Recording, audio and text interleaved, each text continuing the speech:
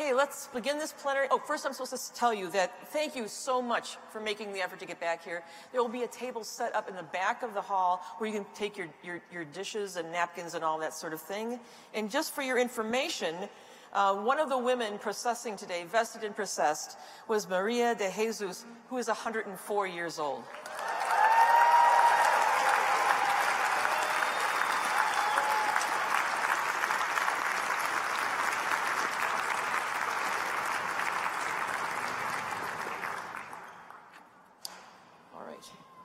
So, you know what? Um, golly. I think we'll dispense with the singing. Is that okay? All right, fine. I mean, he's prepared, but we'll, we'll dispense with the singing. And I think we're going to go then uh, tell you another thing also that to be fair to the three nominees, we are reordering this afternoon's agenda to give the nominees time to prepare their speeches. There will be an order of the day at 2 o'clock p.m. for the nominee speeches, and we will go immediately to the fourth ballot so that we can do the orders of the day at 2.30 for the consideration of the Constitution's bylaws and continuing resolutions.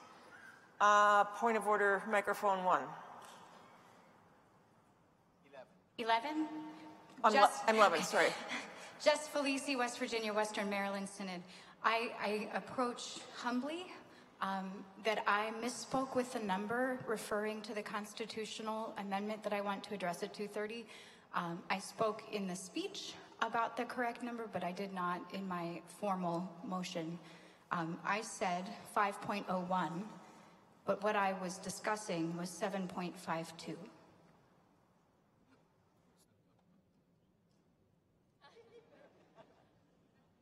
Okay, 7.02, 5-2. Five, two. Thank you, Reverend Chair. You're very welcome. All right.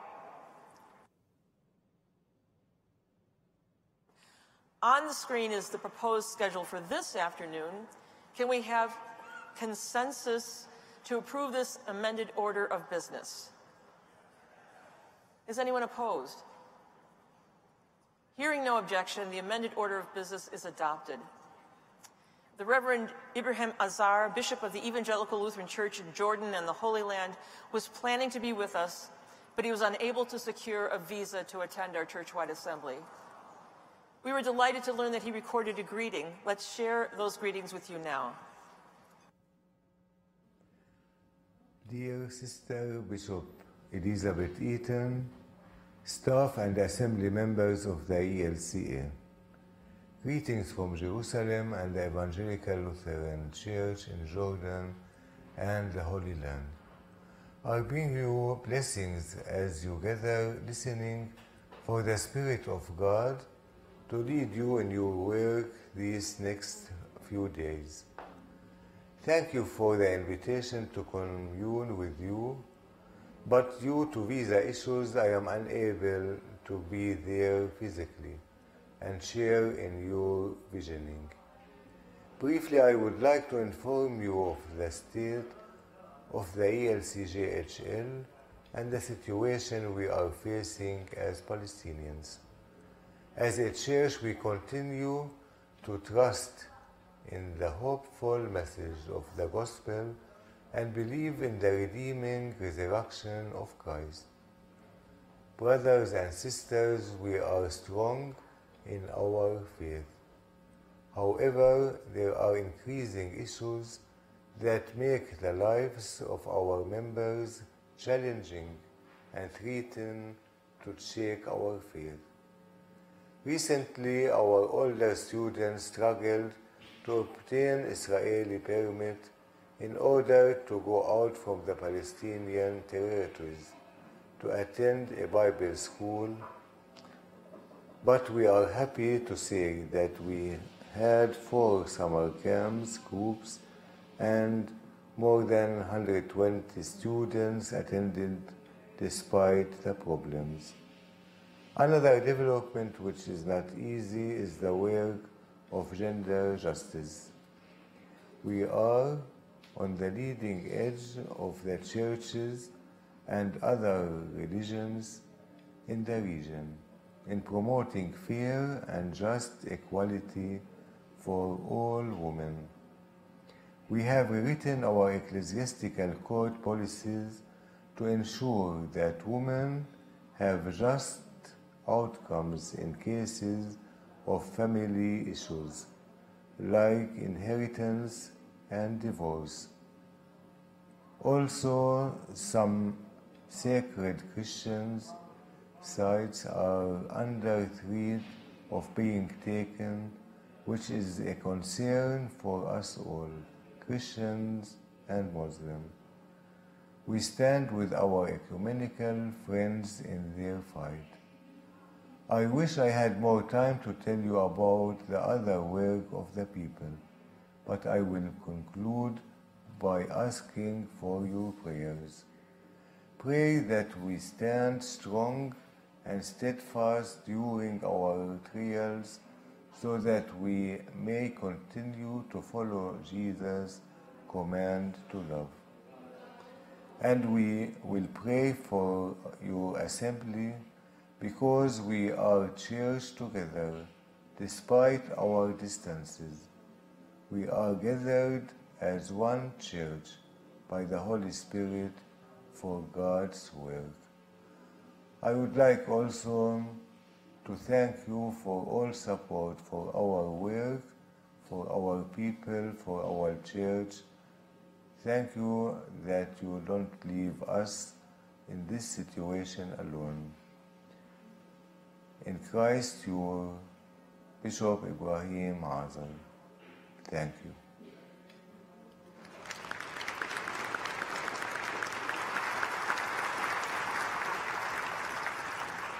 This past weekend, the African Descent Lutheran Association biannual assembly met, and President Adama Faye of the Lutheran Church in Senegal was present with their assembly. We are pleased that he was able to extend his travels to be with us. President Faye, it is our delight to receive you as our guest. Welcome.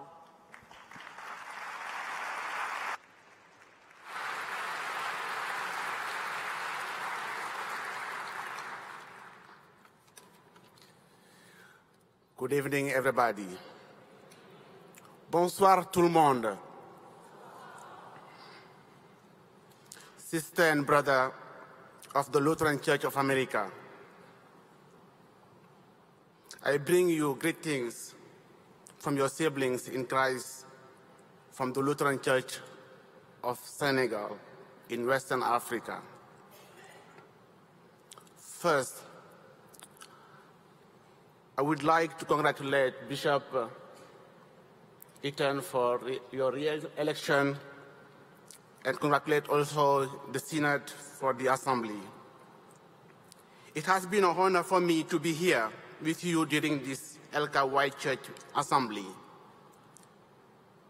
and have been also invited to participate to the African Descent Lutheran Association Assembly this past week also.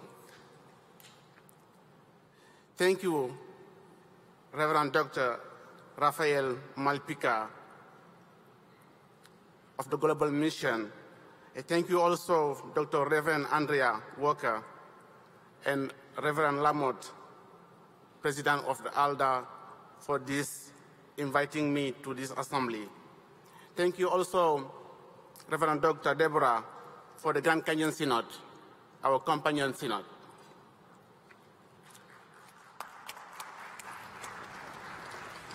Yes, we are a church. We are a growing church, but we don't need that our church to be shaped by the world. We need to be a church in the world and a church who lights the church, the, the world. In Africa, we used to say, when a tree is growing, it's a beautiful tree. But when it gets old, it may be full of parasites. I pray that our church will be a church full of Holy Spirit, a church that alights the world. Truly, we are a church, a church in Jesus Christ, and that we can read Romans 12, verse 5.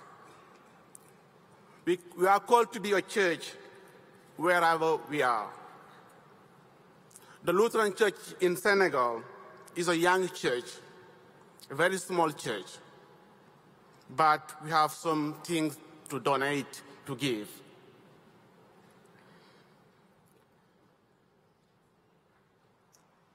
Thank you very much, Bishop. Here we have.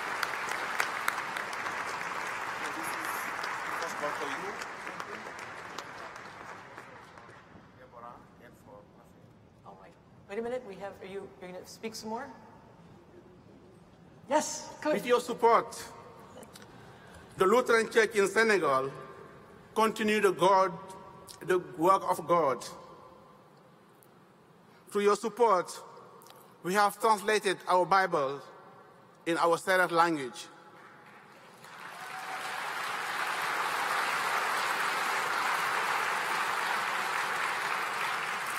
And we are now in a second translation also in the Purali language also. Together, we are training lay people so they can be more act- active and effective in the, in the land and the work of God. Together also, we are supporting children and women and persons living in HIV AIDS. For. Together also, we are changing life of many people by helping them to increase milk production for their own cows. Through those actions, we are witnessing the love of Jesus Christ through our works.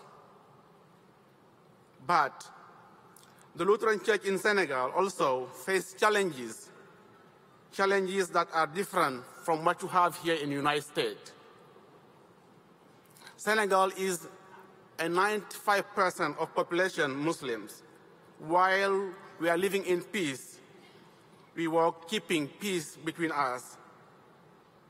And that is the challenge that we need to focus on.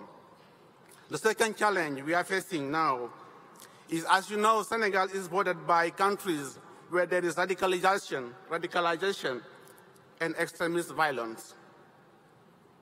Please continue praying for us. And the church in Senegal also is praying for you. May the Lord bless you, and may the Lord keep you safe. And we wish the best for this wide assembly. Thank you very much. Thank you.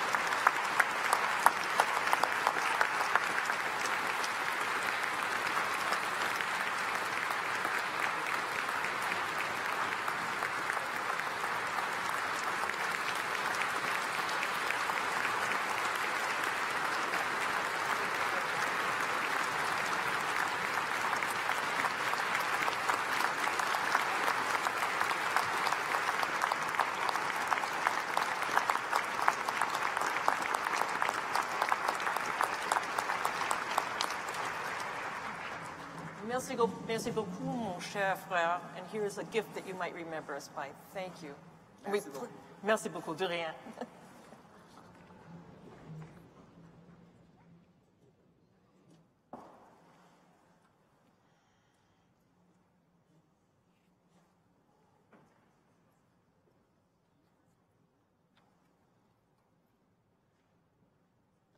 Let's move to the Assembly consideration for the strategy toward authentic diversity within the Evangelical Lutheran Church in America. Several resource people have joined me, or are joining me on the stage for our discussion. They are the task force members who are present with the support of the ELCA ethnic associations. Abraham Allende and Albert Starr, co-conveners of the Strategy Toward Authentic Diversity Task Force.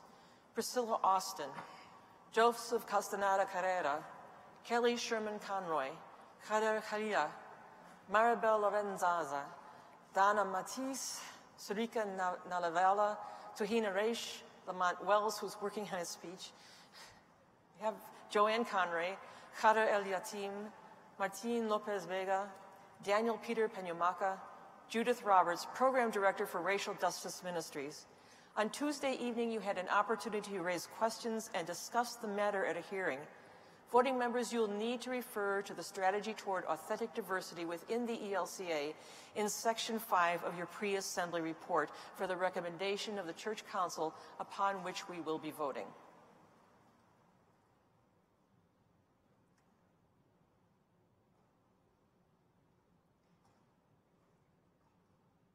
I now invite Bishop Abraham Allende, the co-convener of the Task Force for the Strategy Toward Authentic Diversity within the ELCA, and the Rev- Priscilla Austin to share an introduction to the action you will be voting on.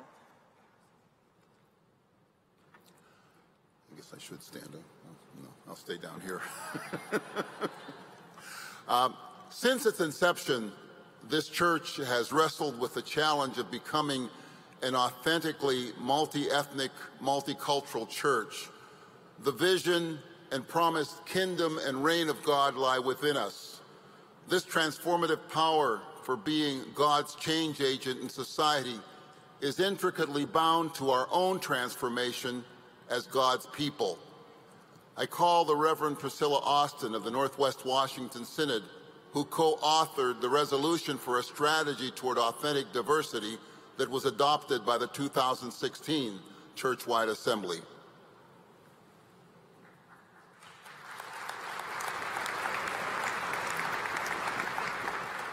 The 2016 Assembly adopted a resolution to create a task force composed entirely of persons of color from regions and synods across the country so that this, the views and voices of this church, so often unheard and unheeded, might benefit the whole church.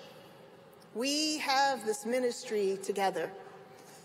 Here with me on this platform are some of the members of the Strategic Task Force for Authentic Diversity and representatives of the ELCA ethnic associations. Not everyone is able to be here in attendance today. The task force has put forth five key strategic areas of focus with accompanying rec- recommendations. Those five areas are theological framing and equipping, healing action, structural accountability, theological education and leadership, and partnership with full communion and ecumenical partners. These five strategic areas represent the basis for a change of heart and mind, how we collectively think about ethnic diversity and inclusivity in the E ELCA. Thank you.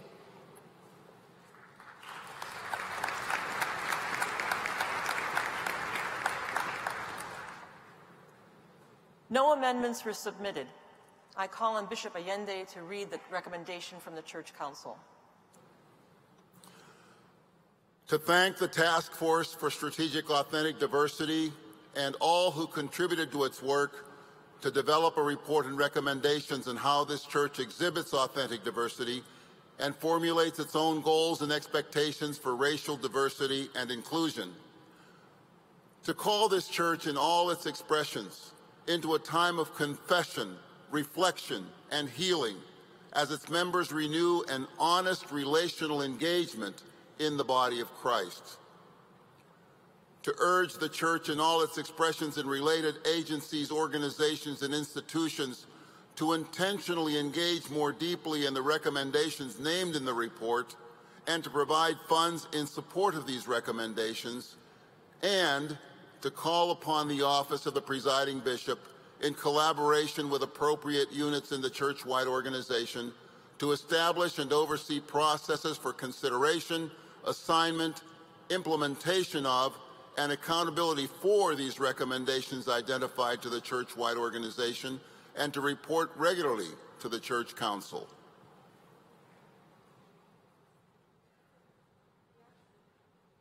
The action does not require a second. Is there any speaking to the recommendation?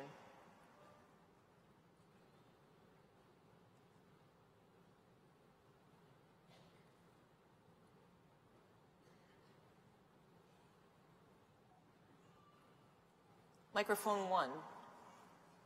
Pastor Don Roginski, Sierra Pacific Synod, they, them, their pronouns. I um, speak in favor of this resolution and I bring a letter of support from the Proclaim community. Anybody else from the community, please stand. Our letter reads, we, a community of LGBTQ, I'm sorry, LGBTQIA plus candidates and rostered ministers in the ELCA, confess and lament the structures of white supremacy that permeate all institutions, including and especially the church. We profess that any discussion of liberation must be grounded in dialogue on race and white supremacy. We strive towards collective solidarity with our siblings of color, recognizing the racism historically and presently embodied in queer communities. We reject the mentality of scarcity that positions marginalized communities against each other, particularly people of color and the queer community which also invisibilizes queer and trans people of color. We reject any attempt to use the queer community to distract or diffuse explicit calls for racial justice. We trust people of color who have thoughtfully and faithfully constructed this document, conspiring with the Holy Spirit, even consulting with white allies. We trust the, the writers of color's visioning their experience, and their hearts. We know that our liberation is bound up in that of each other. Therefore, we, a community of LGBTQIA plus candidates, Thank you. Could you, you want that into the record? Can you bring it up to the desk? Thank you so much. Microphone 11. Pastor Jessica Kane, Southwestern Texas Synod, speaking on behalf of myself and 53 other young leaders in this church. The writer of 1 John says, If we say we have no sin, we deceive ourselves and the truth is not in us. If we confess our sins, God, who is faithful and just, will forgive us our sins and cleanse us from all unrighteousness. If we say that we have not sinned, we make God a liar and God's word is not in us. We fully support the strategy for authentic diversity in the ELCA. For too long, this church has been a denomination that does not reflect the full expression and gift of the body of Christ. We began this denomination with a commitment to becoming more diverse and have failed time and time again. We confess our sin and lament our complicity in systems of racism and white supremacy. We confess that we have consistently and systematically denied our siblings of color opportunity for leadership and full participation in the church and society. We confess that we are a church that has raised up white supremacist murderers, we confess our sin and lament that here in this assembly there has been language policing, whitewashing of history, and the assumption that white and light are good while black and dark are bad. We lament that we have waited until the last full day of business to even address this strategy. For all these sins that we have said and the ones we have left unsaid, we confess. We would like to express our thankfulness for this task force. Once again, we have asked the people of color among us to take responsibility for our failure to authentically be Christ's beautifully diverse church. We will hold ourselves and this church in all its expressions responsible to be truly welcoming, to have conversations in our communities about white privilege and our complicity in systems of racism, to actively denounce and work against white supremacy and implement the resolutions of this task force. Today, we pledge to support and honor the work of the task force in our context, and we urge this assembly to approve the recommendations of this work. Thank you. Are you speaking to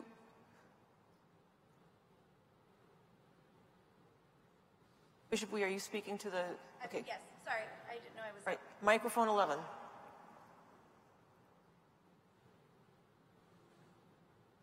Shelley Bryan Wee, Northwest Washington Synod. She, her, I speak in support. As someone who is deeply concerned about racism and white supremacy and white privilege, I would like to confess something before all of you today.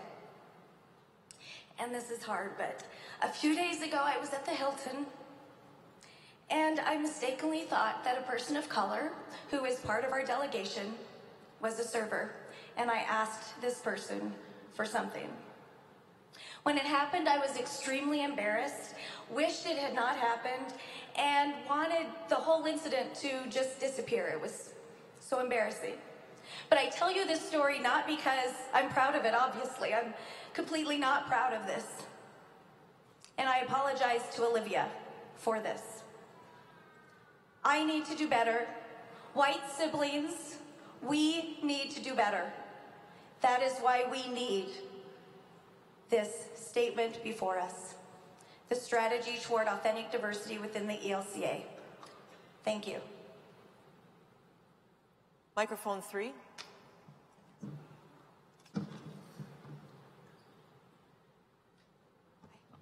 Uh, Mara Darfston, she, hers, young adult rep from Metro New York Synod. Uh, I wanted to thank the people sitting before us today for your work towards this document, your love towards this document, and your love towards this church that for a long time has failed our siblings of color. Um, as I look at the names of the people who worked on this document, I am proud to be from New York and proud to know so many of you that are from New York. And I would ask that this church both pass this motion, both this state, this strategy, um, and also take into consideration what this means for our young people and how will we, we will teach this to our young people and hope that the ELCA will take this to the next step in looking at the dates it chooses for our National Youth Gathering to ensure that the young people of the Metro New York Synod are able to attend both the National Youth Gathering but also the MYLE event which takes place while they are still in school. Thank you. Thank you. That's four speakers in favor of the, of the, uh, the motion, so debate is closed. Before we vote on the recommendation, I'm asking Bishop Idalia Negron Camaño of the Caribbean Synod to lead us in prayer.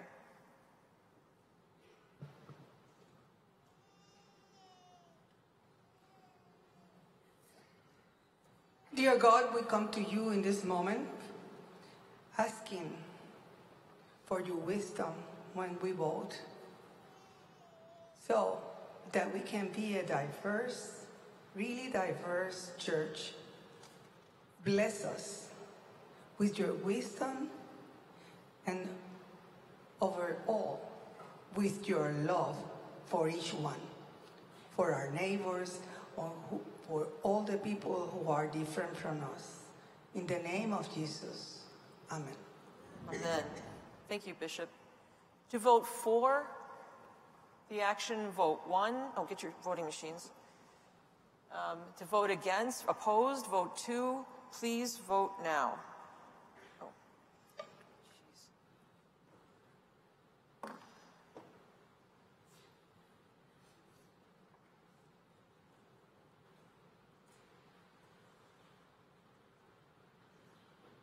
Voting is closed.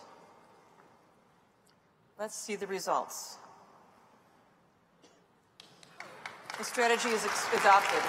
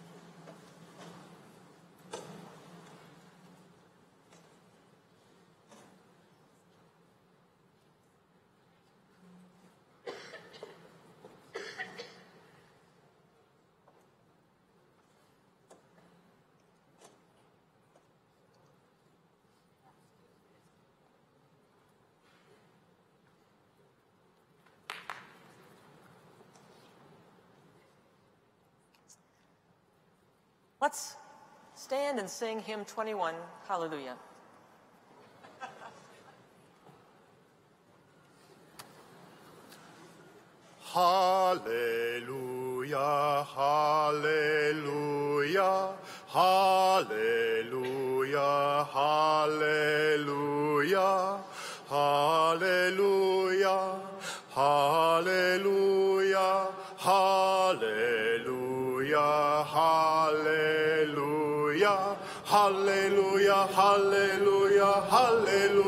Hallelujah, hallelujah, hallelujah, hallelujah, hallelujah, hallelujah, hallelujah, hallelujah, hallelujah, hallelujah, hallelujah, hallelujah, hallelujah, hallelujah,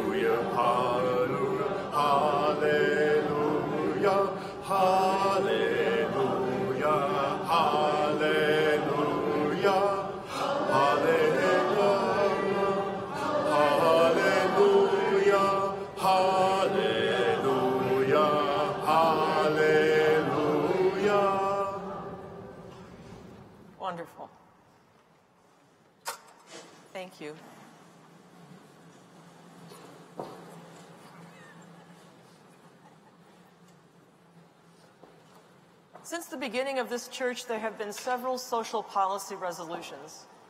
Social policy resolutions serve as this church's policy directives until social, a social resolution is replaced by subsequent, subsequent resolutions, rendered moot by subsequent social teaching documents or sent to the archive by a churchwide assembly. In accordance with the policies and procedures of the ELCA for addressing social concerns, a review is conducted after 25 years.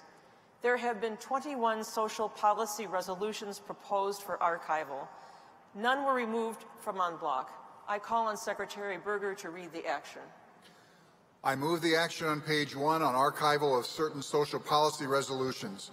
To archive the social policy resolutions identified in the 2019 archival certain pol- social policy resolutions document as suitable for archive in accordance with the policies and procedures of the Evangelical Lutheran Church in America for addressing social concerns. We will now proceed to vote. Insert your voting cards.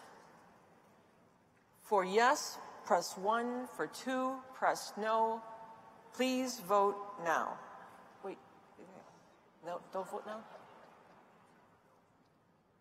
For yes, press one. For no, vote, press two. I'm so sorry. Okay, now we'll try to vote.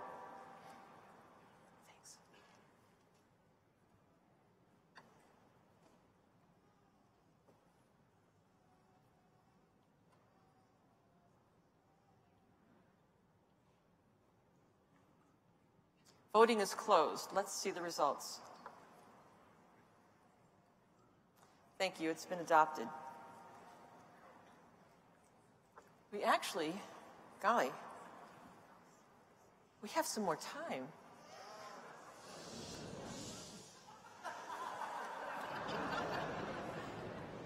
Do, we'll do a quick video here.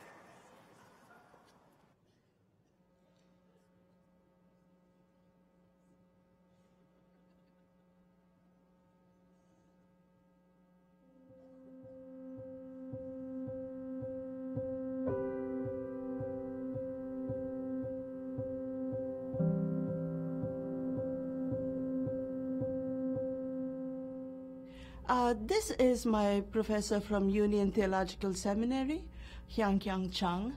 Uh, she was the one who believed in me, even though it took much longer than I expected.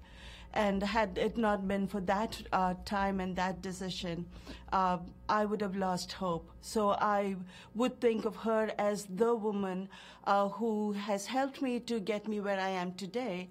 Um, but I cannot forget uh, the countless invisible women on whose shoulders um, my journey rests, my success rests. So I do acknowledge them. And above all, my father, who has been that foundational source of inspiration in bringing that pastor in me, in bringing that bold woman in me.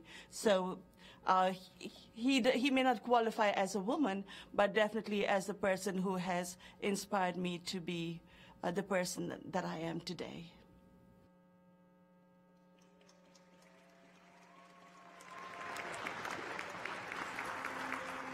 One more video.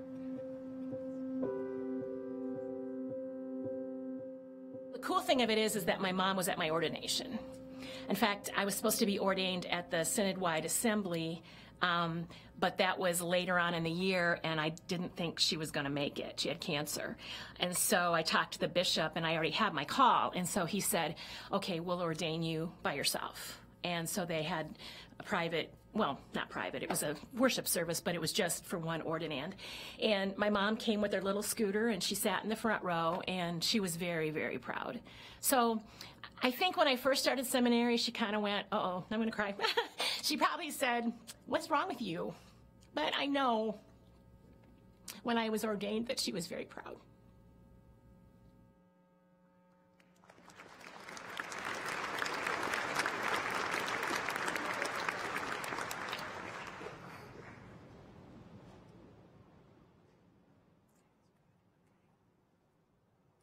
We now have the opportunity to hear from the three persons who received the highest number of votes on the third ballot for secretary. They are here arriving. I ask them to come onto the stage. As they come forward, it might be helpful to review how this time will be structured. The three nominees have drawn names to determine the order in which they will speak. Sue Rothmeyer, Steve Herr, Lamont Wells. Each will have five minutes to address the assembly. At four minutes and 30 seconds, a yellow light on the podium will be a 30 second warning for each speaker. At five minutes, a red light will indicate that the time is up. Please hold your applause for the end of all the speakers' presentations. Let us, then after that, we'll proceed immediately to hearing, no, hold now, I'm sorry. Let us now proceed immediately to hearing from our first nominee.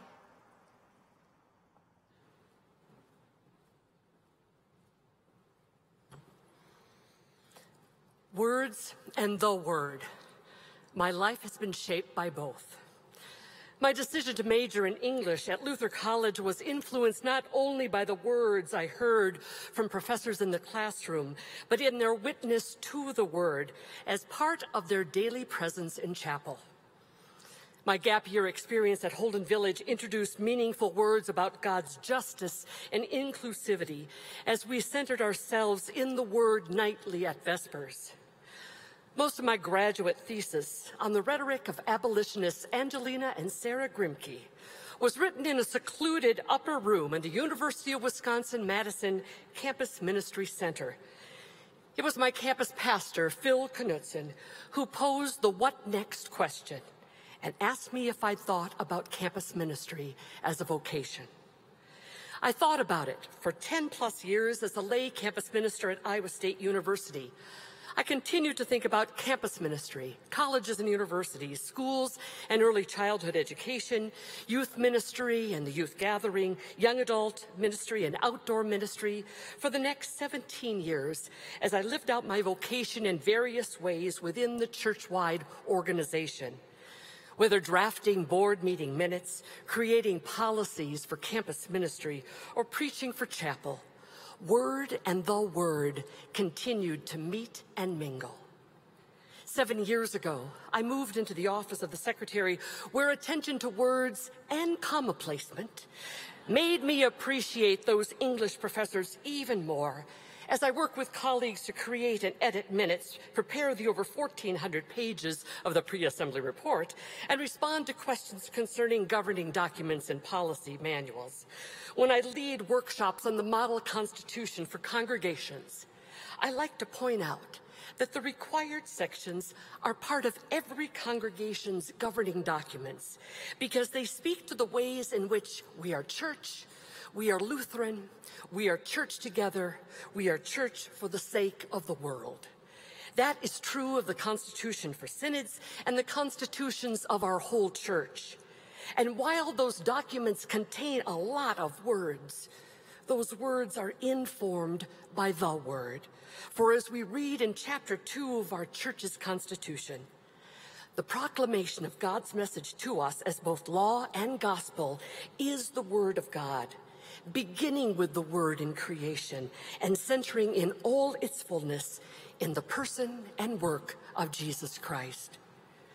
Words and the Word. The governing documents of this church are shaped by both.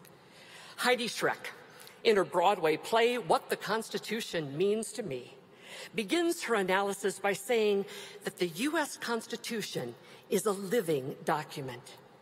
The same could and should be said about the constitutions of this church. Every three years, this assembly has the opportunity to breathe new life into those documents as you take action on amendments that have been forwarded for your consideration. The Lutheran Church in America, meeting in 1970, changed one word in its constitution, striking man and inserting person, which made it possible for women to be ordained. One little word, as Martin Luther would say, changed the course of history. Secretary Boerger often speaks of the office of the secretary as a service unit to the church. This is an apt description of the ways in which this office supports congregations, synods, and the church-wide organization. It has been my privilege to work with gifted and committed colleagues that serve this church by offering legal and risk management services, planning meetings, managing the rosters of this church, archiving this church's history, and caring for the words of this church in many and various documents. This minister of word and service would be humbled and honored to serve as secretary with these colleagues and with you, as together we care for the living words of this church and boldly proclaim the living word of God. Thank you. Stephen Herr.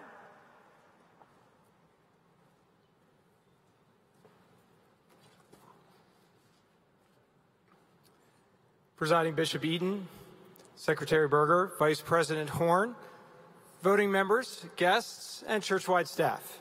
Grace, mercy, and peace to you in the name of Jesus Christ. Amen. I give thanks to God for this church, which I love deeply, and I am deeply humbled and grateful for the opportunity to stand before you this day.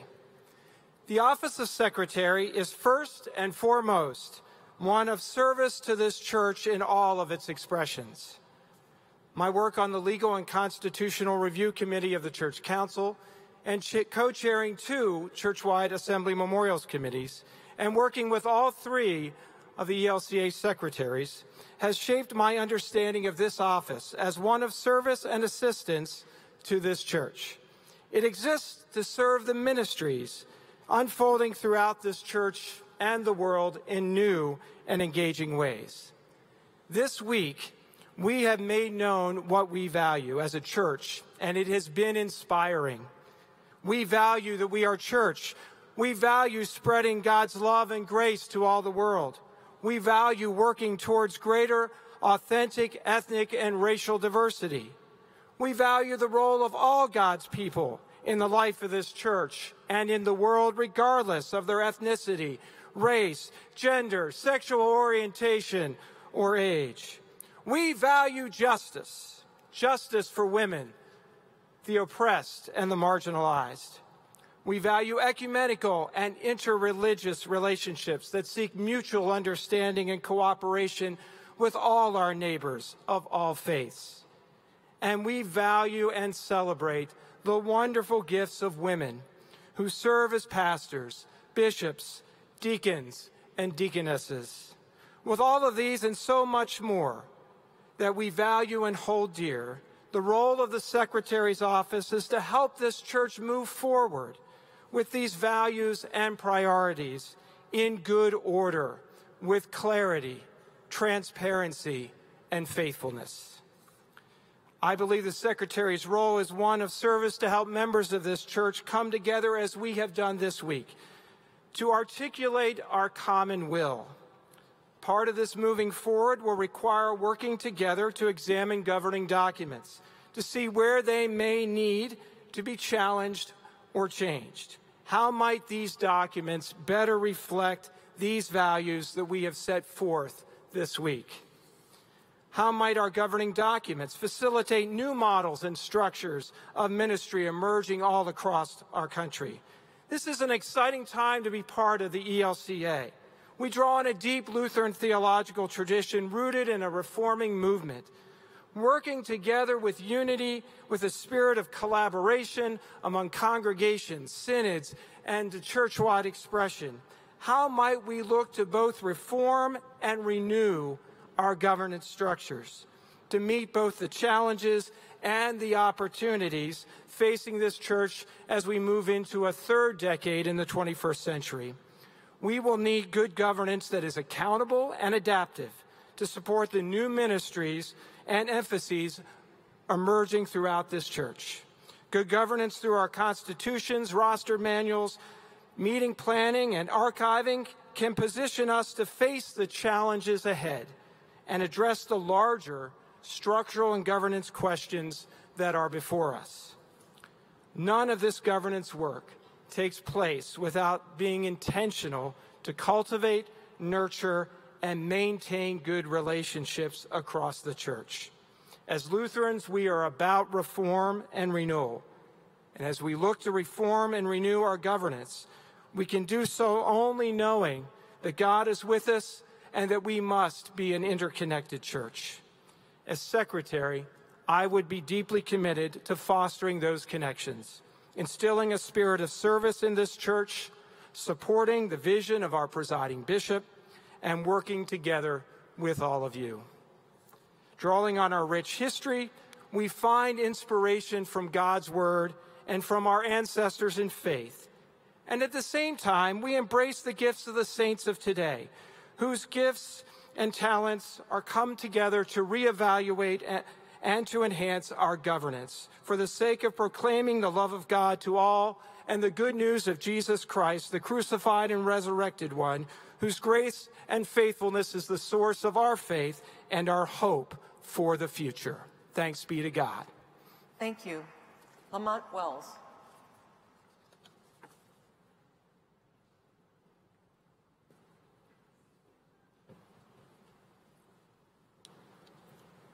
Grace and peace be unto you and peace from God, our holy parent.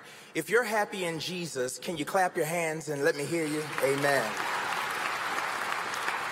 Let me tell you a little bit more about me. In Northwest Philadelphia, I was born and raised. On the playground is where I spent most of my days, chilling out, maxing, relaxing, all cool, all playing golf outside in the school.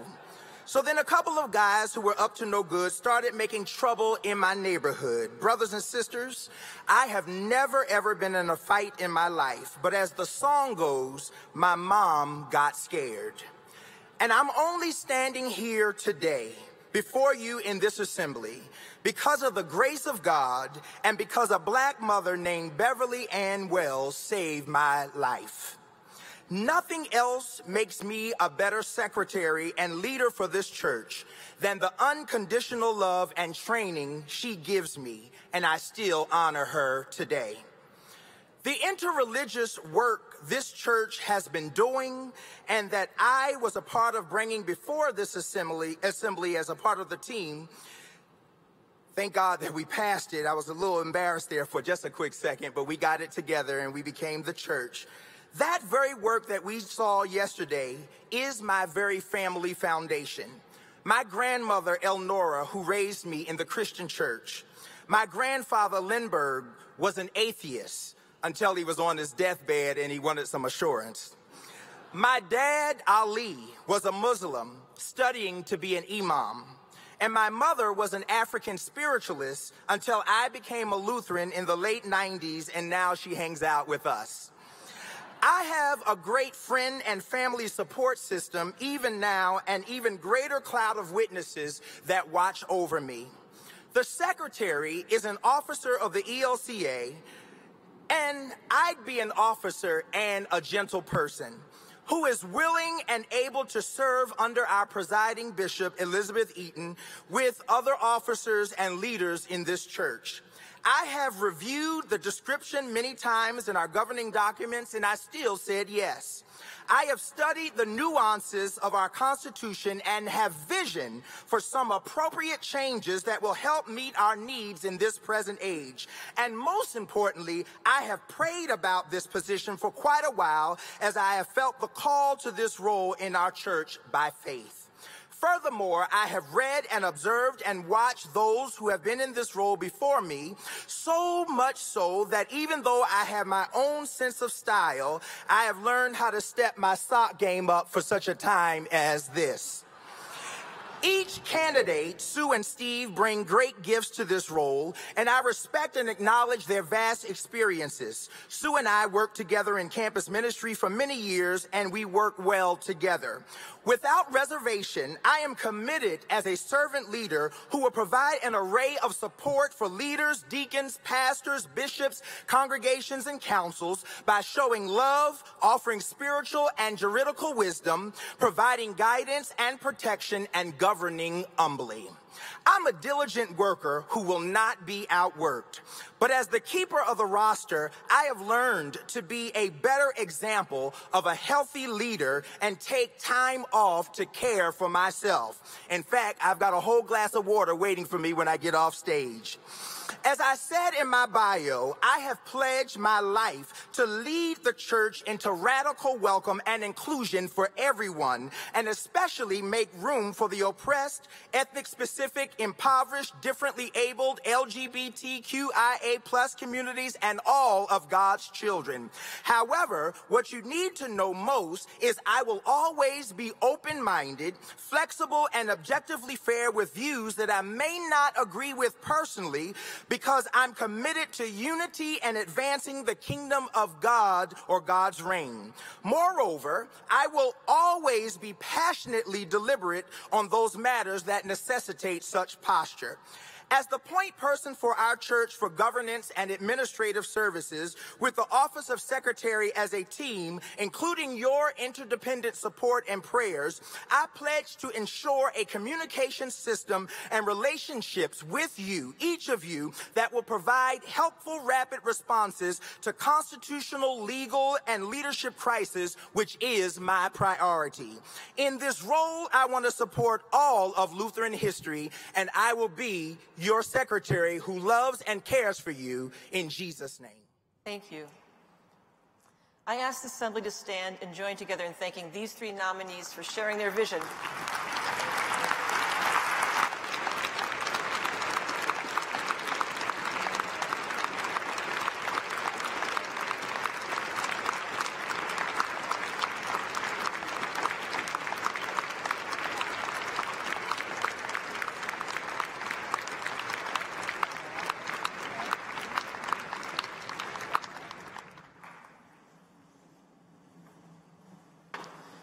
We'll pause for a moment and watch a brief video on Future Directions 2025.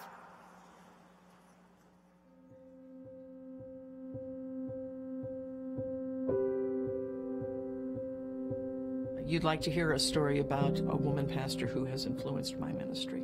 And that would be a very easy question to answer. Bishop Eaton would be that individual. Not quite 40 years ago, we met as volunteers at Camp Mowana in Mansfield, Ohio. And that was probably about three months after she had been ordained, and I was still contemplating seminary. She was the first woman pastor that I really got the chance to know, the first one I ever heard preach, and she has been not only a friend, but a colleague in ministry. Also served as my synod bishop in the Northeastern Ohio Synod, and of course, she is now everybody's bishop and her leadership style and the posture from which she leads is still very much a template for how it is that I take upon myself the mantle of congregational leadership.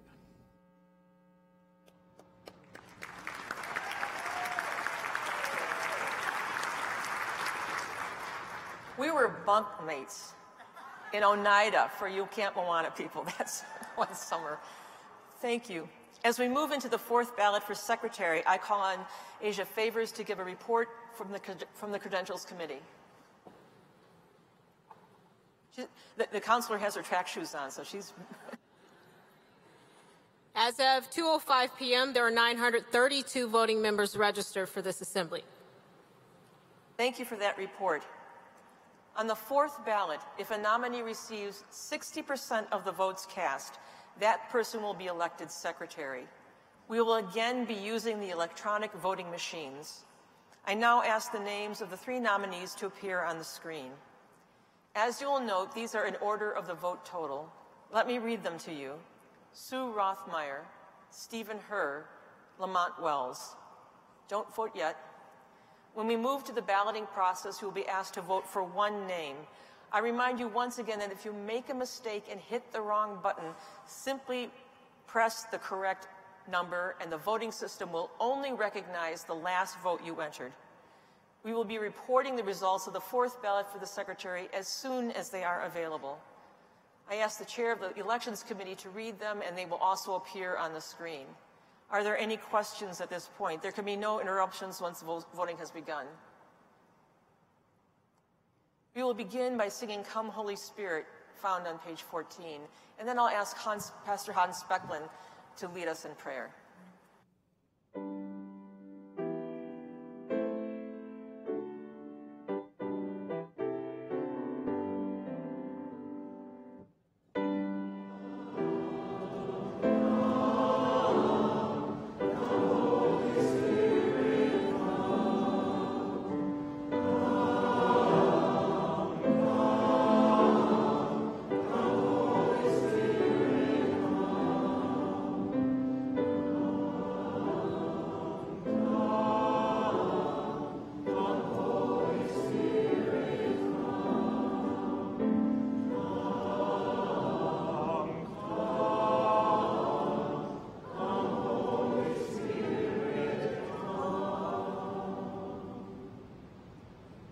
Be with you.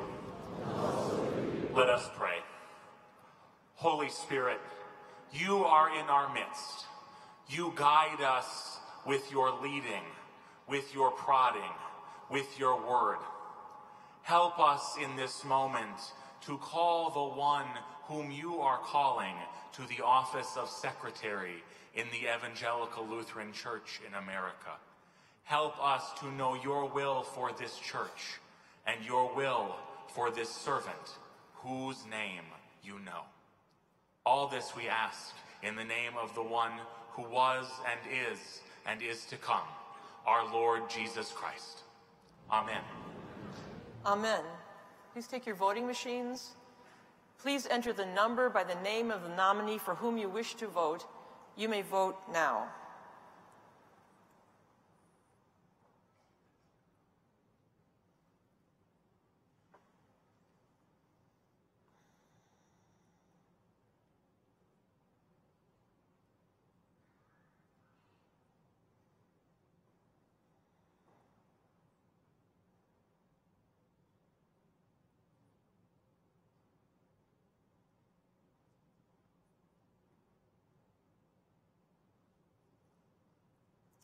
Voting is closed.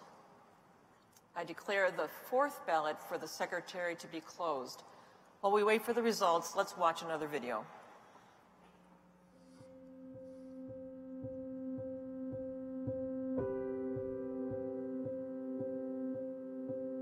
I love cantering. I became a cantor at my church in Denver. And the joy of cantering is not standing up there being, you know, I am now leading you in song. You can't you cannot lead people in song if you aren't having the rest of the congregation.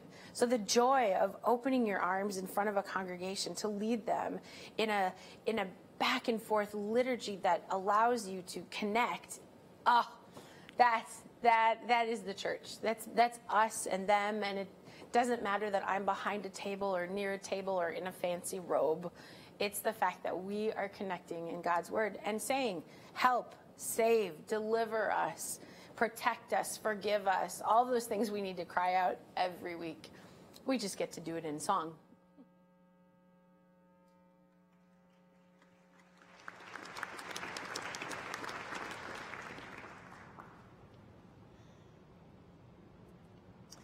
I now call on Tom Cuniff for the report of the fourth ballot for secretary.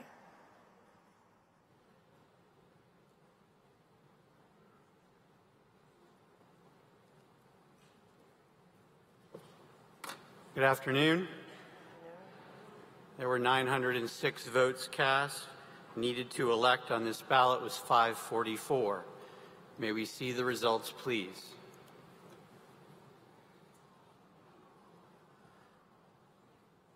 There is no election. Thank you. According to the rules of procedure, the two persons receiving the highest number of votes on this ballot will proceed to the next ballot. These persons are Lamont Wells and Sue Rothmeyer. I remind you that the fifth ballot for secretary will take place later in this plenary session. Thank you, Mr. Cuniff. We will now follow up on the remaining constitutional amendments recommended by the Church Council regarding proposed general amendments to the constitutions, bylaws, and continuing resolutions, resolutions of the ELCA. Please go to the amendments um, and the constitutions of the ELCA document in section 5 of your pre-assembly report. Many of these proposed amendments are technical in nature and are made as part of the periodic review of the governing documents of this church. Some intend to improve and clarify existing processes. Others are in response to input from congregations and synods, as well as the recommendations from the Entrance Rite Discernment Working Group. Prior to the deadline that the Assembly adopted, the following provisions were removed from en bloc consideration.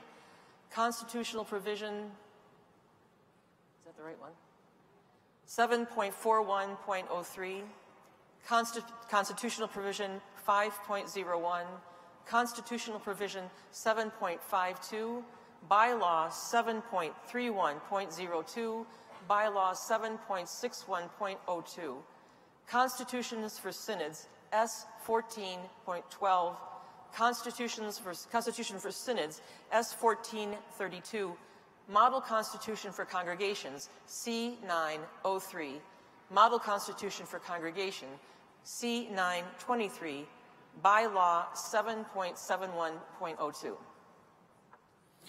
I move the action on the top of page one on the amendments related to the Constitution, bylaws, and continuing resolutions of the ELCA to adopt en bloc with the exception of such amendments as may be separately considered the following amendments to the Constitution, bylaws, and continuing resolutions of the Evangelical Lutheran Church in America, and to authorize the Office of the Secretary to make appropriate changes in the Constitution for synods and the Model Constitution of Congregations congruent with the ELCA Constitution as amended. Thank you. We will now proceed to vote on the en bloc motion. It takes, pardon me, point of order, microphone one. Two. Two. Two, fine. And I'm sorry, I didn't, you're going to get here quite this quick, so I didn't bring my little card. I'm Dale Sandstrom from uh, Western North Dakota, a former chairman of the Constitutional, Re- uh, Constitutional Review Committee of this, of this church. In fact, this morning, by a two-thirds vote, the body voted to pull out 5.01. I know the person stated that this afternoon she, that wasn't what she meant to move, but that is what she meant but she did move. I wish to separately discuss 5.01 for, because I think it has an important, uh, important consideration for this entire body and this entire church. And so I raise the point of order that we have separately voted to pull out 5.01. I have no objection if they also want to make a motion to pull out what they intended to pull out. Thank you. I'll have the secretary give a response. As the bishop read, we have already said 5.01 will be used for separate consideration and is not part of this en bloc action. Thank you. Thank you. All right, it takes two thirds for adoption. Are you ready to vote? Vote one, pardon me, microphone 11. Uh, thank you. Is this, we can debate this, right? Who, who are you? I am Logan Lee from the Southeast Iowa Synod. Mm -hmm.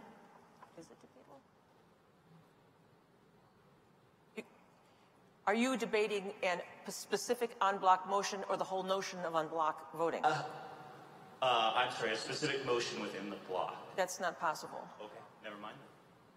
Okay, it had to be pulled off earlier, sorry. All right, now, do I have everybody good? I, I would motion. Where, wait, hold on, where are you? Okay, uh, microphone two.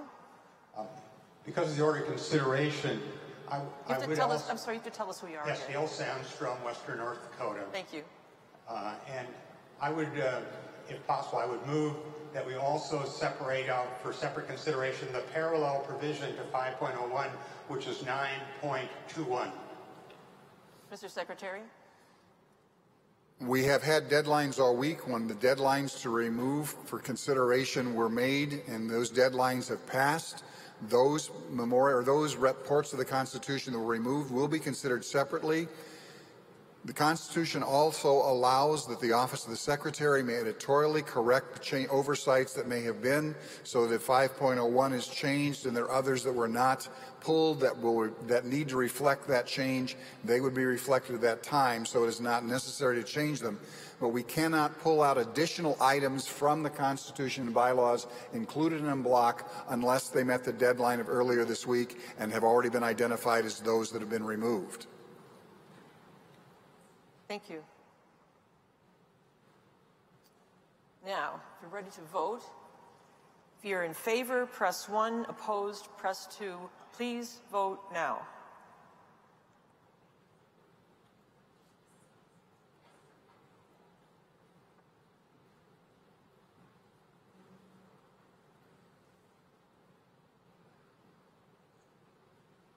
Voting is closed. Let's see the results. It's passed. Cal- Calm, calm down here. Thank you. Okay.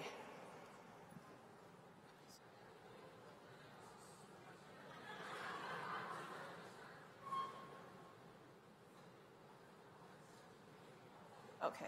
We will now turn to the amendments that were removed from the en bloc resolutions. I will call the numerical designation of the item. If the person who removed it from en bloc consideration wishes to make a comment or an amendment, please proceed to a microphone. We will then take a separate vote on this provision. Each one requires a two-thirds vote.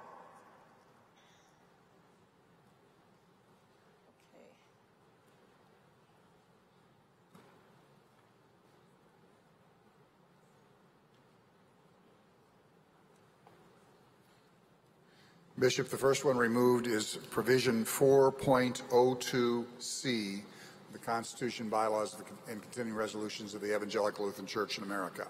Thank you. Is there any speaking to this?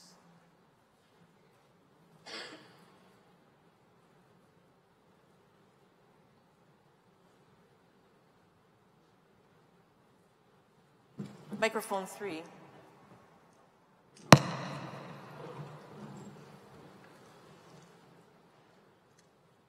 Thank you. Matthew Brockmeyer, Greater Milwaukee Synod. This is one of several items that I asked for separate consideration for. The main point here is that I am looking to reinstate or to extend the use of the word oppressed in place of what has been recommended, which is powerless. Uh, we have, up until this point, called for clergy, members of the rostered leadership, to speak publicly to the world in solidarity with the poor and oppressed in subsequent and related provisions. The key words that will be part of the other provisions, six parallel provisions that have to do with the call to roster leaders. Now we'll be standing with the poor and powerless. And I find that powerless does not really speak to the needs of this church in this moment. All week we have been hearing presentations, we have been marching, we have been speaking to the oppressed.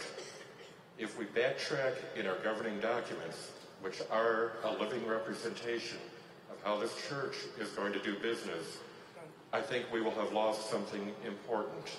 And so I would urge that all of these related provisions be changed from the proposed language to return to standing with the poor and oppressed. Thank you. Microphone four. Felicia Boone, Vice President, Minneapolis Area Synod. I'd like to make a motion to amend.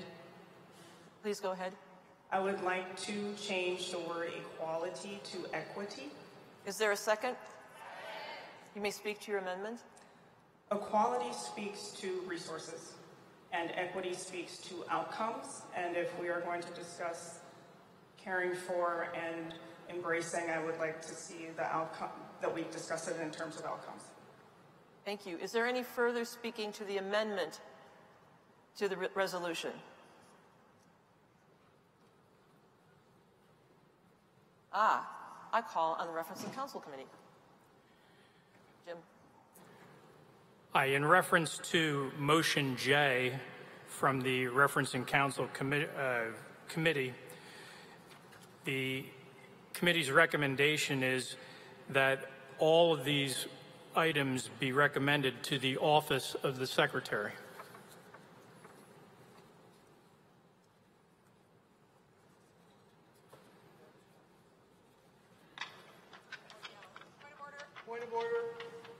Microphone eight. Craig Satterlee, Northwest Lower Michigan Synod. Bishop Eaton, um, I may be the only legally blind person in the room, but I can neither see the screen and it's Friday and I'm having trouble keeping up in the guidebook. Would it be permissible for the secretary, in addition to reading the number, the citation, reading the line, or giving us some indication of what we're talking about? I'm afraid my knowledge of the ELCA Constitution is not as fluent as my knowledge of the Northwest Lower Michigan Synod Constitution. Thank you. I think we can do that. Thank you, Liz. You're welcome, Craig. But it's not powerless. It's powerless now. Bishop, I would note that the, con- the amendment, the process for amending constitutions says that the church council may propose an amendment six months in advance of the assembly, and the assembly by a two-thirds vote may adopt them. What is in yellow, and I'm sorry, Bishop, uh, in your guidebook it, it would be underlined, is the um, report from the church council. What the voting member is suggesting is we change the word powerless, which is already part of the provision and would be a new, new thought being brought here today. If this is adopted, and it can be by a two-thirds vote, it would also need to come back in 2022 for ratification because it was not part of the initial recommendation coming from church council. All right, and there's more. Because we have an amendment properly on the floor to change equality to equity. Does that fall in the same category?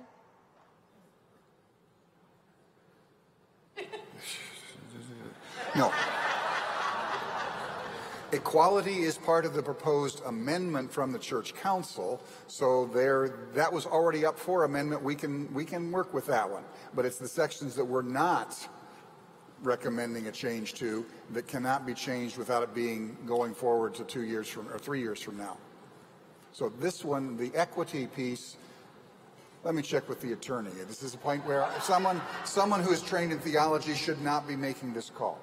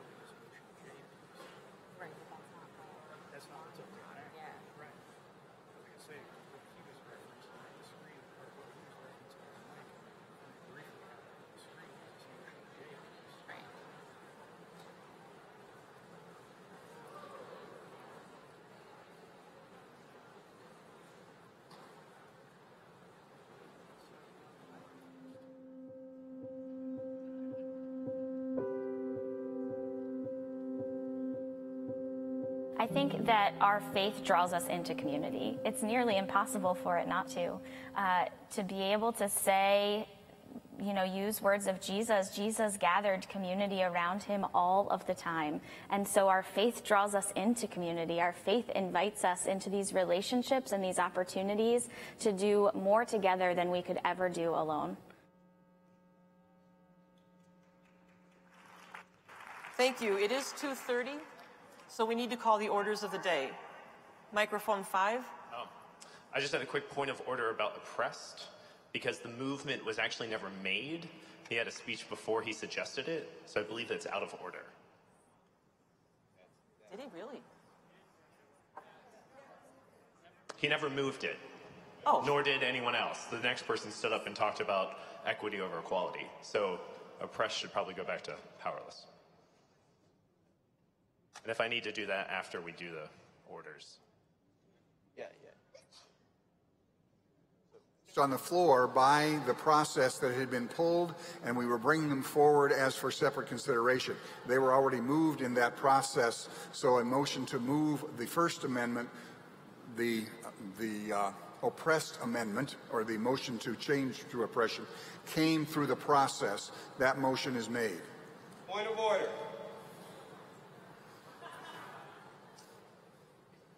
Point of order. Five. Two. No, that's still me. That's not you. Sorry. Two. Yes, Um, please. I, I would disagree with what I just heard. What my understanding is what happened here is we had someone speaking on the, the, the motion. I mean, on the, um, the line item, somebody made a motion.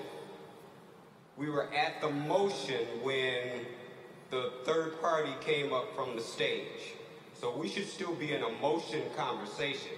Okay, what we're going to do now, it is the orders of the day. We're going to bring forth the, the next one, and we're going to sort this out uh, in, in the meantime. Thank you very much.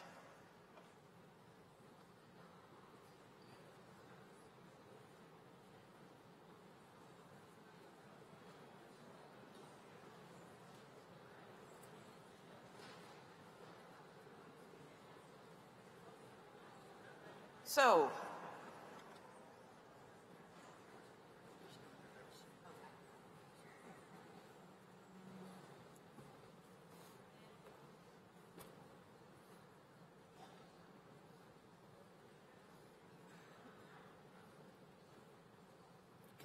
The orders of the day, as clarified by the voting member, was that to speak or to address the proposed amendments to 5.01 of the ELCA Constitution, and that would be what would be before us, be before us now.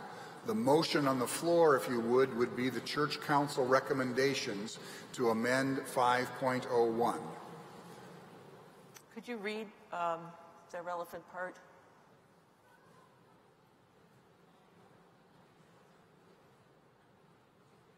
Thank you.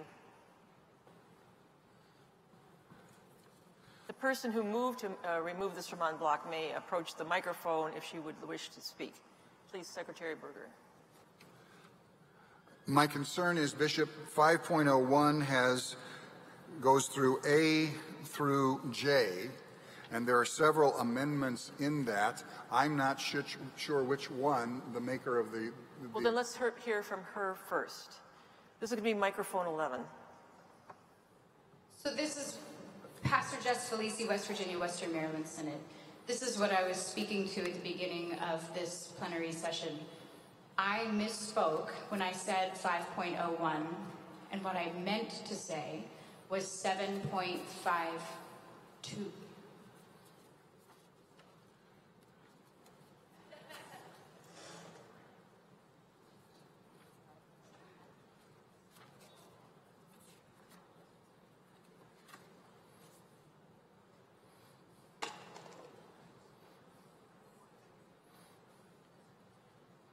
Okay. And, and, and Bishop Eaton, I wish to discuss the item she removed. Microphone two. No, hold on. Don't discuss did not. anything yet. We're, we're, um, who pulled 5.01? Oh, Uh, microphone three. Reverend Gwendolyn King, Southeast Pennsylvania Synod.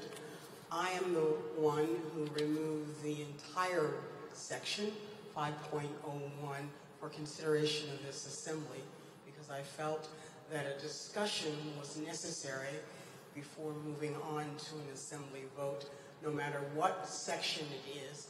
I have some particular concerns about a particular section, but I know that others have other concerns in this. And I wanted it before the assembly prior to a vote. That's why I removed it. That's good. That's fine. Don't go away, Pastor. Um, so here we are. I don't know if I'm allowed to do this, but I have a parliamentarian secretary, two, sec- two lawyers, and um, a, a member, a former member of the West, uh, the North Dakota um, Supreme Court, who will straighten me around. It was the intent. It's true, and it's good. Um, it's, it was the intention of the pastor from West, Western Maryland, West, West Virginia, West Maryland, that, that, that at this time we would talk about that. Yours has also been pulled. Yes. So if we talk about this really fast, we could go on, and I don't know if we're allowed to do this. I have to take the consent of the House. If you'd be willing to let her go first and you come second. I have no problem with that. Okay, and it's also up to the House.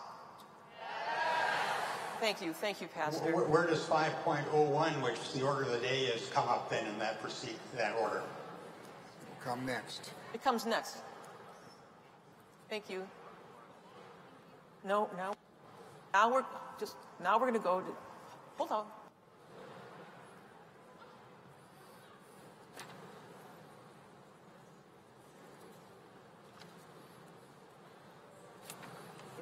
All right, microphone 11. And now let's be very clear which one we're talking about. Secretary Boerger? Please, microphone three, point of order. If we are to discuss 7.52, I'm the one who pulled that from en bloc, so I'd like to speak to it first. My, I'm sorry, my name is Paul Erickson, Greater Milwaukee Synod. That's fine. That's, I did not pull it. Okay. Microphone three. Okay. Uh, Paul Erickson, Greater Milwaukee Synod, he, him, his. When I realized that this important item, which talks about the ordination of deacons, was part of the en bloc, I thought it was something that we needed to pull so that we could have a conversation on the floor uh, of this assembly. I recognize that significant work has gone in uh, to the recommendations of the Entrance Rite Discernment Group. Um, I'm grateful for their work, and I hope we can hear from them as we have this conversation. Um, I also, however, listened to the deacons in my synod and others, and I've heard many concerns about potential for confusion uh, resulting from this change from consecration of deacons to ordination of deacons.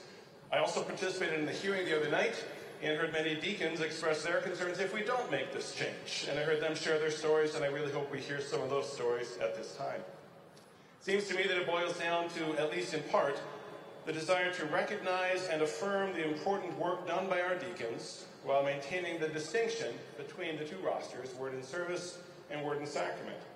Unfortunately, we often fall prey to what some might refer to as clericalism, in which ministers of word and sacrament are deemed as more important than ministers of word and service, not just distinct from.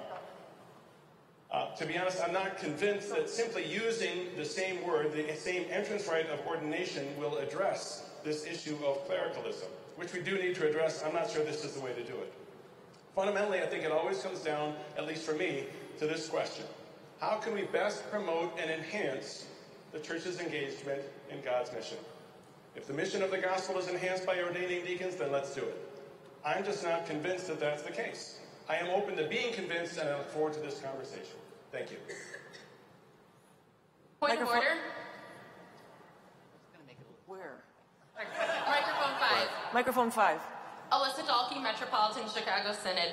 Earlier, there was a request from um, a, from Bishop Satterlee, a sibling of ours with low vision, to please read the um, relevant area of the Constitution prior to discussion, and I just um, urge the chair to do that, please. Thank you. Microphone seven. Uh, yes, I had a question about this. My name is Carrie Hovland from the Southern Ohio Synod. And my question is, what are we trying to accomplish by changing the entrance rite into the ministry of word and sacrament? I ask because I was ordained into the ministry of word and sacrament in the Evangelical Lutheran Church in Tanzania, the Northern Diocese, where the rite of ordination or kubarikiwa is used for various calls within the church. And so I am not objecting to the rite of ordination, but will it achieve its intended purpose?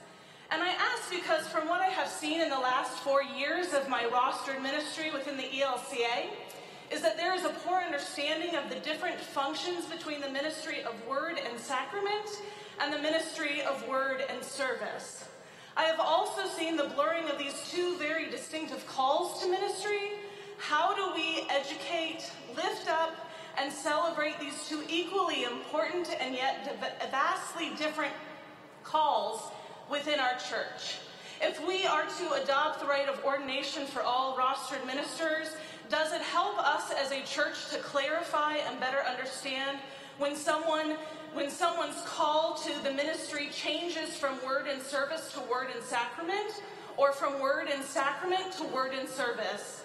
I ask because I have seen ministers of word and sacrament functioning in service roles out in the world as a bridge between the church and the world.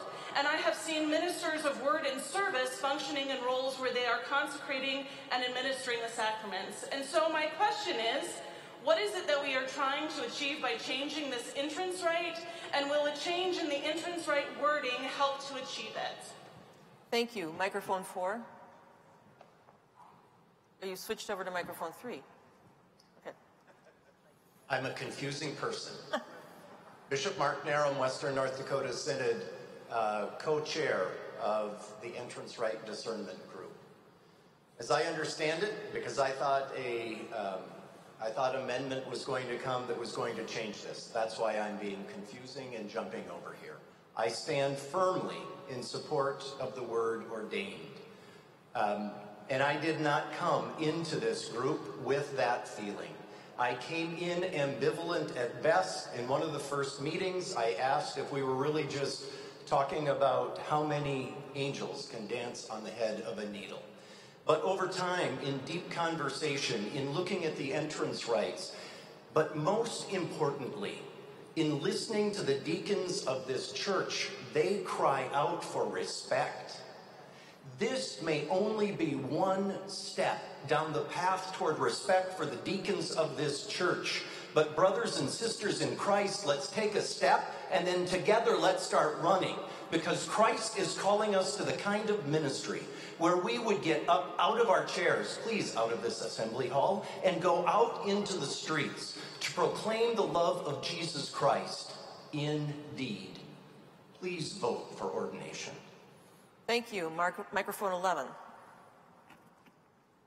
Pastor Jelaine Marble, Southeastern Iowa Synod, she, her, hers. My fellow siblings in Christ that are or will be ministers of word and service, I am sorry. I beg of your forgiveness. When I first read this language, I was very angry. I was holding on so strongly to language that the Holy Spirit had to hit me over the head with a spiritual two by four. My anger came from a place of fear. My anger and admittedly confusion was about me only. I felt my call was threatened when in reality, that was so far from the truth. My fear and anger came from my own insecurities, and I was wrong. I am another English major, and I, of all people, should know that words matter. Deacons are a gift to this church. Their ministry to the church and the greater world is essential to kingdom building. Ordaining deacons does not invalidate my own ordination, thanks Northern Texas, Northern Louisiana. Ordaining deacons only affirms the work we do together as the ELCA and with our ecumenical partners. If you are afraid that this language is going to do this, then I invite you to lean into the Revised Common Lectionary for this Sunday and do not be afraid. Language matters. Deacons, you matter and I am so sorry. And I give thanks to God for your ministry because mine is better because of it. Thank you. Microphone 12. What point of order? Question? Yes, microphone 1. Peter Metcalf, Montana Synod. And my question is this, or point of order, is I'm concerned that we're voting on a constitutional change that we may vote opposite for, or we may vote an opposite on the constitutional change of the document we're considering later. And that seems to me that we're possibly in some sort of order mismatch here, and I would like to know if there needs to be some either tying of the constitutional amendment decision to that other document that we'll be considering, or some other order to the order in which we do this. It seems. Could you tell us what other document that is? Aren't we voting on the, the rite of ordination regarding um, deacons later in the assembly? This. Mr. Secretary? You will be doing that by voting on the constitutional amendments, i.e. this one. There will not be a special vote on ordination. We will make that determination as we vote on the constitutional amendments that identify ordination. So you're voting on that at this point. Thank you for clarifying that for me and anybody else who is confused. Thank you very much. Microphone 12. Pastor Chris from Delaware, Maryland Synod. I only stand at a red microphone because it was the closest empty microphone. I was rising for a similar reason as was just raised for a parliamentary inquiry because there is a motion from the, or to the reference and counsel that was made to change this from ordination to consecration. So in front of us is the recommendation of the council to use the word ordained in replace of received onto the roster, but there is another motion brought to the Reference and Counsel Committee that asks for it to be changed from ordination to consecration. So I was asking for some clarity on what will happen if we approve this with that motion that was made to reference the council. Thank you. Let's find out. I mean, let's him find out. 7.52 proposes changing received onto the roster with the word ordained. If someone would like to change that to the word consecrated, they would need to stand now and move the amendment. I understand that was received by reference and counsel. Reference and Counsel could move that. I would point out, though, that that then need will need to be ratified in 2022. Right. Microphone five. Sister Michelle Collins, deacon serving in the Florida Bahama Synod. I speak in favor of this language. Each of us on the rosters of this church have different stories about how we felt, responded to, and accepted the call to public ministry in the ELCA. For most of us, I would imagine it has something to do with being compelled by the gospel and wanting to impact others. What excites me about ministers of word and service being ordained is not about my journey, how I got onto the roster, or what deacons being ordained may or may not do for me. What excites me is thinking about the 12 year old who will be formed in a church that ordains ministers of word and service and ministers of word and sacrament for service and leadership in both the church and the world, unified in call but distinct and, and unique in expression. This church does not have a transitional diaconate. It excites me that a 12 year old will be formed in a church where deacons have gone all the way. My hope is that having the same rite of entrance for rostered ministers will continue to create for that 12 year old a church that lifts up both pastors and deacons as ministers, that actively and intentionally encourages all people, lay people and rostered ministers, to live out their vocations from their baptism, claimed and sent for the sake of the world. Having the same rite of entrance strengthens the mutual support and accountability pastors and deacons have for each other as partners in ministry and leaders in this church. It also makes a statement to the church and the world about our common call to word, service, and sacrament. For the sake of God's mission, as we continue to be a church that boldly moves into the margins, consistently calls and sets apart people, and passionately celebrates the diversity of gifts and callings, I hope we ordain ministers of word and service. Thank you. Microphone nine. Tom Gerbino, Slovak Zion Synod. Reverend Chair, I rise to speak in favor of the proposed amendment. As a person of roster, I also worry about clericalism. But I do not believe that the question at hand is one of clericalism or of blurring ministries or gifts. But I believe the historic language of ordination to be faithful. Faithful to the intent of this church in entrusting these siblings with the symbols and responsibilities. Faithful to the witness of Scripture and the traditions of the apostles and faithful to that which the Holy Spirit is doing when these persons are set apart for service in the liturgy of the church.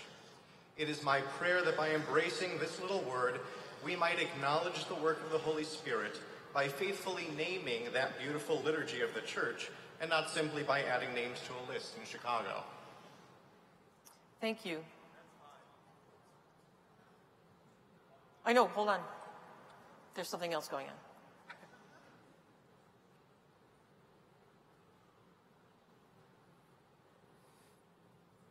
No, microphone four. Four. Microphone four. Paul Erickson, Greater Milwaukee Synod. I apologize for the confusion. The previous motion had not did not need to be separately made, but was on the floor by, by the committee. I had submitted language to change the word ordained to consecrated. So that's why I now, hopefully this is not going to count as a speech, but will invalidate. I, I move to amend the language from ordained to consecrated. Okay. There is second. Point of order, calm. Yes, please. I'll take your time. Come on over to a microphone. That's good. Liz?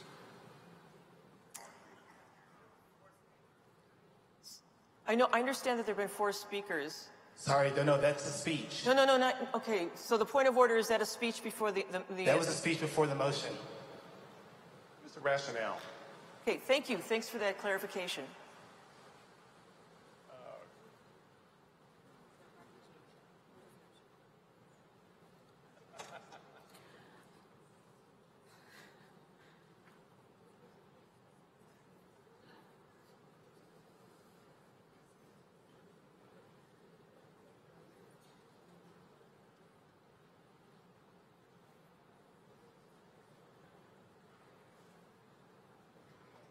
So here we are.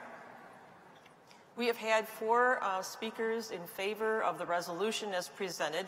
Uh, Bishop Erickson, uh, in error, uh, did not, uh, the first time, uh, make the correct, uh, did not make the, uh, the amendment, and now he's made a speech, as you pointed out, and made an amendment. So I'm going to rule this out of order. So what are we going to be actually voting on? Is Thank the you. That's a great question, Mr. Secretary. It's the proposal of the Church Council. You can.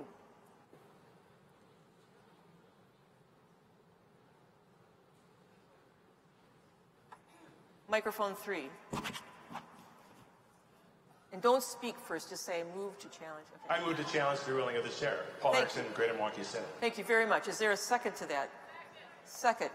And now he can speak to that, right? Ask your parliamentarian.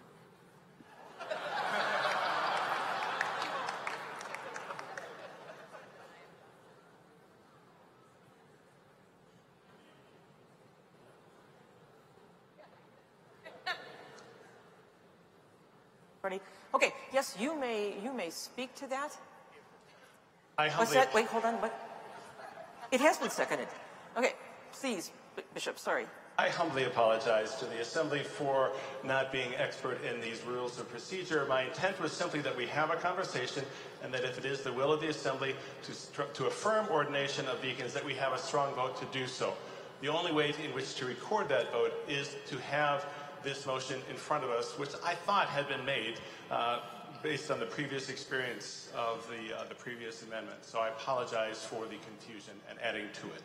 But I would like this uh, to be considered and have a strong vote one way or the other.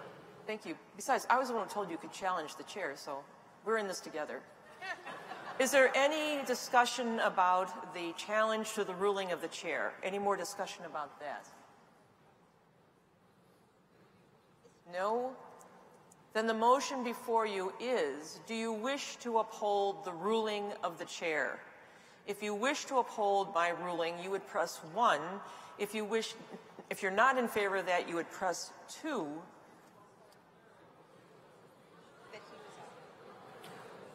Okay, I, okay, good, some explanation, not a problem. Um, so, uh, we have this resolution before us. Um, four people spoke in favor of the resolution. Our rules are that when four people have spoken in a row in favor of the resolution, then it's automatically the, the, the, the debate ends and we move to a vote. Bishop Erickson said he spoke in error. He believed he had already moved, uh, that this had already been moved to change ordination to consecration. That had not. And then Bishop Erickson made a motion, but he made a speech before he did it. I therefore ruled his um, amendment from ordination to consecration out of order. He's challenged my decision, and we are voting now whether or not to hold the, the decision of the chair, me, or if we want to uh, overturn the decision of the chair. So if you vote one, you uphold the, the, the decision of the chair that his amendment is out of order. If you vote two, you vote the other way. Do you, uh, is, is that, do you understand that? Okay, very good. So one for uphold, two for overthrow. Please vote now.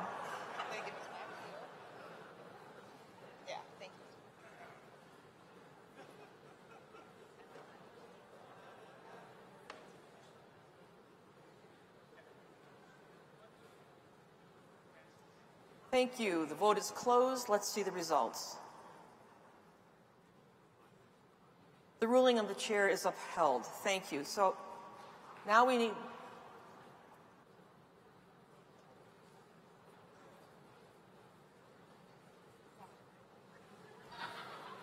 So we all clear where we are? We're in 752. This is properly before you as the amended version from the church council, which says to change to receive, oh, there it is, uh, that the matter prescribed in the documents of this church, who has been properly called and ordained. This is 7.52. A minister of word and service of this church shall be a person whose commitment to Christ soundness in the faith, aptness to serve, teach, and witness, and educational qualifications have been example, examined and proved in the manner prescribed in the documents of this church, who has been properly ordained. That's the change, and that's, that's what we are voting on now. Are we clear? Okay, I think, I think is there any more comment? No, we can't, I'm sorry. All right, um, I think we're ready to vote. Vote one, He's just getting his voting machine. vote one in favor, two opposed. Please vote now. It's a two-thirds vote is required.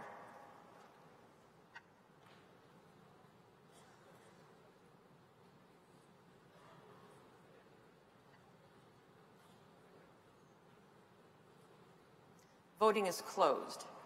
Let's see the results. It's adopted. Thank you.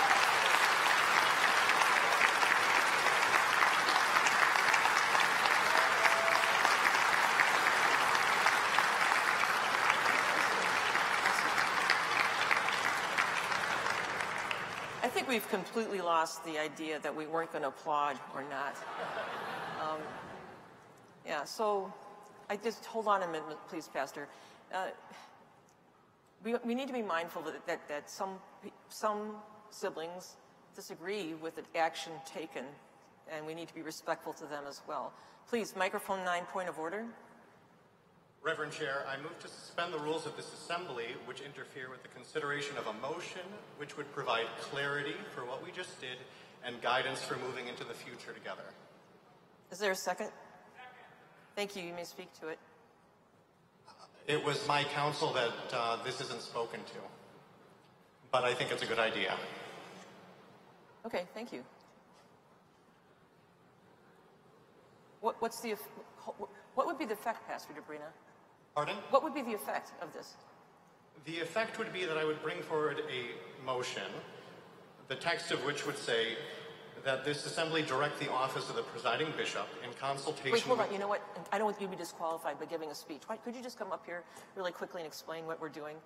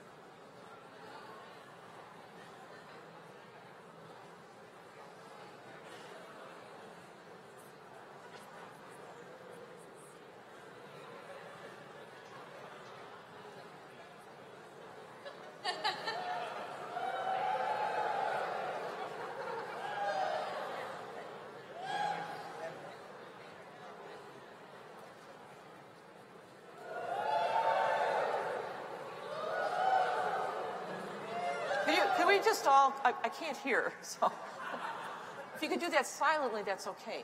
That's all right.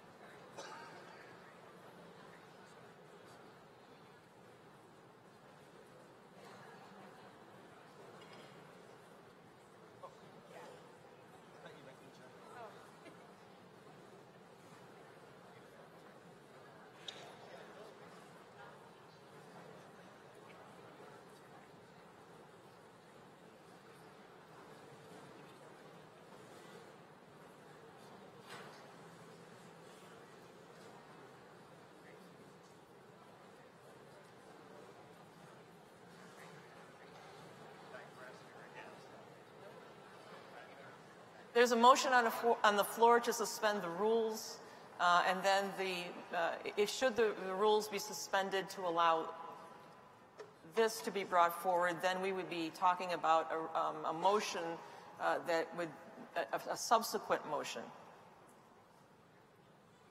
That, I'm sure, was not clear at all.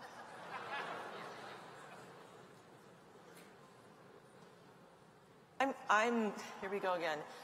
We, we have to vote on the motion to suspend, whether or not to suspend debate. Um, the, uh, the motion that Pastor is bringing forward, I believe, is non-germane and is part of new business.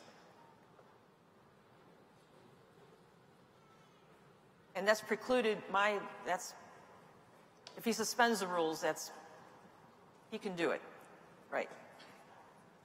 Okay, so we're voting on a motion, to, could you read your motion again, please, Pastor? I move to suspend the rules of this assembly temporarily, which interfere with the consideration of a motion which will provide clarity for what we just did and guidance for our moving together into the future. That's moved and seconded. It's before us. Um, I don't think.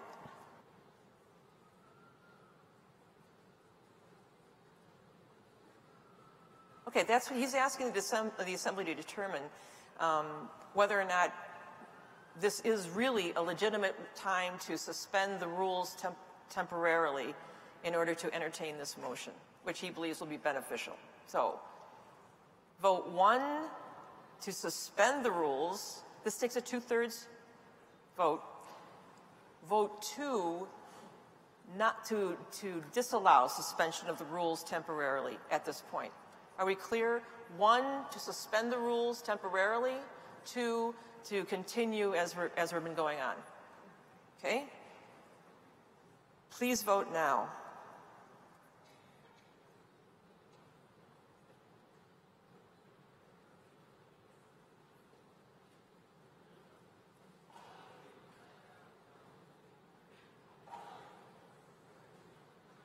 Voting is closed.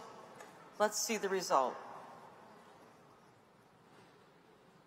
The motion to suspend has been defeated. Thank you. Okay.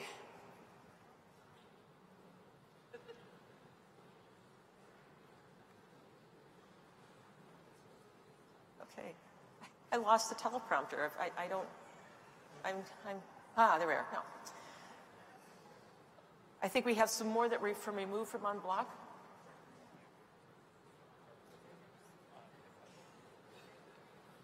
Oh, I'm sorry. The, we're, now what comes up next actually is a report 5.01. We said we'd discuss next 5.01, which is, take your time, Pastor. I'm opposed. Am I recognized or who? No, we're, we're going to we're going to hear again what Okay, thank you. And then just don't go away though. Microphone three. Go ahead, please. Uh, Reverend Gwendolyn King, Southeast Pennsylvania Synod. I placed before this uh, august body this removal of the 5.01 because I felt that the move to include ministers of word and service as rostered leaders within this church body is important and necessary. As I reviewed the documents, however, it seemed that moving the minister of word and service to just rostered status without intentional representation was not enough. Their voice is important and needs to be heard. Word and service ministers not just serve in congregations, but they also serve in hospitals, schools administration, campus ministry, just social service, just to name a few. I simply wanted this body to discuss the representation, which appears in several areas in this section, before moving uh, to a vote so that we could make sure of the intentional desire of rostered ministers of word and service within that particular status. on our constitutional block. That's Thank why. you. Um, microphone two, did you have a point of order? No, I wanted to speak. uh, Okay, hold the- on. We've got a when time point. I think we've got a point of order at eight, and then please go ahead. Microphone eight. Matthew Hazard, Southern Ohio Synod. I have a question. Can we pray? We have not prayed in quite a while, and we made some big decisions. So can you please lead us in prayer?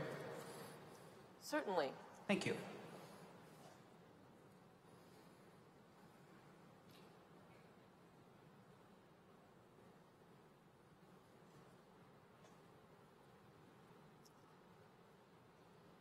Lord, sometimes we're distracted with much serving. So give us quiet now, peace in our hearts. We know you're present. Open us to be aware of your presence. Lord, a, a well grounded, quiet Mary helps a very functioning Martha to get work done. Please be with us as we continue these deliberations. Amen. Microphone two. Thank you. Dale Sandstrom, Western North Dakota.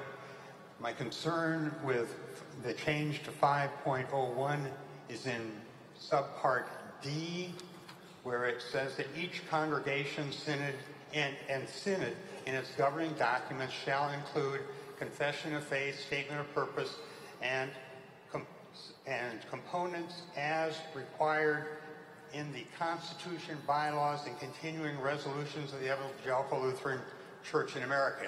That's the language proposed to change. My concern is, and my opposition to this, is that this would require that congregations and synods across, throughout the church place in their con, in their documents, their, con, their own constitutions, anything required by continuing resolutions of this church. Continuing resolutions of this church do not have are not limited to being approved by this church-wide assembly. A two-thirds vote of the church council can establish continuing resolutions. Thus, the church council, without coming to the church-wide assembly, would be able to uh, create requirements of provisions of the constitutions of every congregation and every synod of this church. I don't know that that was what was intended, but that is the effect. And so I oppose, I'm opposing all of 5.01. The parliamentarian and legal counsel tell me I could amend this, in which case it would not be effective and come back at the next church-wide assembly. So thus it seems the simplest is just simply to defeat this provision uh, and uh, then it can, uh, something appropriate can come back to the next church-wide assembly. Thank you. You want to speak to that? Currently, the language requires that the mandatory provisions of the Constitution, bylaws, and continuing resolutions of the ELCA in certain provisions are required. In the Synod Constitution, those are the ones with the cross dagger. In the congregational constitutions, those are the ones with the asterisk. What we are doing here is trying to clean up the language so we, we didn't know what a structural component was as opposed to just a regular component. We dropped the word structural.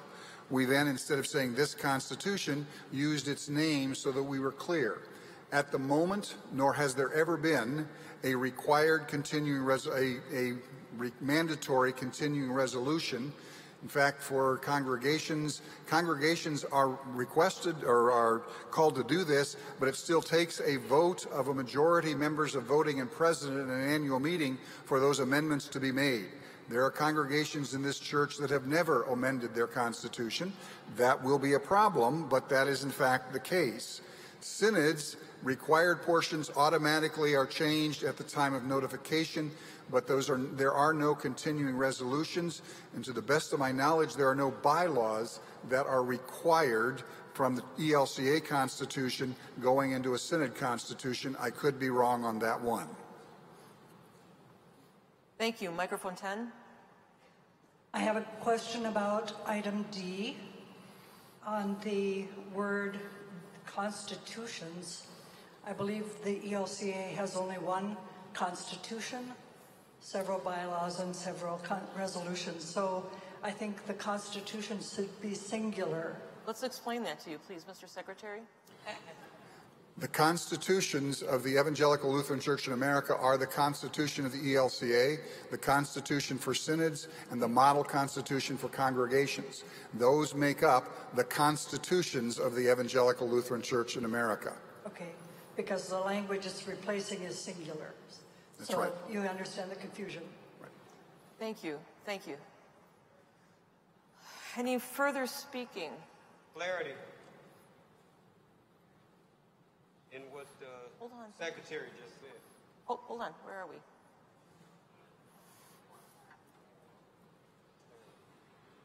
Which microphone?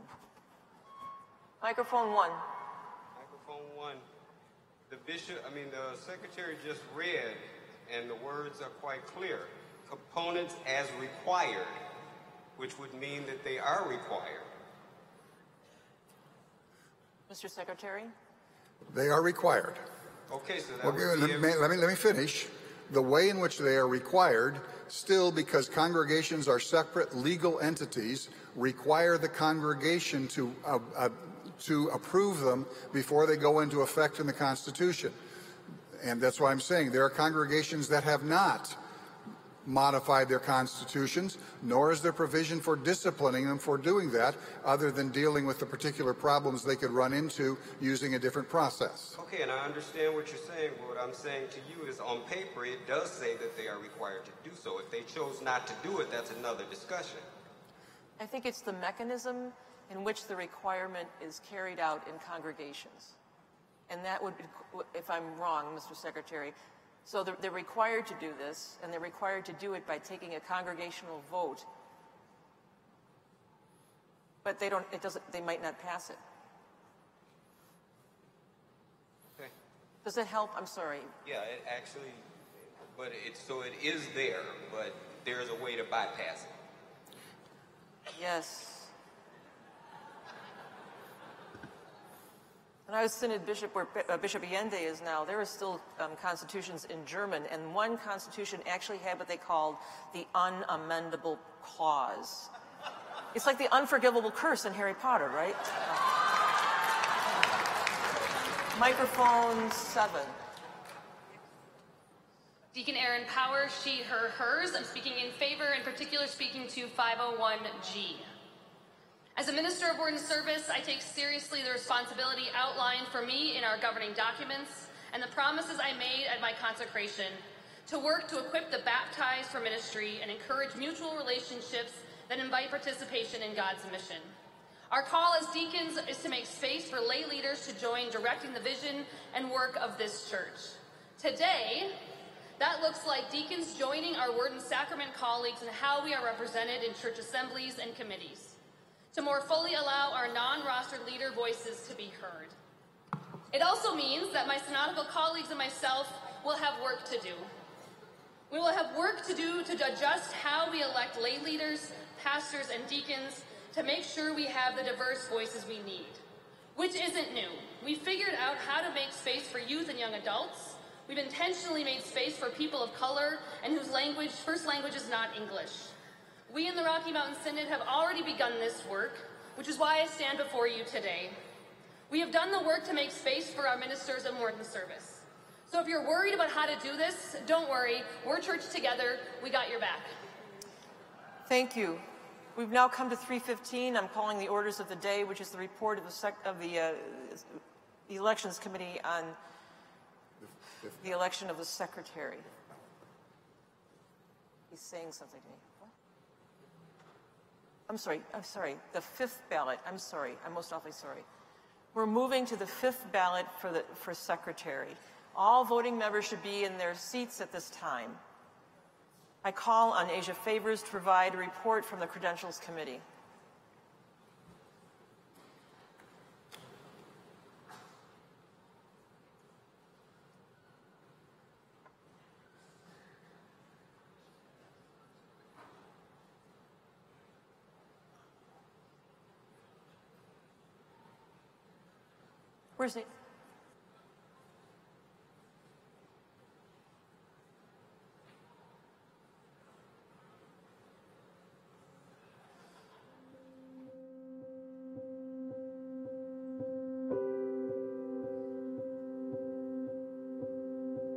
I think about the theology of the cross, you know, that, that life isn't pretty, that, that following Jesus is, is messy.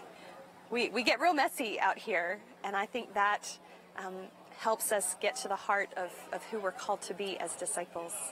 Um, and I love that about, about this place, um, that, that we, are, we are at the heart of being Lutheran. Um, as we acknowledge creation and we acknowledge the messiness of life, uh, we see that firsthand here.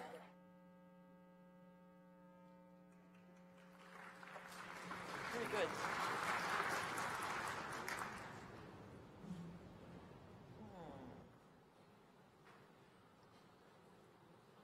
One time only. Who would like to go to the microphone and tell what's the most exciting mission moment that's happening in your congregation, agency, institution, college, or university right now? Don't hurt each other. Microphone seven. So, my name away. is Carrie Hovland from the Southern Ohio Synod, and we are right outside of Dayton where we have had tornadoes hit as well as now a shooting, and we are looking at bringing Camp Noah from Lutheran Social Services in Minnesota into not only our congregation, but into congregations in the Dayton area. And we are looking for support um, because one of these camps costs $25,000. So please be on the lookout um, for this to come up on their website, and please support us in this important work about Okay, helping that, that's a mission minute. You've got it. Thank you. Good point. All right, five. We'll just let five. And this is it. Sally Hansen from Chicago Metro Synod. Um, we have, are the first church in the country to work together with Project Healing Waters. It is a uh, uh, ministry that works with a federal medical facility, in this case, the one that is on Great Lakes, a church, and a professional fly fishing, in which we work with our vets on a weekly to monthly basis, as well as with um, the recreational therapists as a way to provide ministry to a number of vets in our world. This was the first time that the federal medical facility was willing to work with a religious institution and has now spread throughout um, the country as an opportunity to be able to be church and government as one. Thank you very much. Very good.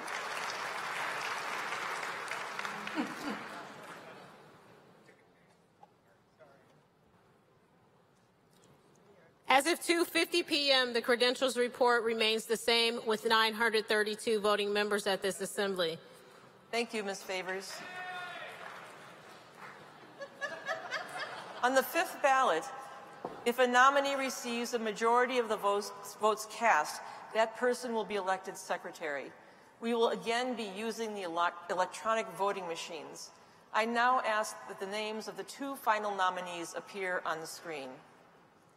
As you will note, these are in order by vote total. Let me read them to you. Lamont Wells, Sue Rothmeyer. Do not vote yet.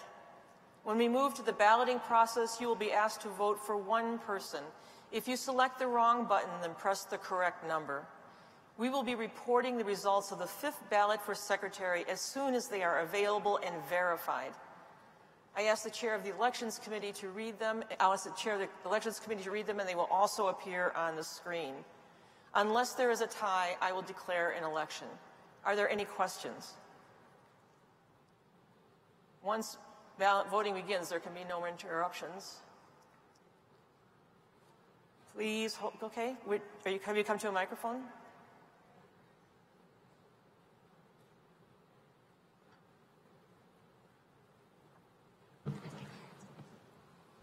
Microphone six. Alyssa Dalkey, Metropolitan Chicago Synod. I'd like to call for prayer um, prior to the vote.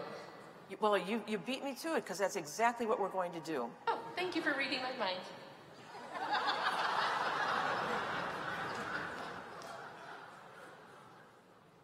Point of order, please.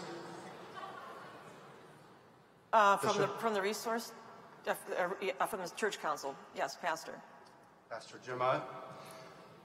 It notes that Lamont Wells is listed first, yet he received the second amount of voice, votes. No, no, he did not.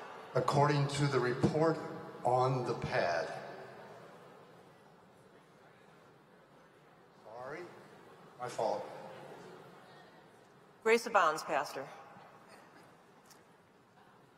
All right, let's let's prepare for this discernment, and we begin by singing Veni Sancte Spiritus, and after that, Bishop Deborah Hutterer of the Grand Canyon Synod will lead us in prayer.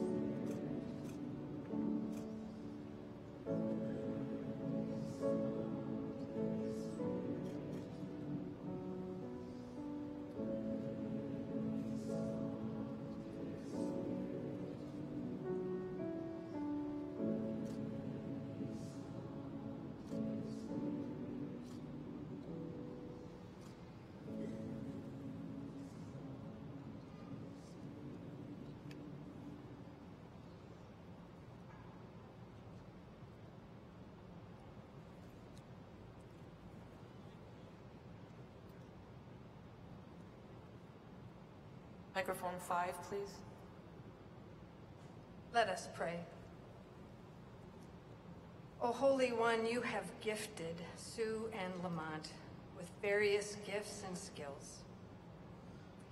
As we come to this vote, give all of us, including the two of them, a sense of calm. We come humbly seeking wisdom and direction about the person best suited to serve as secretary of this church at this time and place. Reassure each candidate of their unique gifts and help us. Help us listen to who is the best candidate at this time. Help us hear the movement of the Spirit. In the name of our peace, Jesus Christ. Amen. Thank you. To vote for Lamont Wells, push one. To vote for Sue Rothmeyer, push two. Please vote now.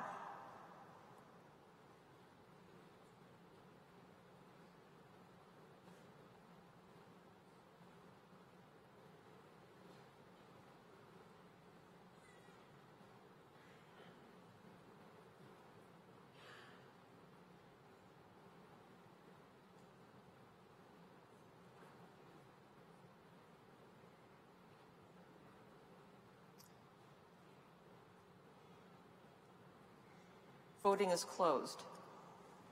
I declare the fifth ballot for secretary to be closed. We have to, we'll, we'll get the results, but we have to verify them first.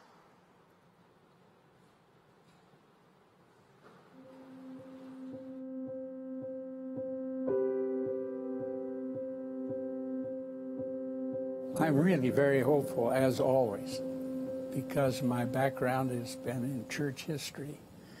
And uh, there has always been, it seems to me, something facing the church that a lot of people worry about. But God has always found a way through. And uh, here we are, thousands of years later. So I believe that uh, there will be opportunities ahead. And if we're ready to listen, if we have the leaders to help us see those opportunities, uh, then we have nothing to worry about. God will find a way.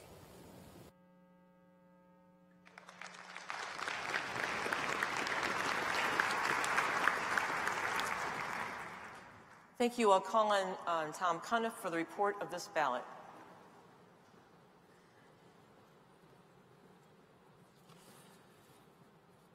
Final elections report. We had 911 ballots cast. 456 were needed to elect. May we see the results, please? There is an election.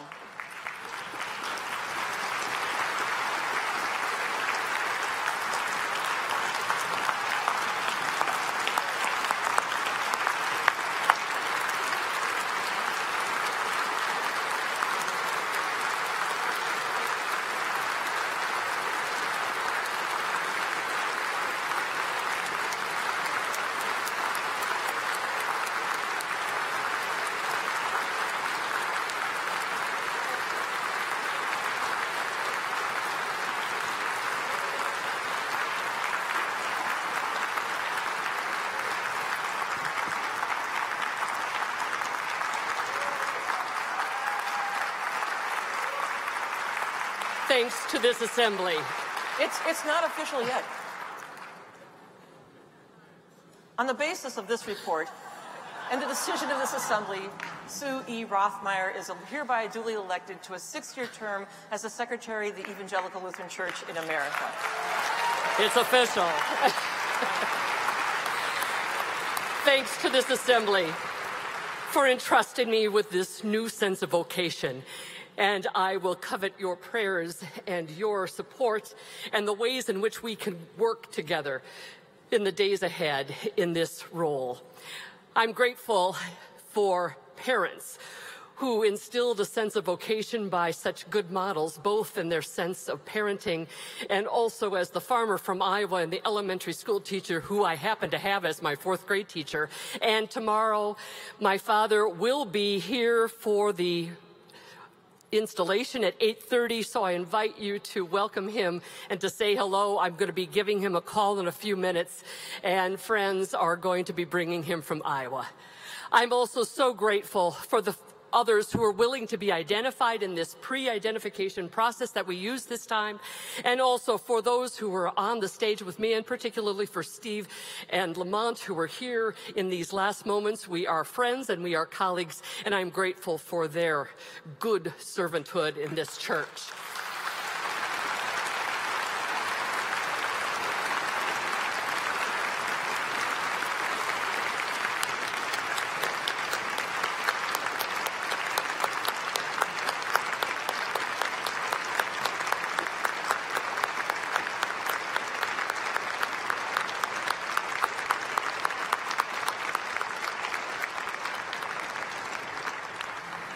And briefly, I just want to know, say that there are friends and family who are here who have been supportive. You know who you are.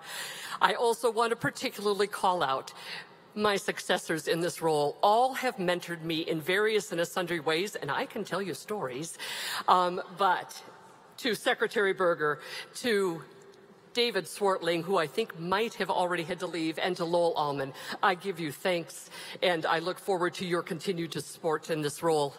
And also, the staff of the Office of the Secretary, wherever you might be right now, I would have loved to have had you all come to the stage. They're working. But, I know, they're working. So wherever you might be, pop up so that this assembly can receive your thanks.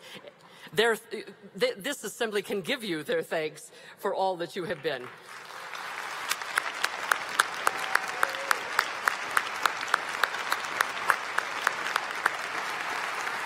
And now I think we've got some business to do, so let's get on with it. Thank you, Secretary-elect. Now we're going to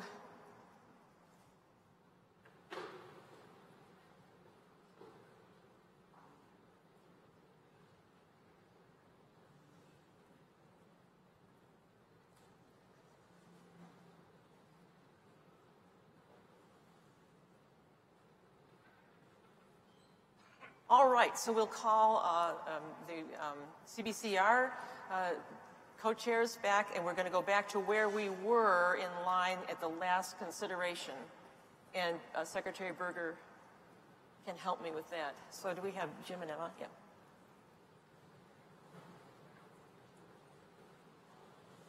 Five point oh one. So Emma Wagner and Jim Jennings are making their right way up. Microphone two. I move to amend by striking the changes found in Part D. Is there a second? You may speak to your amendment. No, just streamline in on the area of my particular concern. The Secretary said we've never done anything besides the Constitution if, as requiring con, uh, the changes in the uh, con, congregational synod constitutions. That may well be. Words have consequences. Currently, it says that the congregations and synods would have to contain stru such structural components as required by the Constitution. The change language would, re would remove the requirement that those re components be limited to structural components and would permit would require those components required by a continuing resolution of the Evangelical Lutheran Church in America. continuing resolutions can be passed without coming to the churchwide assembly by a two-thirds vote of the church council. I think that's wrong. Thank you. We're at uh, 501D. Each congregation synod in its governing documents shall include the confession of faith and statement of purpose and such components. Structural has been crossed out, or has been stricken, as required and uh, has struck out is th in this Constitution instead as it required in the Constitution's bylaws and continuing resolutions of the Evangelical Lutheran Church in America. That's the change. Does anyone, anyone speaking to the amendment to? Not do the change. The amendments to retain the current language and not adopt the proposal exactly. from the Church Council. So, I was getting there. Thank you very much. Very helpful. So what we have up there what's been proposed that's now being amended to change it back to the original language. Is there any speaking to this? Microphone 11. JJ Lynn, Southwest PA. This might be a moot point depending on how we vote, but if we vote against this amendment, I'm wondering if Secretary Boerger could describe, he used the word problem. Just curious with congregations having their own agency to adopt or not adopt or amend or not amend their constitutions to reflect, if you could describe what that might be if they don't, so we have an idea of what we're going back to. Thank you. For example, a, a previous version of disciplining of members in chapter 15 said that the congregation council was the judge, the prosecutor, the judge, and the jury. And the, if the person being disciplined wanted to appeal, they could appeal to the Synod Council. In 2013, we changed that to involve the church the congregation council bringing charges to the synod the synod vice president involving the synod uh, consultation committee and the synod discipline committee and remove from the Synod, Synod Constitution the ability of the Synod Council to hear appeals. If congregations are using the old version of discipline for members and the member appeals to the Synod Council and the Synod Council can't hear the appeal, all we do is perpetuate the problem. That's one of the areas. There are several, several others in the history of this church that I could provide horror stories, but I'll just leave it at that one and say there are others. Thank you. Microphone four. Rob Malachek, Lyndale Lutheran. I would like to speak against the proposed amendment because what we are doing is changing what he what the amendment is is to change the language from the title of the document to a word referring to the document. The fact that the previously didn't say anything about continuing resolutions is irrelevant because the continuing resolutions are part of the document that is referred to by the words this Constitution. Thank you so much. Thank you. Microphone 8. Nadine Anderson, Northeast Pennsylvania Synod.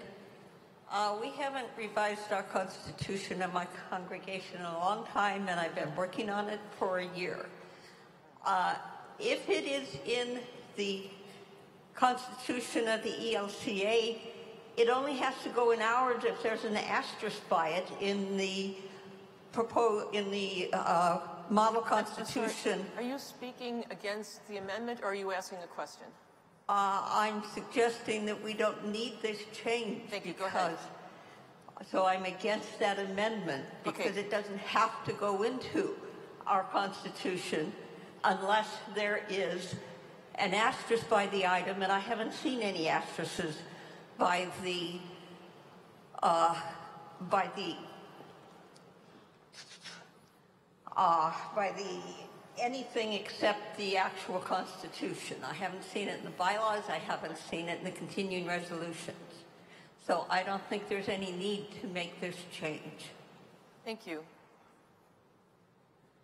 Any more speaking to the amendment? All right, the amendment. Okay, I think we're ready to vote. The amendment would, would reinsert the language that's there, that had been there. So if you're in favor of the amendment, you would press one. If you're opposed, you would press two. Please press now.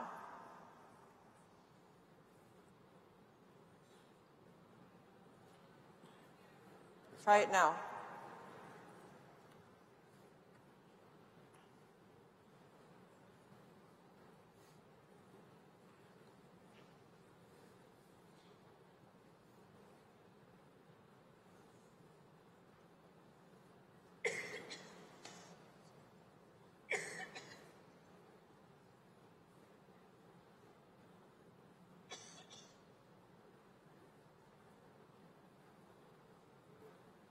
Voting is closed. Let's see the results.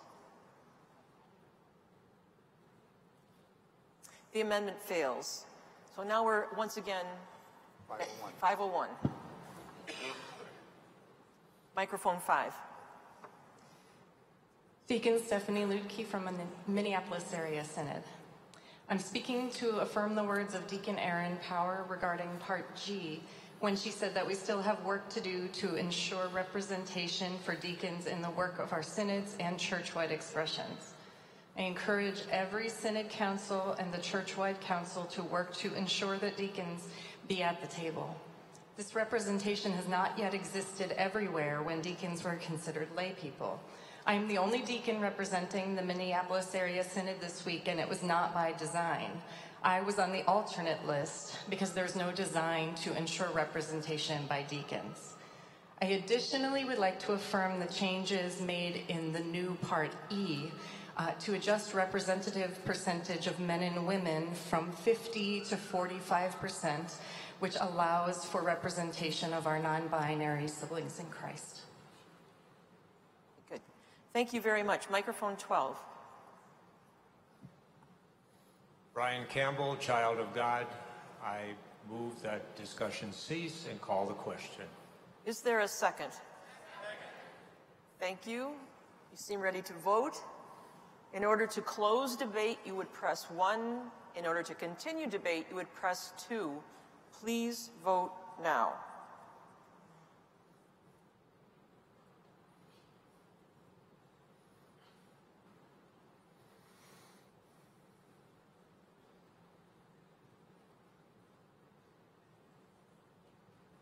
Voting is closed. Let's see the results. Debate is closed. We'll now move on to voting on the 5.01. Okay. So are you ready to vote? Okay. Vote one if you approve.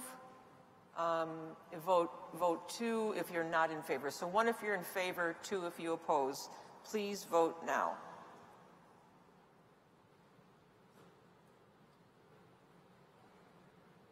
This requires two-thirds.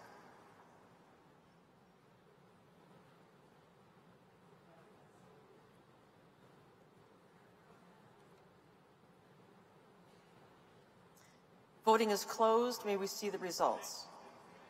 What? What? What? Voting's closed. Let's see the results. Okay, it's adopted. Thank you.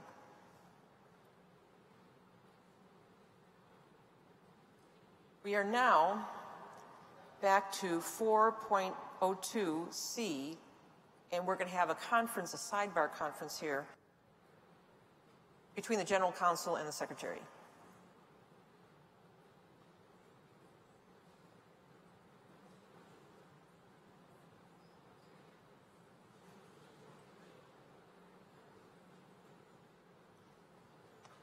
Let me just say thank you to you. You are doing a tremendous job. Thank you, thank you, thank you.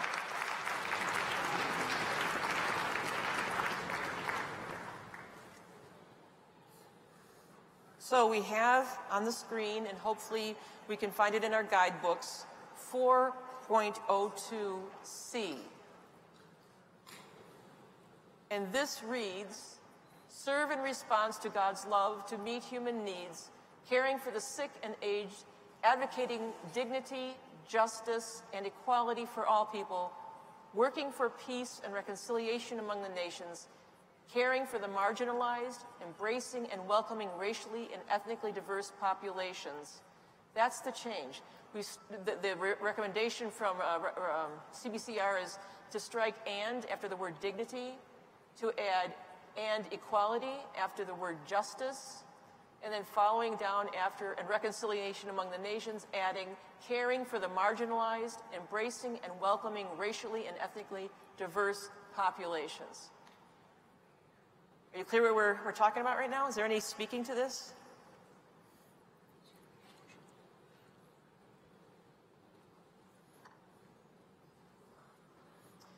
If you have a point of order, Point of order. the microphone?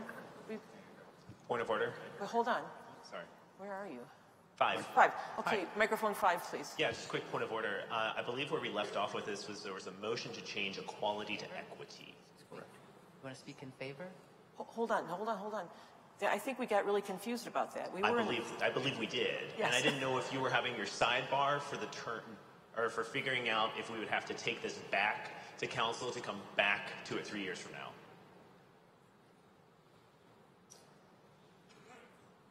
Yes, you're correct. The Okay. motion is to change equality, and it was, it was uh, passed, yes?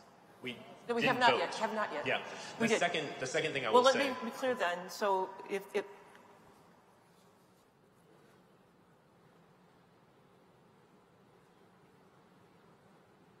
Okay, so to your point exactly, should the, the assembly vote to change, to, uh, to accept the amendment and change equality to equity, in fact, it would have to come back to the 2022 churchwide assembly. Go, Okay. go ahead. Second point is a press on the screen should not be there because it was never moved to be placed there. You're actually correct. I know. And so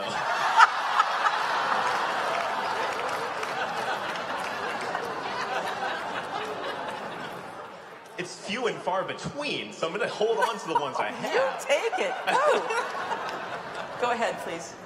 Um, so, if uh, if we're back to powerless and only equity is the issue, Yes. then we would have another three years before we're actually able to ratify this. Is that correct? Yes. Based on that judgment, do we want to ask the person who originally changed the vocabulary if they still want another three years? You can raise that rhetorically. We'll see if there's any response to that. Thank you. Thanks. Microphone four. All right. Uh, Matthew? No, no, no, you're at three. Oh. She's at four. I'm Sorry. Alicia Boone, Minneapolis Area Synod. I still want the word equity added. So if it takes. That's all right. So it's been moved and seconded that the word equity be um, changed, equality changed out and equity changed in. Okay. Microphone three. Uh, I just had a point of clarification about whether we were considering the change to equity in addition to the oppressed and solidarity, which you had indicated before had been properly moved. No, actually, the oppressed part was not. There was a speech before that, and so that that's out of order. All that we're voting on now is whether to change um, equality to equity. May I ask a follow-up on Of that? course. Uh, the motion, though, had been contained in materials provided to the secretary before the deadline. I'll call on our um, CBCR co-chairs. Reference and Counsel. Reference and Counsel. I'm sorry. Reference and Counsel. Most awfully sorry. So the committee had dialogue around that issue, and I believe where we felt that we had left it in consultation with the submitter was that he was actually fine with this being removed to uh, address that issue.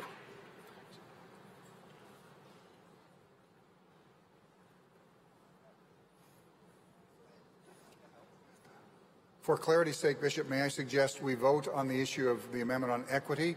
And if the uh, speaker would like to then move what else is up there on the screen, we then could consider it, but we need to consider them separately and not together. Right. And that's what, on, on the, before us on the floor now is a motion to amend equality with equity. If you're in favor of the amendment, please press one. If you're opposed, please press two. Please vote now.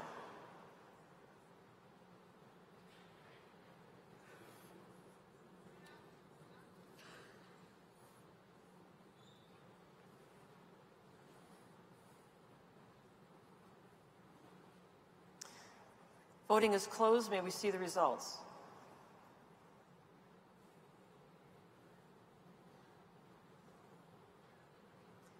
The amendment passes. So now we also, microphone three.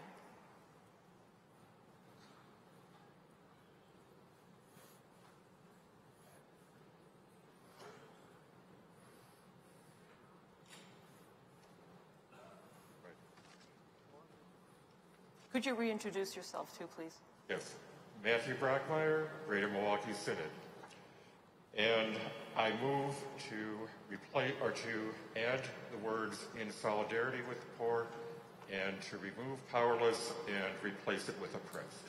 Is there a second? Let me speak to your motion again if you want. I don't need that I know that I need to elaborate much, simply that uh, my intent here is to make sure that we continue to stand with the poor and oppressed. Powerless is not as powerful a word.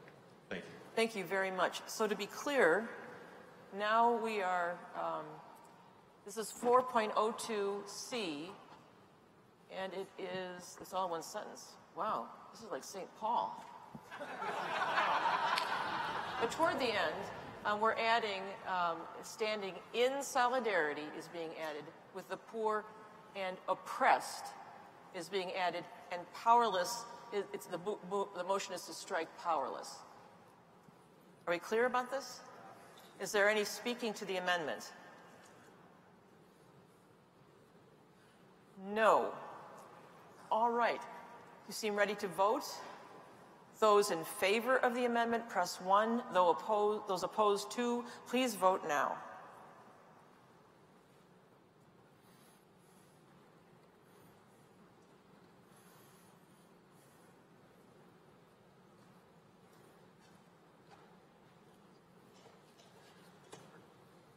Voting is closed. May we receive the results? The amendment is adopted. So now we have, are there any further amendments? No. Then before we, before us we have, ah. 402C. Yes. The amended provision 4.02C. Is there any further discussion on this? Hold on, we have a point of order, and I think it's going to be at 7. Don't hurt yourself, Pastor Teich. That, that wouldn't be good. Microphone 7. Nadine Anderson. No, wait, did you have a point of order? Nadine Anderson. Wait, wait, wait, wait, wait, wait, wait. Sorry, Mrs. Ms. Anderson. There was a point of order. It's a height privilege, okay? Ready. Point of order, microphone seven.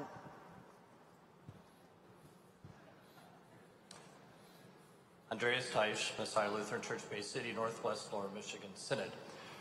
My point of order is, I understood the secretary to say that when 4.02C was amended, we could no longer pass it at this assembly.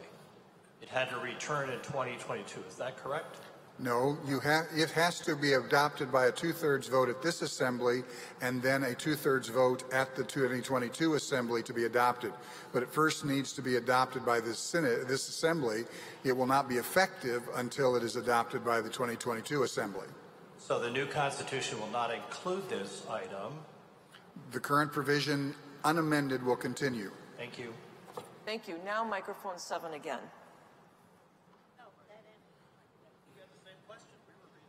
She the, did you have the same question, ma'am? Yeah. We've cleared it up then? Okay, is there any more speaking? You seem ready to vote. Good. To vote in favor, press 1. Opposed, press 2. Please vote now.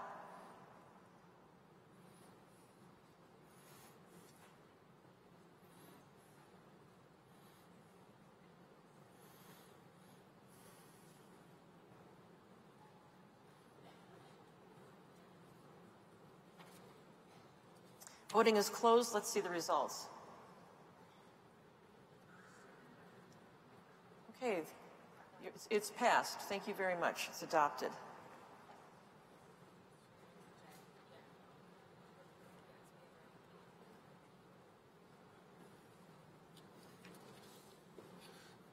The next would be 731-2A8. And on that, Reference and Counsel Committee has, has one that's been submitted, so I would call, ask them to be called on to present their recommendation. Please, please present the recommendation.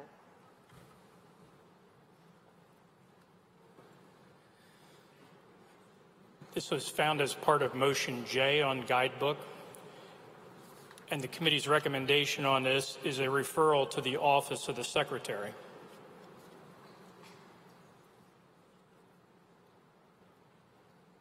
Is there, go ahead, Mr. Secretary. No, I, Here it comes.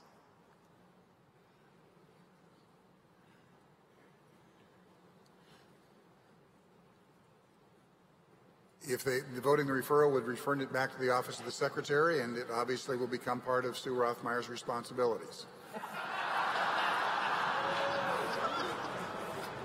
How quickly they stop working. So just to be clear, this is a, a- the motion from the refer, from the Reference and Counsel Committee is to refer this provision to the Office of the Secretary. Uh, doing that means that, well, it will fall into her desk, um, but then also it won't be, it, if you do that, it won't be adopted at this, at this assembly. So is there any uh, discussion on the motion to refer? Microphone three. Matthew Brockmeyer, Greater Milwaukee Synod. Uh, This is part of the same series of motions having to do with powerless or oppressed. In that, the, uh, the action taken on the previous item 402C would take effect after the 22, uh, 2022 churchwide assembly, if adopted. Uh, I see referral to the church council as appropriate for this in subsequent motions, uh, so that all of these could come into effect together. Did you just, are you making a motion? No. Oh, thank goodness. I'm- Because no, you made I- a I'm- speech. I no, mean, I- no, that he made a speech. I didn't want you ruling out of order. No, I'm, I'm speaking to uh, the recommendation to refer. Thank you. And in support of it, in that then all of these could coincide. Thank you. Thank you very much. Any more Bishop? speaking to the motion to refer? Bishop, Hold on. Oh, Mr. Secretary. How soon we forget.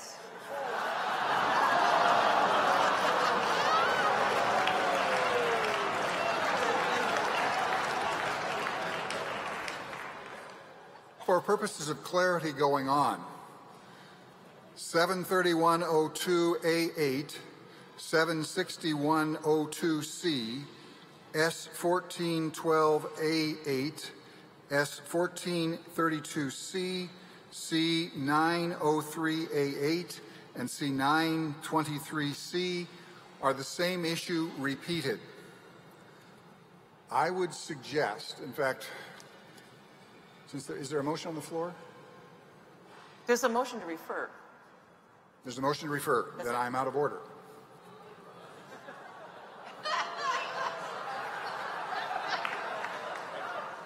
You know, and this is probably a man who does not cheat at solitaire, nor does he fool around with his golf scores. That is impressive. Thank you very much.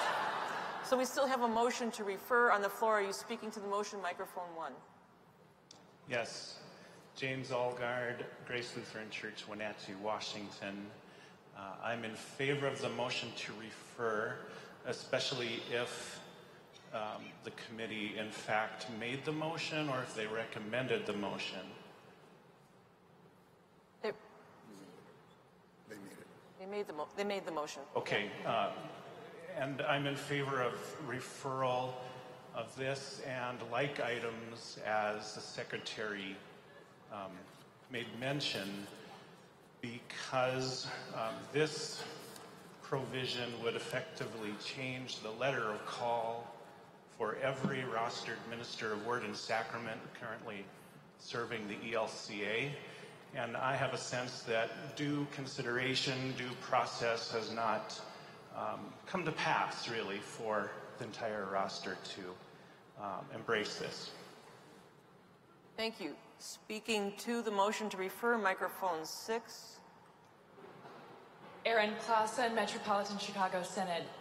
I stand to speak against this motion to refer so that the Assembly might have the opportunity to bring a motion to bring all of these provisions, which Secretary Boerger just shared with us, into compliance with each other.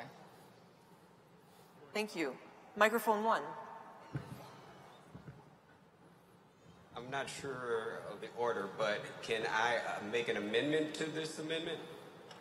Yes, yes, you may. Okay, this is Jerry Key, Reformation. I would like to, uh, uh, Reformation Lutheran.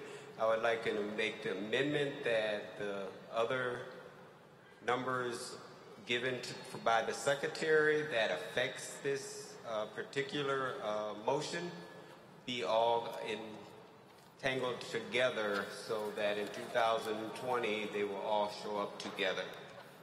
That's my motion. Thank you. Is there a second? Second.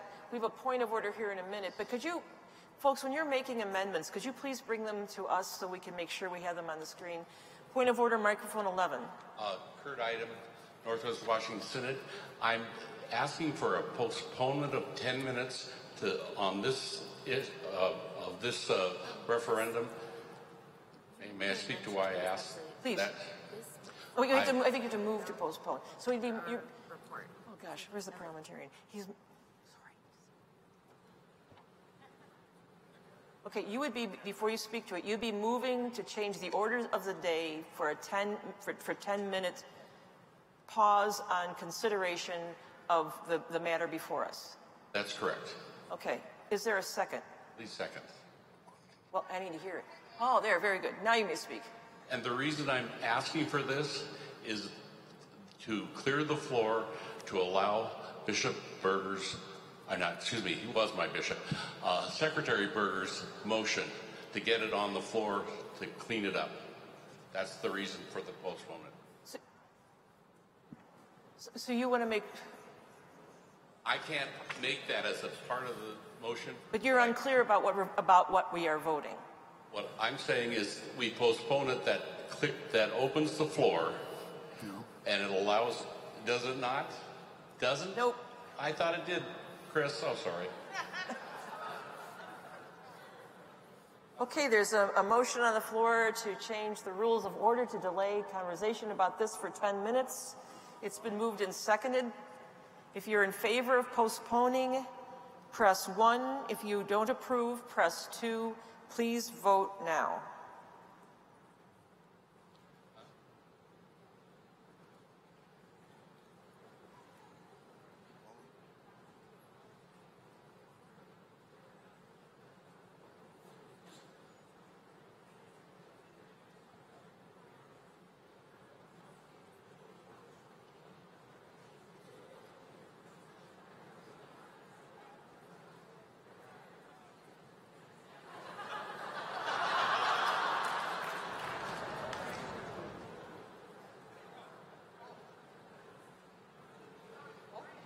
Okay, we'll check on that. Thank you. Uh, voting is closed. Let's see the results.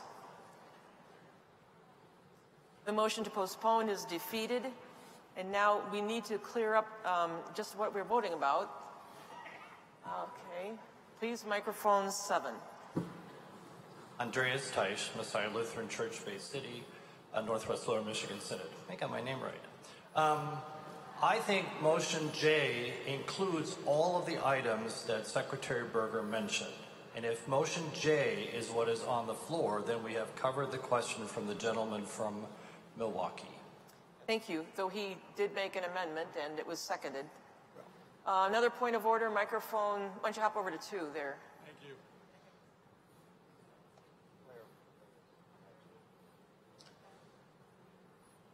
Go ahead.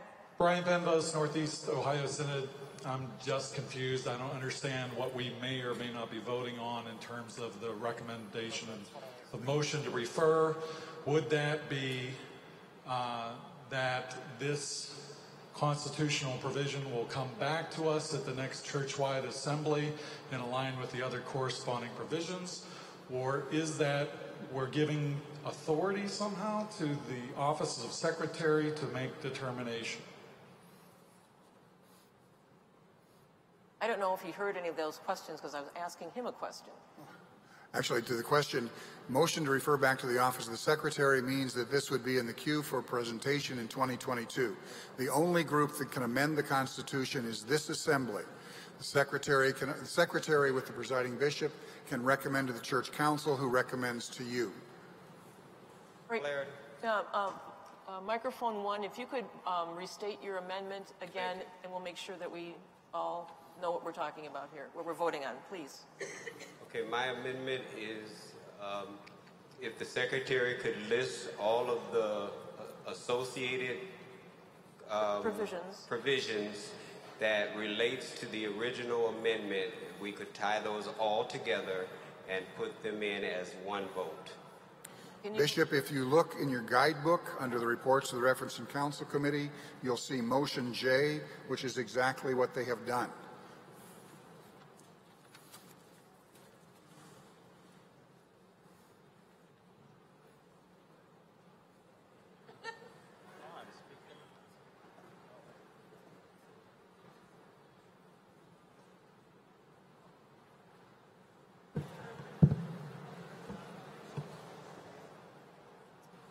So, here's the thing.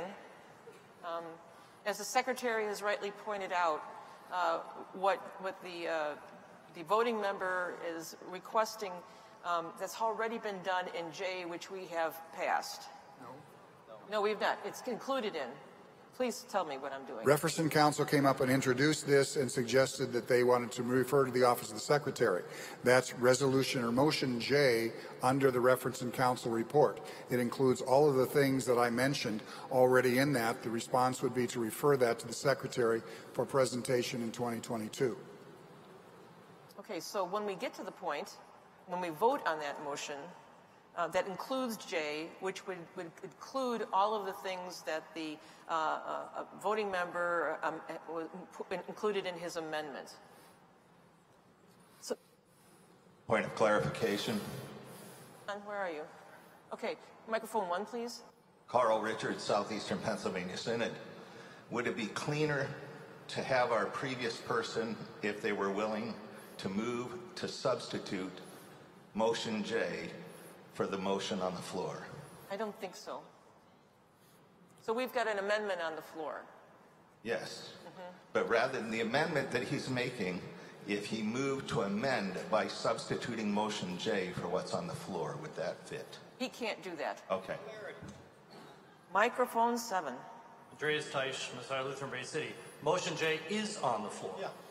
Right. One portion. No, it's not. Motion J is on the floor. We understand that, but there's an amendment also on the floor that we have to deal with as we're trying to work through. They're redundant. Point of clarity again. Hold on a minute. Hold on a minute, please. We'll get, we'll get right there, sir.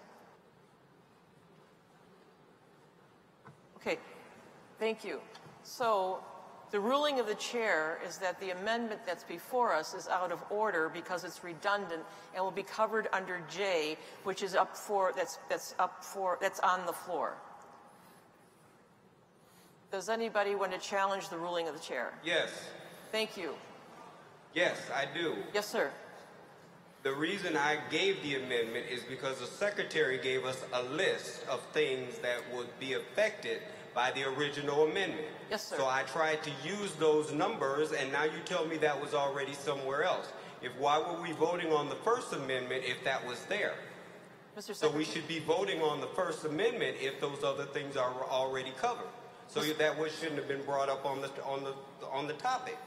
So I will remove my amendment if we're going back to the original amendment. Mr. Secretary. The Reference and Counsel Committee moved motion J. The Assembly was focused only on one part of that. I said what these other things were there to bring that to your attention. They are part of motion J your amendment is asking to put things into the motion into the motion that are already there. So everything that I described was already there in motion J. We just got distracted with only one part of it and didn't recognize the others were there. That's why I was pointing it out. Okay, but the original discussion was for that one that was separated. So if there was nothing else that was going to be affected by that is why we're here now because you added those other things to that amendment. Now, what we have now, though, is, um, uh, uh, we have. So my amendment, I will take back and we can go back to the original amendment. Well, okay, the ruling of the chair is that I'll allow you to take back your amendment. Thank you. Is there any, does anyone anyone want to challenge the ruling of the chair? No, fine, then we're back. Thank you very much, sir. Reverend Chair, Wait, Wait, where are you? I'm at Resource Mike. Oh, sorry, yes, please. Clarence Smith from Church Council, speaking as a resource person and as a member of the Reference and Counsel Committee.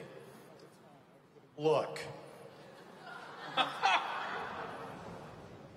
we have matters coming before us. One came from Constitutional um, Committee of the Church Council. That's why Secretary Boerger is standing before us. The same um, arguments came by virtue of Reference and Counsel for Maker Mr. Brockmeyer from the Greater Milwaukee Synod. That's why these two items are meshed together. Um, as stated, the Reference and Counsel Committee, calling this motion J, our decision was to refer this to the Office of the Secretary.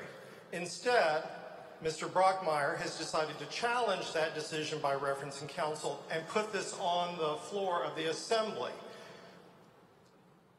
I think what Mr. Brockmeyer is trying to do is get parallel language in several provisions of the CBCR, the Constitution, bylaws, and continuing resolutions. So I applaud his efforts for doing that, but it's very confusing. Any case where, however we vote, these won't take action and won't be implemented until 2022. Thank you. Microphone 12. Joshua Copeland, North Carolina Synod. I move to end debate and call the previous question. Is there a second? Thank you. Are you ready to vote? To close debate, press 1. To continue debate, press 2. Please press, please vote now.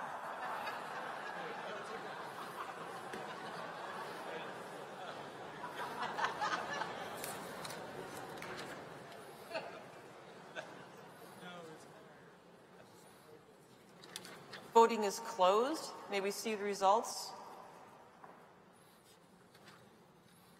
We voted to close debate. Now we have the, where did it go? There it is. This is,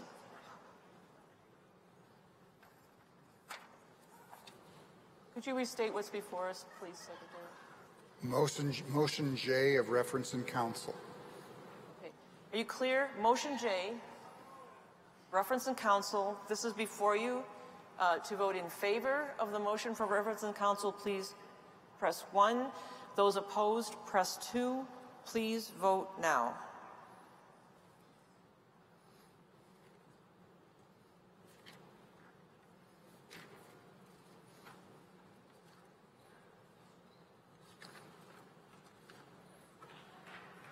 Voting is closed. May we see the results?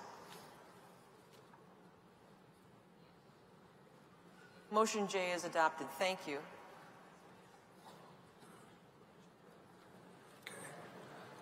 We have five minutes before the orders of the day. Can we bring up another one?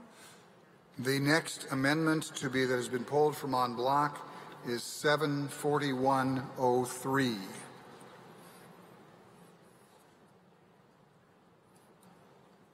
There was not an amendment proposed to reference and counsel. This just was removal from en bloc. There's no recommendation for, from reference and counsel. Is there any discussion about this uh, motion mo removed from en bloc? Microphone seven. Ryan Anderson from the Central Southern Illinois Synod. I requested this proposed amendment be removed from en bloc after conversations with colleagues, some of whom serve in non-congregational calls.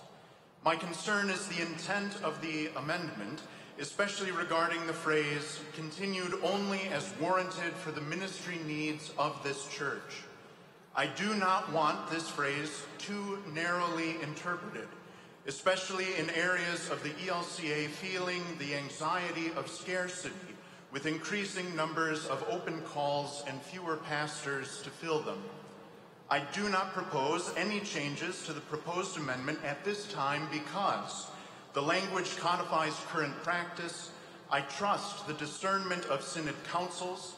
The language of the original 74103 offers ample guidance for this discernment, and I don't wish to make our governing documents even that much longer. However, I will at this time like to speak in support of the witness and service given by pastors in non-congregational calls. Yes, confessionally and constitutionally, we are rooted in Christ as church in three expressions. Yet, it is the purpose of roots to produce branches and bear fruit. Persons serving in non-congregational calls with an identifiable relationship to word and sacrament ministry embody the ELCA's presence in the world. Moreover, and furthermore, they are living and active reminders that when we, each and all, are called to be church for the sake of the world, we are required to be, as it were, out and about to fulfill the mission needs of this church. Ultimately, the amendment so as proposed does not discount any of this. Thank you. Thank you. Microphone 11. Has there been a movement on the floor? Who are you, please? Kristen Claudio, uh, Northern Texas, Northern Louisiana Thank pastor. Um, I would like to move to replace this language with language that I submitted to the council. And hopefully they have it. Reference and counsel does not have it. Or do we have it?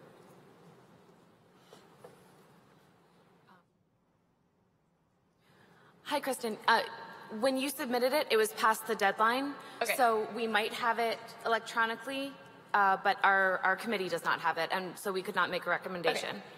Okay. Um, I would like to uh, speak against this uh, a- amendment. Okay. um, I'm a pastor and a chaplain in Fort Worth, Texas. Um, I also supply preach and I uh, help with the local pub church um, in unconventional places. And um, Word and Sacrament ministry is really important to me in these places. Um, the language in the proposed amendment is demeaning to those who serve in this specialized ministry and self-serving of the ELCA as a whole. We say we are a church for the sake of the world. Chaplains and other pastors in non-congregational calls are doing this work, work that is deeply missional, sharing word and sacraments in ecumenical interfaith and hospitals, prisons, camps, schools, war zones, to name a few, meeting people where they are. Ministers who do this work should not be treated as suspect or assumed to be self-serving any more so than ministers in congregational calls. These non-congregational calls should be celebrated.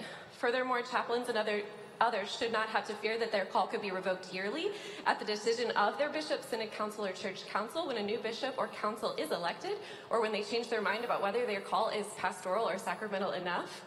Um, there are already significant barriers to be getting a call that is non-congregational, and so if they are, if they do that, Thank they should have to be much. reviewed annually. Thank you. Is there any more speaking to this, to 7.41.03? Seeing none, are you ready to vote? I'm sorry, microphone five. I would like to, um, sorry, Pastor Kyle Severson, Metro Chicago Synod. I would like to move the language, What, what, what, what? amend this. Amendments had to be submitted by the deadline. Gotcha. Thank you. Thank you, Pastor. Okay, so now I think we're ready to vote. Those in favor of adopting 7.41.03, press 1. Those opposed, point of order, microphone 6.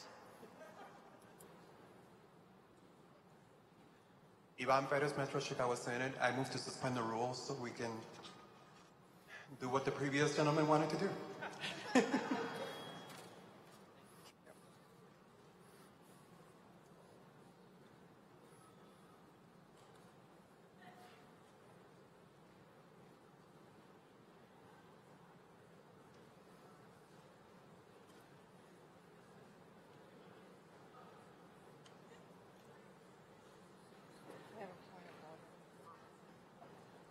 Okay.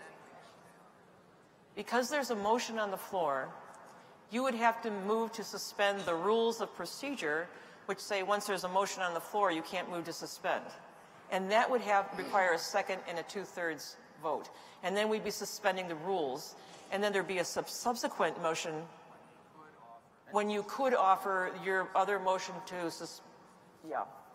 So we're voting now whether or not we are willing to suspend the rule. Where are you? 10. Oh, thank you. Please, microphone 10. Pastor Laura Camprath, Northern Illinois Synod. Um, the secretary just replied to, I think, Pastor Severson, if I have his name correctly. His, he wanted to make an amendment, and he said, "Well, we missed the deadline, but we just amended several other constitutional provisions. We changed equality to equity. We made several other amendments, so I don't understand that." Mr. Those amendments had been received by Reference and Counsel before the deadline. The change from equality to equity had been received. That came from the floor. Oh, boy. It should have been out of order. You shouldn't have voted. Hold on.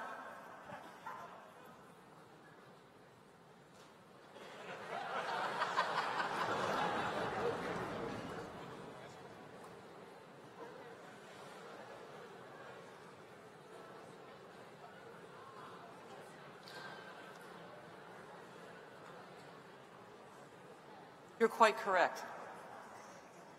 Six more years.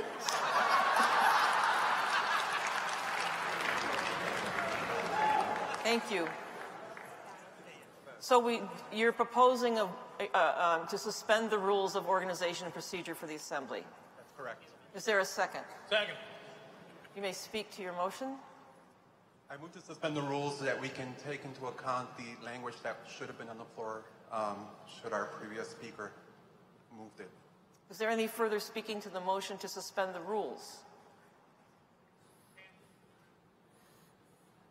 Microphone 12. Dennis Lane, Southwestern Pennsylvania Synod. I call the orders of the day. Thank you. That's in order. We need to move on with the orders of the day. We'll consider our con- we'll continue our consideration of resolutions in tomorrow's plenary sessions. Um, just to understand uh, what, what, this, what this means, what the implications are, these coming from uh, reference and counsel, these are provisions that can only be passed by the church-wide assembly. We'll see what we can do to make sure that those come back, but the orders of the day have been called. Thank you. We return now to the report of the Memorials Committee, and we call on co-chairs Cheryl Chapman and Reed Christofferson as they have an update that may help the Assembly in its work on C1, Church and State, D1, 50th Anniversary Amended Main Motion now to be considered since the social statement was adopted this morning, C3, Migrants, A6, Poor People's Campaign, C5, Call to Edit Sexuality Social Statement, D7, Health Care Benefits.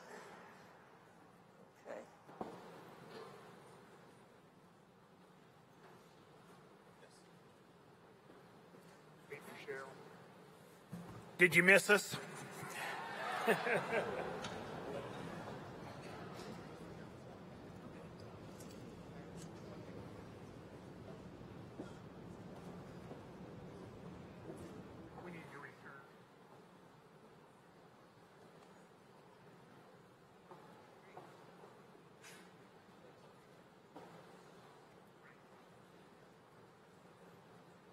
So if you could return to the microphones where you were when we, when we uh, ended debate on this.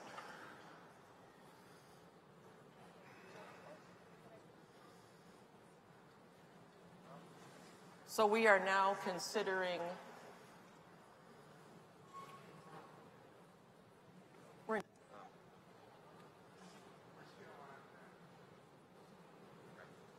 we're on C1.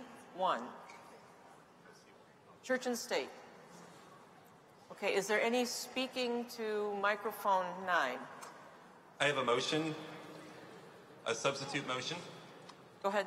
uh, to receive with gratitude the memorial from the Minneapolis Area Synod requesting a social statement on the role of government, the nature of civic engagement, and the relationship of church and state, and to authorize the development of an ELCA social statement on government, civic engagement, and the relationship of church and state that will allow thorough attention to scriptural, historical, theological, and social issues as a means to probe shared convictions and establish this church's comprehensive teaching in accordance with the policies and procedures of the Evangelical Lutheran Church in America for addressing social concerns 2018, and to urgently request the ELCA Church Council to authorize a social message as a priority in the development of a social statement.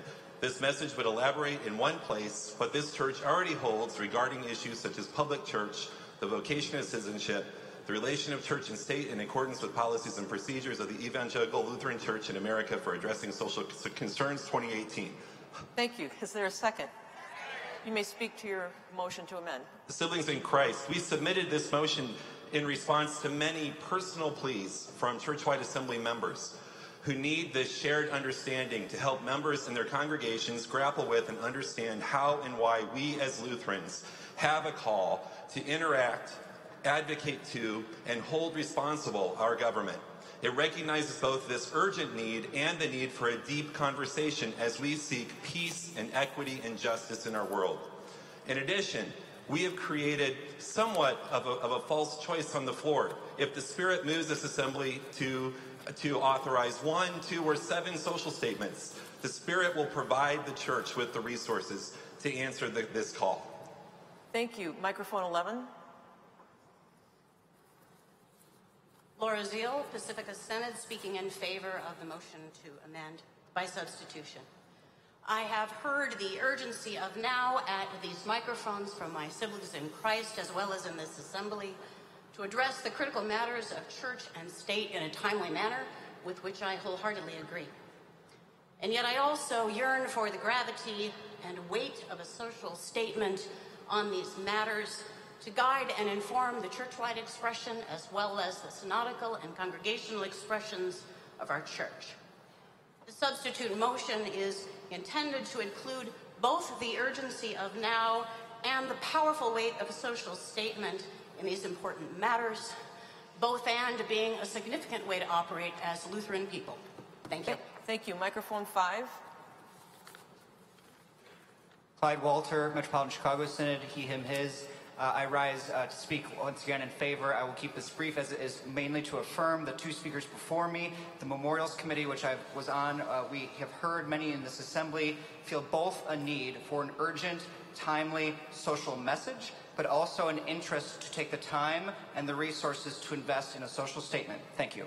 Thank you. Microphone 7.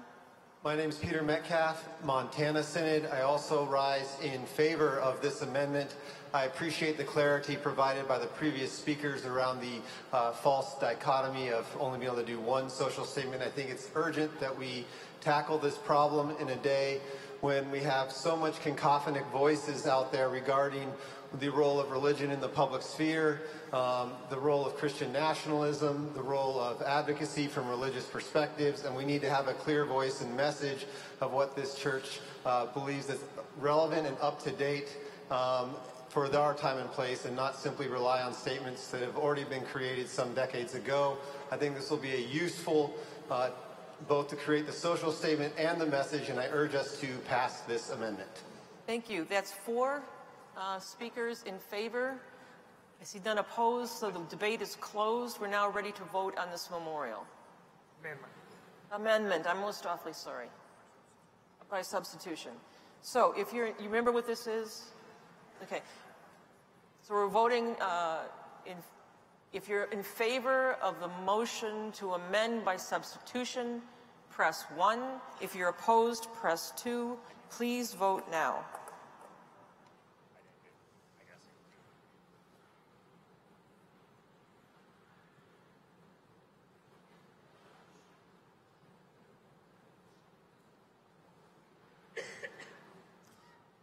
Voting is closed. May we see the results? The substitute motion is adopted.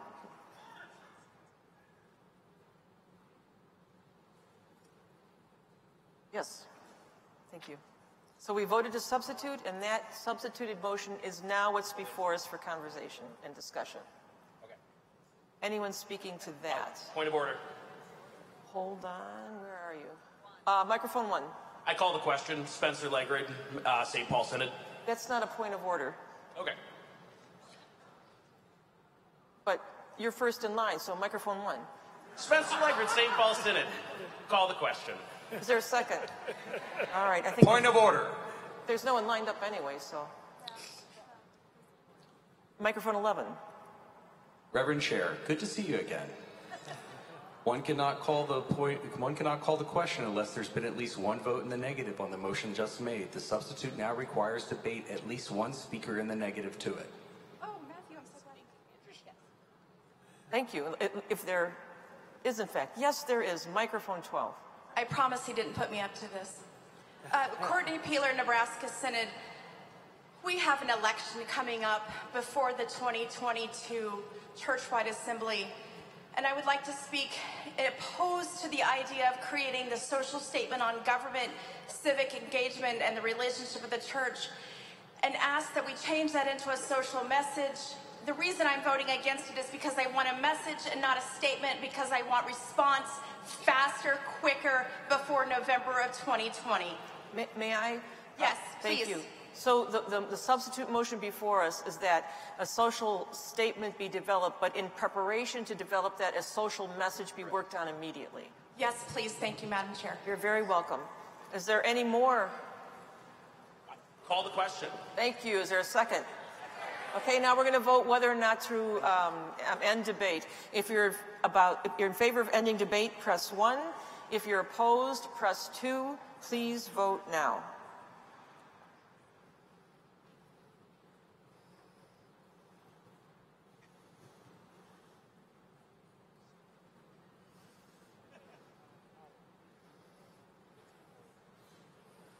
Voting is closed.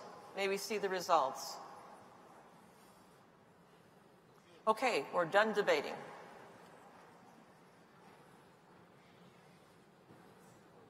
We're voting on the motion as it before you with the substitute motion. We clear? We're voting on the whole enchilada. Those in favor, please press one. Those opposed, press two. Please vote now.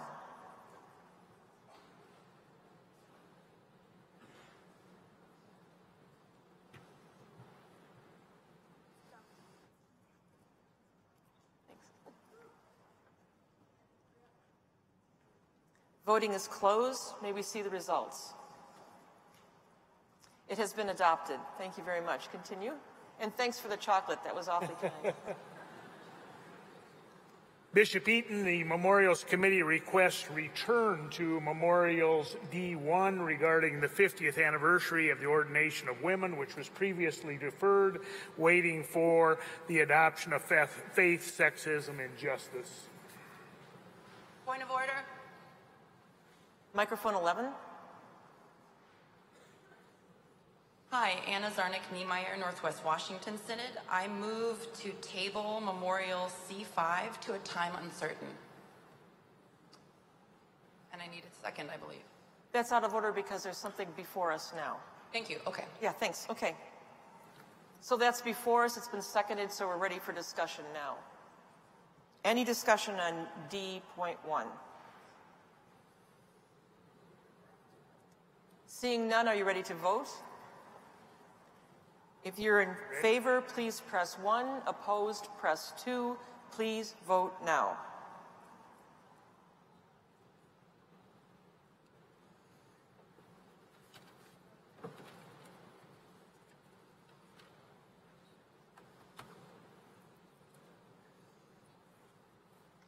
Voting is closed. May we see the results? The memorial is adopted. Thank you very much. Ms. Chapman? Okay, we're now ready for assembly action on C. Wait, wait, sorry. Go ahead. Um, Point of order. microphone 11. Anna Zarnik Niemeyer, Northwest Washington Synod. Is this a point of order? Yes. Go right ahead. Anna Zarnik Niemeyer, Northwest Washington Synod, pronouns she, her, hers. I move to table Memorial C5 to a time uncertain. That's not a point of order. It's a motion motion. Can I ask a question? You may ask a question. Um, we would like to table our memorial. How do I do that? When we get to it, you can table it, if it's the will of the assembly. We need to wait until we get to that memorial. Yes. Okay, thank you, madam. You're very welcome. Okay, if we can now. Been called a madam. good. She's the chair. Okay, please, Ms. Chapman. Yes, if we can now give our attention to category C3 migrants, uh, found on page 46. To receive with gratitude the memorial from the Delaware, Maryland Synod concerning migrants and refugees. To reaffirm the long term and growing commitment of this church to migrants and refugees and to the policy questions involved, as exemplified most recently in the comprehensive strategy accompanying migrant minors with protection, advocacy, representation, and opportunities. To encourage members of this church to review existing social teaching and policy and use these guides to take additional action toward addressing harmful political rhetoric against migrants and refugees.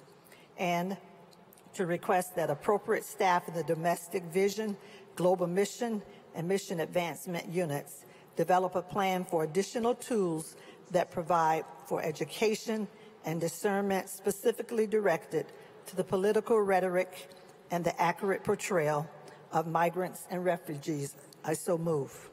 Thank you. This comes before you from a committee, so there's no, it already is seconded. It's before you for discussion. We're on Memorial C3. Microphone 12. Mark Parker, Delaware, Maryland Synod, 8F. Rising to uh, amends by addition. Go ahead. Um, to add uh, after the fourth clause, to add further, quote, to authorize the development of an ELCA social statement on migrants and refugees in accordance with the policies and procedures of the Evangelical Lutheran Church in America for addressing social concerns, 2018. Is there a second? You may speak to your amendment. I think we all understand that um, that the welcome and the support of migrants and refugees is critical and essential to our mission and our public witness as a church. It has been for generations. It continues to be even more important now. We have been not simply a passive participant, but a leader in the welcome of migrants and refugees, and so this is a critical issue for us. It's a critical issue for our neighbors, not just based on recent news reports, um, but any of our experience of the past few decades understands um, that the movement of peoples through migration and as refugee status um, draws people into all kinds of vulnerability, oppression, and puts them at play um, to be hurt um, by our legal systems and by the other systems of government around the world. We have our social message. We have our AMMPARO, uh, our LIRS work, Border Servant Corps, and other partnerships. We have many excellent statements of synods and leaders. We are being responsive as a church, and yet there is one missing piece as I see it. A social statement is, to me, uh, the one missing piece the concerted theological and educational effort of the breadth and depth of our church to support and sustain and shape our advocacy and our action, not simply now, but in the generation to come. We need to mobilize all of the resources of our church towards addressing this grave concern in our society. A social statement on migrants and refugees is necessary for two reasons. One, we need the final product. This isn't about responding to current political issues or current elections or current policies. It's about recognizing that the landscape of migration and refugees is changing rapidly underfoot. From rising uh, nationalism, ethnic based nationalism, to the movement of peoples because of economic inequality and because of climate change, the need for a long term, um, grounded approach to guide the next generation of our action on this is important. Finally, we need the process.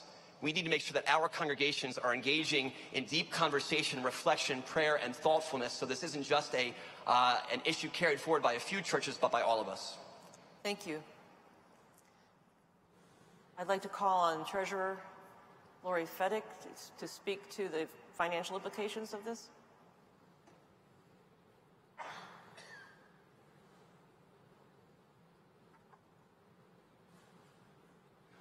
So you want me to speak to the financial implication of another social statement? Yes. Okay. Just so everyone's aware. So we have one social statement in the budget. Social statements um, run approximately $100,000 per year.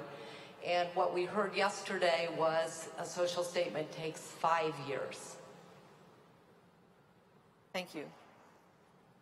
Further.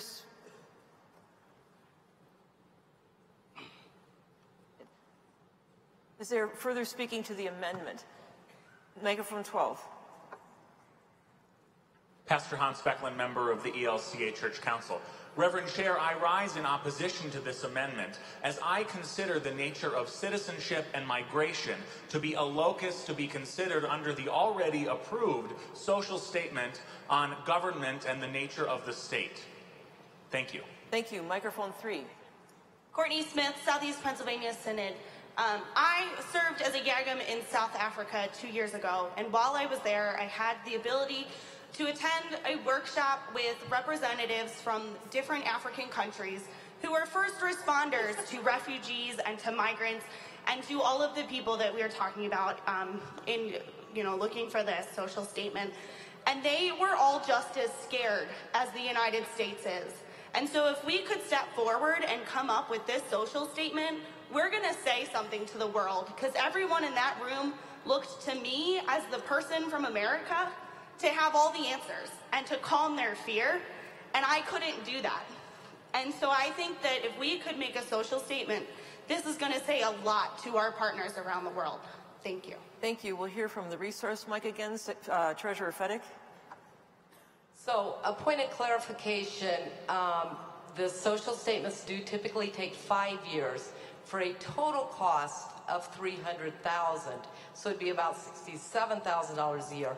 However, because we only have one staff person to work in this area, it is likely that we would have to add, add additional staff resources, which would take the total up. So probably would be closer to the 500,000. Thank you. Microphone 10. Are you, is this, is this a point of order? No, it's Okay, a, microphone 10. 10. There you are. Maygene Zelli, Pastor Maygene Zelli, um, South Central Synod of Wisconsin. I speak in opposition to this amendment and not by any means because I am not in favor of us being bold in our support of uh, refugees and immigrants and all of the things. But I think that we are in danger of falling into a trap to think that because we're making a social statement about something that we're doing something about something. I think we need to be about the business of getting out of our chairs and into the streets and, and, and in the offices of our representatives instead of um, making another long study that will take a long time. I do understand the desire for the depth of engagement that this amendment reflects, but I think that uh, at present we already, unlike um, the biblical issues surrounding uh, sexism in the Bible, I do not think we have any lack of clarity on how we should welcome this stranger. Thank you. Microphone three. Tom Salver, Southeastern Pennsylvania. I, I speak in favor. I am in a congregation presently where we did refugee resettlement. That was part of our mission and ministry, which we are unable to do now. But because of what we did, and we keep saying the church, uh, many of those individuals have now joined my congregation. They are part of this church. And I think we need to be a voice for those. Thank you. Thank you. Microphone two. Brian Penvos, Northeastern Ohio Synod. Uh, I stand in opposition against the amendment calling for a social statement, not in any way because I do not believe this is the most important issue. It is, of course, or that the church should take action, but I think that it's important that this body know that we already have a social message on immigration uh, adopted in 1998 that applies to this issue. Uh, and I call into the question the need to take further time and resources of the church simply to enhance that and uh, broaden that into a social statement. Thank you. Microphone nine. Pastor Susan Halver, Alaska Synod, she, her, hers pronouns. We've, I speak in favor of this amendment because I think it's very important that we address and provide resources for the depth of this issue. We have said very little at this churchwide assembly about climate change. There was an article in the New York Times two days ago that speaks to what we can expect in terms of migration in the coming years and particularly concerns about food insecurity. It, the report was prepared by 100 experts from 52 countries. They said that a half billion people already live in places turning into de- desert. Soil is being lost between 10 and 100 times faster than it is farming. Climate change will make things worse. Already, more than 10% of the world's population remains undernourished, and food shortages could lead to an increase in cross border migration. A particular danger is that food crises could develop on several continents at once. This is a concern that we need to address. Thank you. Thank you. Microphone 11. Christina Nelson, Southwest Minnesota Synod. Um, I have a question that I fear might muddy the waters, but I'm going to ask it anyway. Please do. Okay.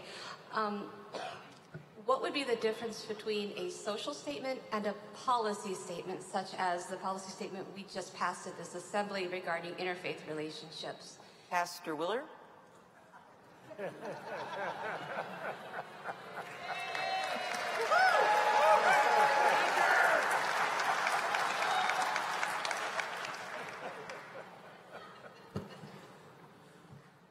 I'm not sure I've ever had such a big class to educate on these things. There are three kinds of social uh, teaching and policy documents in our church. One is the social statements, we've talked about those. The second is social message, which are dependent upon our statements and are adopted by church council because, in line with our social statements. Social policy resolutions are the kinds of things that we do as a church that are they're focused and they're directive. So there is a social message on immigration adopted in 1998. And then there was a need to address focused concern on immigration and five um, resolutions after uh, were adopted in that uh, document in 2008. Is that sufficient? Thank you. Does that help? Um, a little bit. So essentially, there's basically a policy statement, just Yes. not officially? Pastor Willer. Social policy resolutions are official statements of our church. There's, there's official social policy resolutions. They indicate where our church stands on a particular issue. Let me use um, a quick example. Uh, we, as a church, uh, in churchwide assembly, adopted a social policy resolution that put this church on record for um, the uh, Dreamers Act. Um, I may not have the right language there, but you- so that's a social policy resolution, very focused, particular sort of thing. And on that basis, then um, our advocacy people and our bishops and other public leaders of our church can speak into the public square saying this church believes that we ought to do X, Y, Z. Okay, thank you. Thank you. Uh, resource microphone. Reverend Dr. Rivetta Bullock. I guess just a point of information. The E ELCA social message on migration was reviewed and updated in 2018 as part of our ministry around AMMPARO. Thank you. Microphone 12. Joshua Copeland, North Carolina Synod. I move to end debate and call the previous question. Is the debate is about the the amendment? Yes. Yes. Is there a second? Okay. Ready to vote? All those in favor of ending debate, a debate on the on this amendment, press one. Those opposed, press two. Please vote now.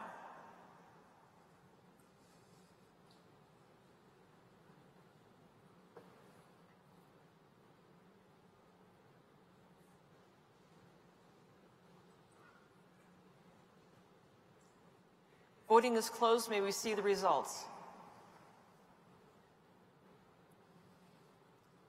Debate is closed. We will now move to voting on the amendment. And you remember what the amendment is? It's to develop a social statement. Okay. Are we clear as any? You ready? Okay. All those in favor of the amendment, press one. Those opposed, press two. Please vote now.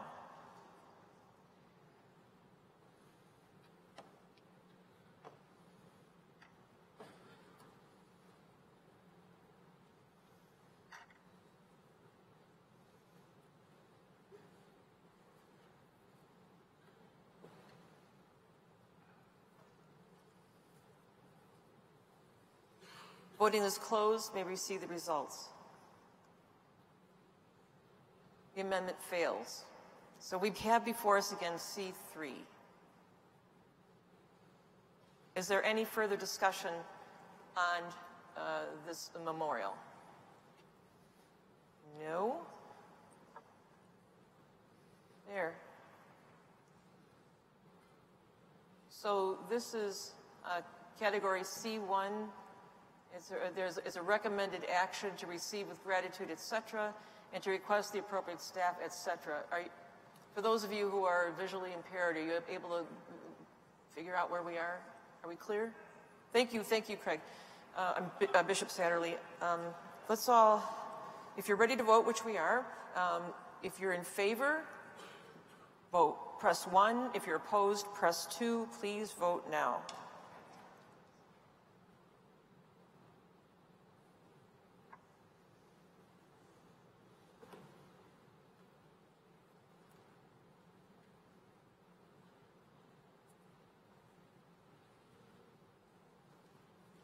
Voting is closed. May we see the results?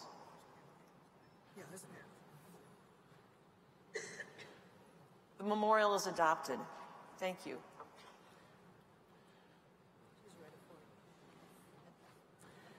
We now bring before you uh, Memorial A6, the Poor People's Campaign, found on page 21 of your guidebook. To receive with gratitude the memorials from the Oregon, New England, and Metropolitan New York synods concerning the National Poor People's Campaign, and to affirm the Church Council action recognizing the importance of the Poor People's Campaign in bringing an end to systemic racism, economic injustice, ecological devastation, and related injustices, to support the vision and goals of the Poor People's Campaign that are in alignment with this church's social teachings, to encourage the church-wide organizations, synods, congregations, and members become involved with the issues as a faithful witness to God's call to do justice and to show love for the neighbor. We move this action. Thank you. Is there any speaking to this? Microphone five. Mark Gerson, Metro New York Synod, he, him, his pronouns. I wish to offer an amendment. Please do.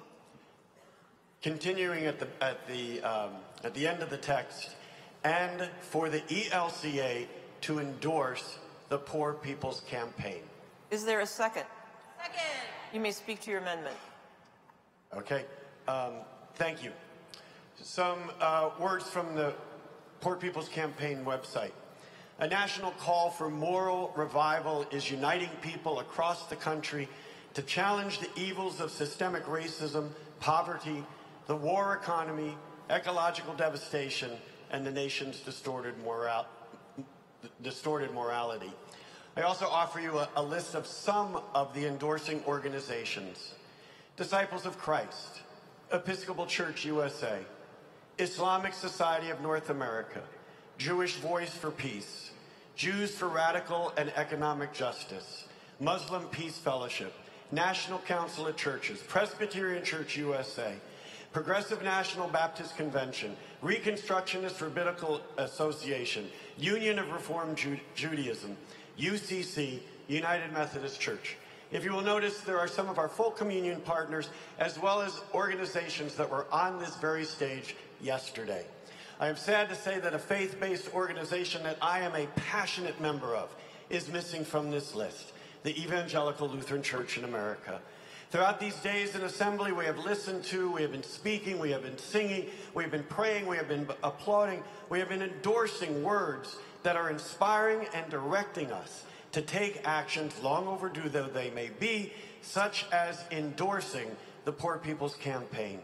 Taking this step will give us the opportunity to build those interreligious relationships we have dedicated ourselves to.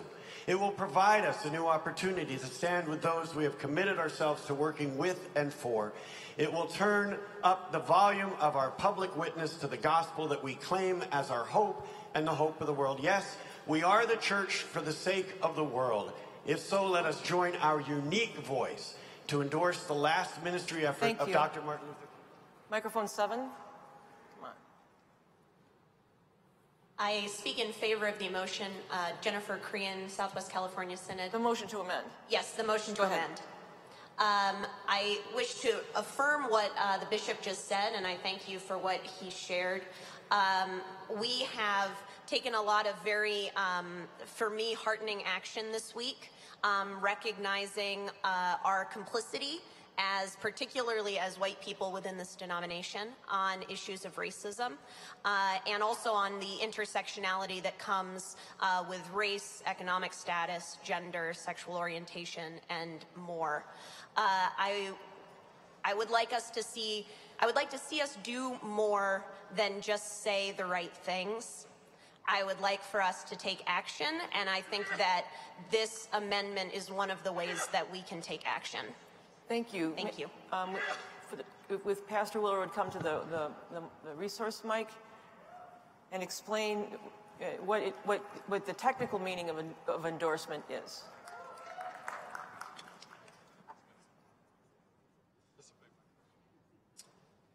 The technical meaning of endorsement, uh, in this particular case, according to the folks who are the leaders of the uh, Poor People's Campaign, is really a kind of all or nothing.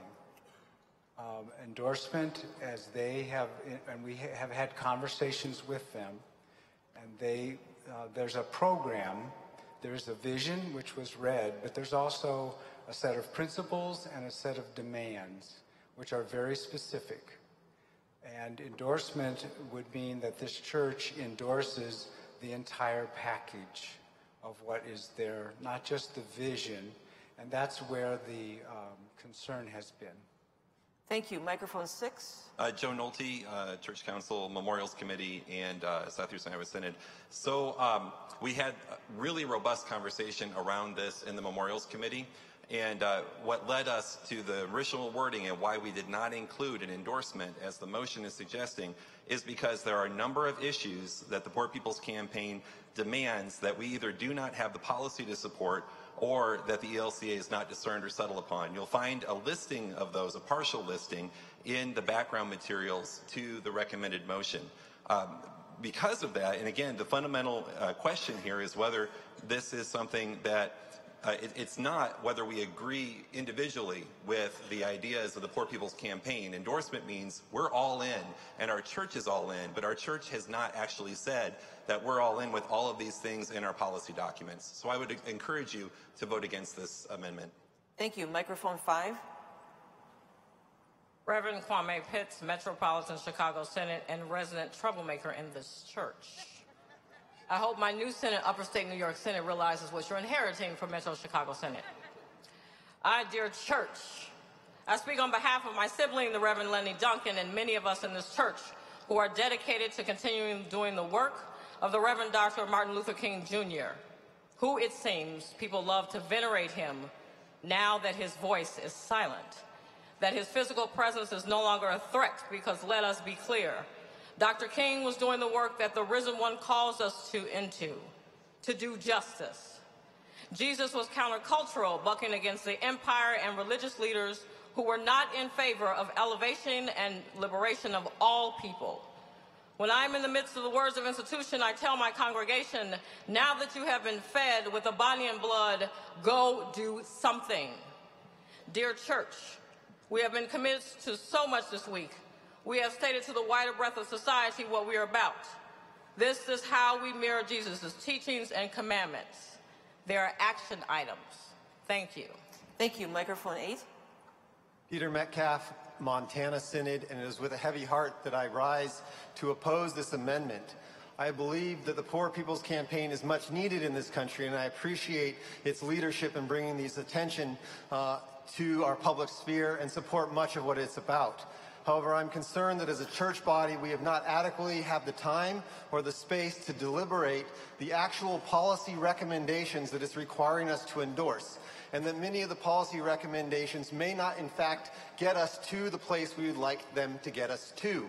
Therefore, I think it would be premature for us to endorse en banc all of the policy recommendations in the Poor People's Campaign, and that we need to simply uh, defeat this amendment and affirm the campaign and encourage continued engagement with it, but to allow that space for sufficient public deliberation around these policy recommendations. Therefore, I encourage us to defeat this amendment and re retain the original language. Thank you. Thank you. Microphone three. Hi. Mara Darfston, she, hers, young adult member from Metro New York.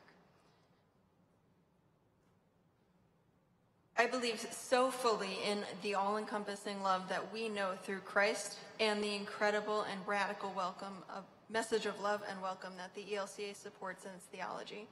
Joining many other mainline Protestant denominations by endorsing the Poor People's Campaign is a firm action that we can take as the church that every report at this assembly this far has said we are trying to be. As the ELCA, we do, do we do so many great things because we're a truly great church that has shown in all that we are celebrating here that we want to grow and learn and be intentional in showing our love toward others. But we need to break out of the safety of our church buildings and our meetings and put our actions where our polity is. How can we be church for the sake of the world if we aren't going out into the world to meet and work with the people who are there? Truly supporting and fully endorsing the Poor People's Campaign may feel scary because it isn't the self-contained environment of a campaign run by Lutherans for Lutheran ministries and affiliates. But at its essence, the Poor People's Campaign speaks to those most disenfranchised and oppressed in this country. And whether it is comfortable or not, that is exactly what we are called to do as Christians and what our policies in the ELCA encourage us to do because we are a great church with a great message, and we should not play it safe with our support of the Poor People's Campaign, because there are very real, very alive people right now who need our help, and endorsing this campaign is a firm and real statement both to those in need and those in political power in this country that we are a church that takes action and is ready to do God's work with our hands. Thank you. Microphone 11. Bishop John Anderson, Southwestern Minnesota. I call the question of the amendment. Is there a second? Okay, voting means we'll close debate on the amendment. If you vote in favor, vote the, the discussion will close. If you vote, if you're opposed, then we'll continue. You clear? If you vote, if you vote in favor of this, we'll end debate. If you vote against it, debate will continue. Okay. One for yes, two for no. Please vote now.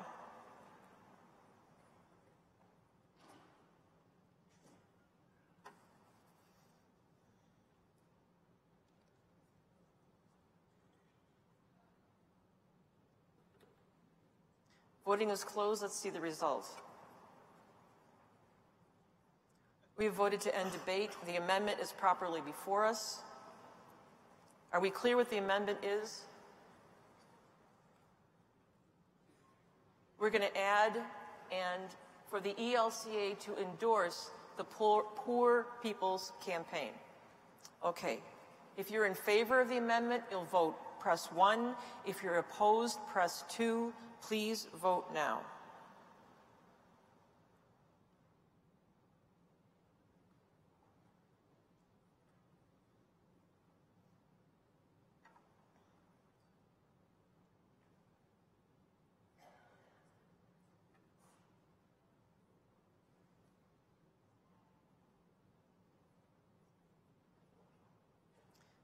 Voting is closed. May we see the results? The amendment has failed. We now are back to the uh, memorial before us. Okay, that's A6. Are we clear? Is there any more discussion on A6? Seeing none, we're ready to vote. If you're in favor, press 1. If you're opposed, press 2. Please vote now.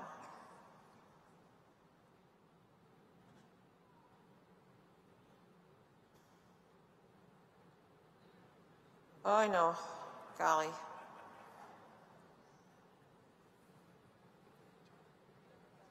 Hmm.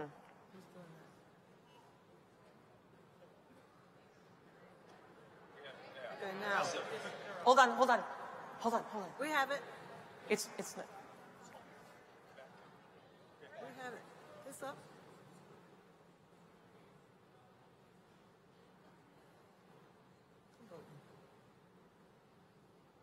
Okay, here we go. If you're in favor, vote yes. Yeah, obviously. Vote press one. If you're opposed, press two. Please vote now.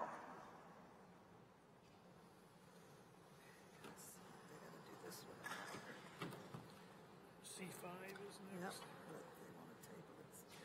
It might still say sending on yours, but your votes are coming in.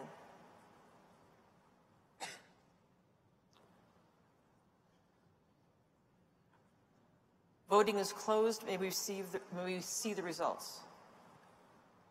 It's been adopted.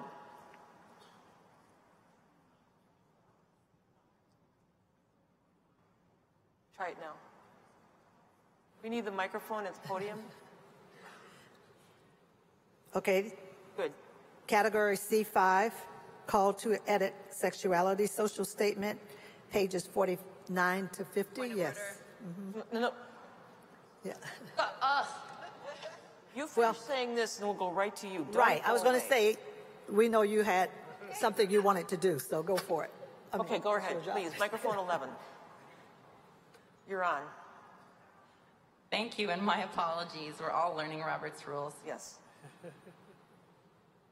My name is Anna Zarnik Niemeyer from Northwest Washington Synod. I move to table this memorial to a time uncertain. Is there a second? You may speak to your motion. You might be wondering to yourselves, why would someone from the Synod that put forth this memorial and also someone from the LGBTQIA community be asking to table this memorial?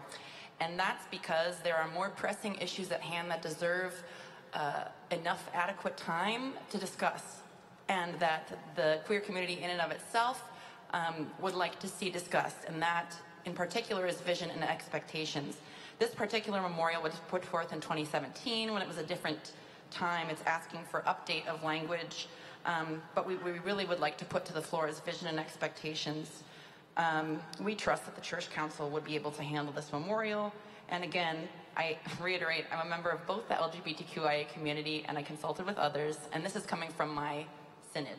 So again, I would move to table this memorial to an uncertain, a time uncertain so that we have enough time to publicly discuss uh, important issues. This memorial came, did not come from someone from the LGBTQIA community, and so I'm telling you what we really want to talk about. Thank you. Thank you. Is this a point of order? It- Microphone It's a six? question. It's a Uh, question. So um, the, the question is if this is. Uh, Can you tell being- us who you are Uh. Joe Nolte, pardon Thank me, um, uh, Church Council Memorials Committee, uh, Southeastern Iowa Synod. Um, no, I'm actually not, not in favor. It's a question. Uh, the question is if, um, since the response in, to the memorial that's been proposed is to authorize a social statement editorial reconsideration, I'm only asking, can the church council actually authorize a revision of a social statement, or does that have to be approved by the churchwide assembly? Pastor Willer.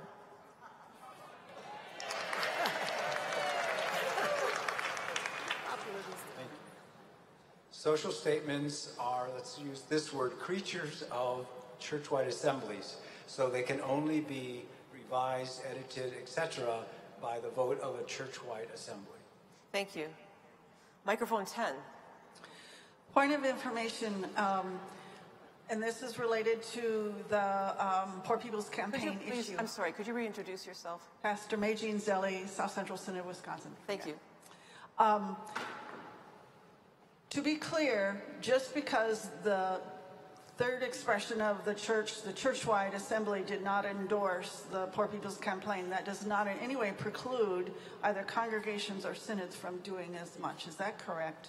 Sure. I mean, that's not in order, but your, your, the answer is yes. We'll, Okay. we'll allow it. Thanks. Now we're, we're speaking uh, specifically on the motion to table to a time uncertain. Is there any more speaking to this motion? Microphone 11 has a question, point of order. Just a, a point of order. Please. Uh, just to note that we have it in our provisions for this to move to 2022, uh, should that be required, which is why we moved to table it to a time uncertain. We understand that it needs to be at a, an assembly, and it's within our Let's get the answer for you, okay? Technically, the motion you are making is to postpone indefinitely, which is to kill the motion. Anything laid on the table and not acted upon by this assembly dies at the end of the assembly. If you want to refer something to 2022, you need to refer it to some group that could bring it at that time. But this is essentially a motion to postpone indefinitely, which has the effect of killing the proposal. Are we clear then what happens if we, we, uh, we adopt the uh, motion to uh, table to a time uncertain, which is indefinitely, then if we don't get to it now, it'll come up, it, it, it's gone. So that's the motion before us. Microphone six. Uh, Cynthia Gustafson, member of the Church Council um, from Oklahoma, um, Arkansas Synod. Um, I think it's really important to know um, that trustworthy servants isn't going to end up um, being much different than it is unless we first look at the sexuality statement because our statement on sexuality is of a higher level. And so anything else is going to have to use the words that are used in the sexuality statement. So we need to look at that first. So you or, speak- or you're- at the same time. You're speaking against the motion to table? Uh, yes, against it. Yes. Any further speaking? Okay, if you vote one, you're voting to table, postpone, pardon me, indefinitely. And if you vote two, you're saying, we're not going to postpone indefinitely. Are you clear? Okay, please vote now.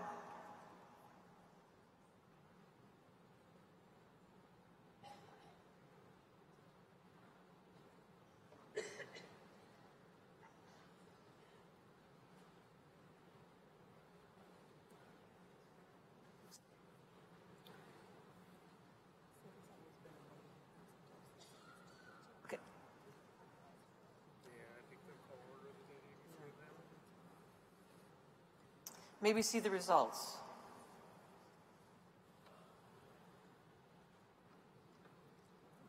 The motion to table has passed. Thank you. Next one.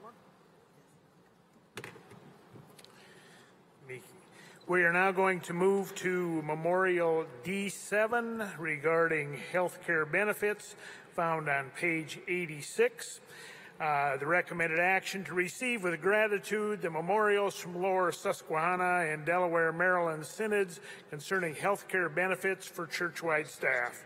To request the churchwide organization survey employees to understand the impact on staff and identify any modifications that can be made within budgeted funds for 2020. To encourage Portico to continue to provide educational tools to assist employees of the churchwide organization, which thoroughly explain the different plans, and to decline to restore the churchwide organization health care benefits to Portico Benefit Services Gold Plus plan at this time. We move this recommended action. Thank you. Microphone four. James Dunlop, Bishop of the Lower Susquehanna Synod, and I would like to move a substitute motion. Please do. And the text is available. I Thank you. submitted it. Resolved that the ELCA and Assembly direct the Church Council in partnership with the Conference of Bishops and Portico Benefit Services to review the current Church Council's recommendation for gold coverage for all rostered leaders and employees of the church, and that they develop a recommendation for the whole church for health insurance coverage by the spring meeting of the Church Council in 2020 for the 2021 enrollment. And further be resolved that the ELCA and Assembly direct the office of the bishop to restore the churchwide rostered leaders and employees to Gold Plus coverage for 2020. Pay for the coverage of spouses and dependents who are not covered by other insurance, and that they continue to pay the waiver for any employee who receives coverage from another health insurance. Is there a second? You may speak to your motion. In November, the Church Council adopted a spending authorization that included three changes to the benefit of the churchwide employees. Gold Plus, which is an 80-20 plan, to a Silver Plus, which was a 70-30 plan, to pay a portion of spouse and dependent coverage, but not all, and to offer an incentive for employees to accept coverage outside the church. The Church Council in the past has recommended the standard health care for our church would be gold and for coverage of dependents. The church-wide organization and the council ignored their own recommendation by this action. The secretary has reminded us that each expression of the church can do things independently, but clearly what the church-wide does influences the entire church. My synod and the Delaware Maryland synod proposed rescinding this action in the memorials. The Memorial Committee is recommending taking no action on the coverage, but rather surveying the employees to see how they feel about their health care being reduced. I'm proposing a compromise that we ask the Synod, um, the Church Council, in partnership with the Conference of Bishops in Portico, to review the recommendation for Gold Plus and either support this by completing this study in 2020 before the 2021 enrollment. This would be a mutual coordination across our ecosystem as the Vice President lifted up. And we would restore churchwide employees to Gold Plus and pay for dependents fully in 2020, which allows people to choose um, over the insurance that they have. Um, this allows churchwide to follow the current recommendation from the um, church council. This will cost a million dollars in 2020, and it allows um, for a continuation of a $500,000 savings. But the treasurers reported that they had a $3.8 million surplus and are running ahead this year. I don't think it'll break the bank. Thank you. I'd like to hear from the resource mic, uh, Treasurer Fedek. Thank you.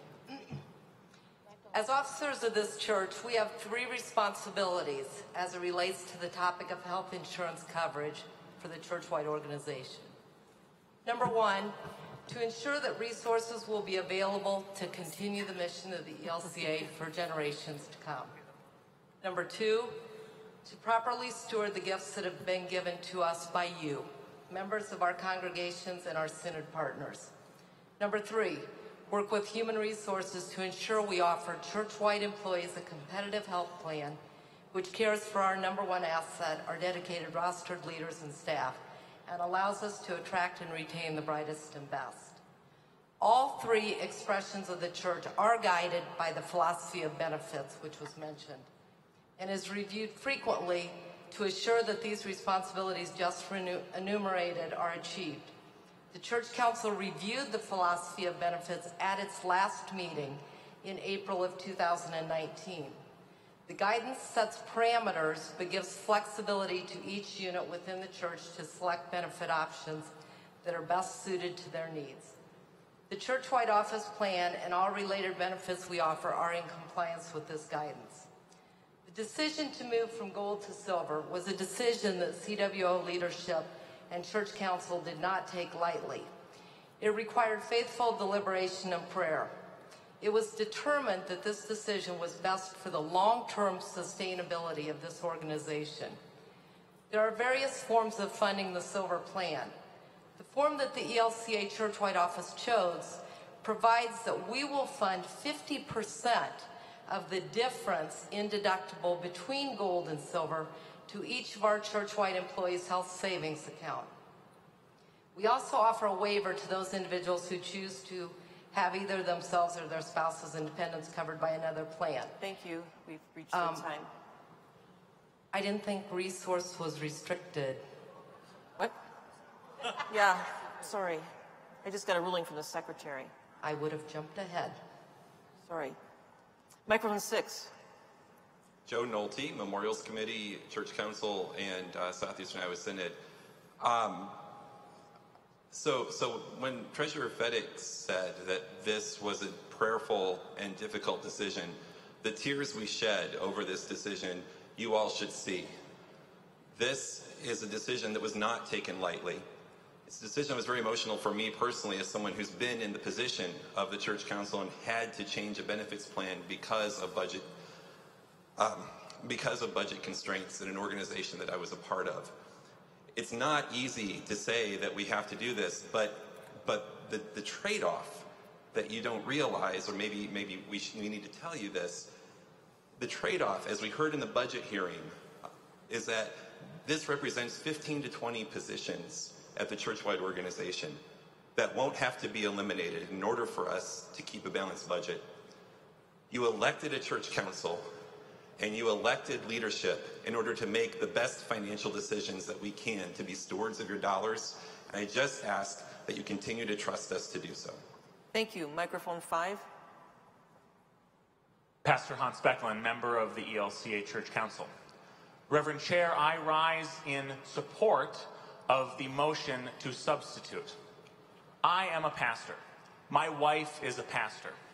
In our family, if the church is not willing to stand up and take care of us, there is no other employer who will do so.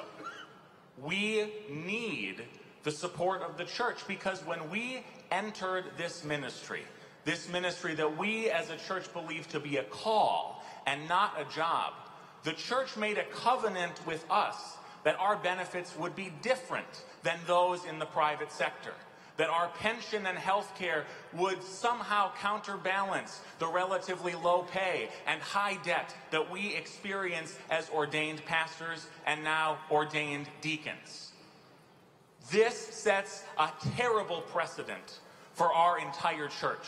A precedent that says we can race to the bottom just as the rest of our society has begun an economic race to the bottom. That is not just, and it does not support our future directions goal to raise up more leaders, not just for Higgins Road, but for all 65 synods of the Evangelical Lutheran Church in America. Thank you. Microphone 12. Thank you, Reverend Chair. Clarence Smith, Church Council. I rise in opposition to the proposed amendment. Uh, as I have had the privilege of serving as the chair of the Budget and Finance Committee, Bishop Dunlop participated in our, in our committee hearings last November when we met in Chicago.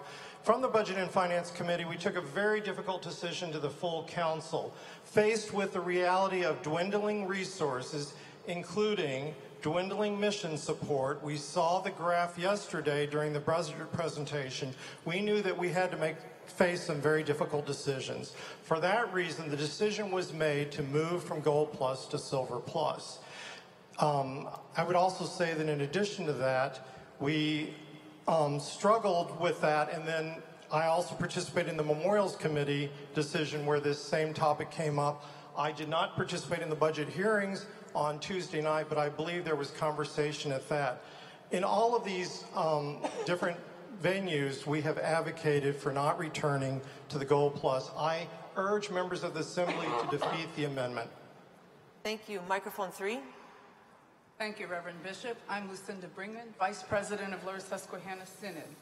When the Church Council adopted placing churchwide employees on the Silver Plan for 2019, they still retained the recommended gold standard for our church. Determining details of insurance plans for churchwide employees is not something best managed on the floor of our churchwide assembly. Our substitute memorial allows for time for the church council, the conference of bishops, and Portico to work together to make the best recommendation of a preferred insurance level for those who serve our church. As the church, we are the body of Christ, and we are called to care for one another. In many ways, this is a justice issue, and the resolution addresses the concern that those who are most vulnerable in our churchwide expression, namely those with smaller salaries in support positions, are the most vulnerable. The silver and gold plans are not equal plans that simply work differently. The silver plan has a higher deductible and a higher out-of-pocket maximum. Even though the silver plan includes a health savings account, that does not make up the difference. And we've already heard that the split between the insurance coverage and the participant coverage is 10% higher for participants in the silver plan. Healthcare costs continue to increase, and we know that many public entities and industries are and have moved to a similar direction to transfer healthcare costs to employees. But St. Paul calls us to not conform to this world. Shouldn't we as the church model for the world how to care for each other? Thank you. Thank you. Microphone four. Robert Malachek, Minneapolis Synod. I was struck when this action was proposed by the person in proposing the action saying that it's obvious that we have the money for it because we are a million dollars ahead on our income right now. That is all investment income and 100% dependent on the stock market. If we have any reversals in the stock market, we could very well end up being overnight a million dollars in the other direction or more. I don't think that we can use investment income in, to make decisions like this. If we want to improve what we can offer our people. We need to work on bringing our mission support contributions more in line with where they were five years ago plus. Thank you. Thank you. We'll have to call the orders of the day now. Please remember where you are in the queue. I call on Secretary Boerger for announcements.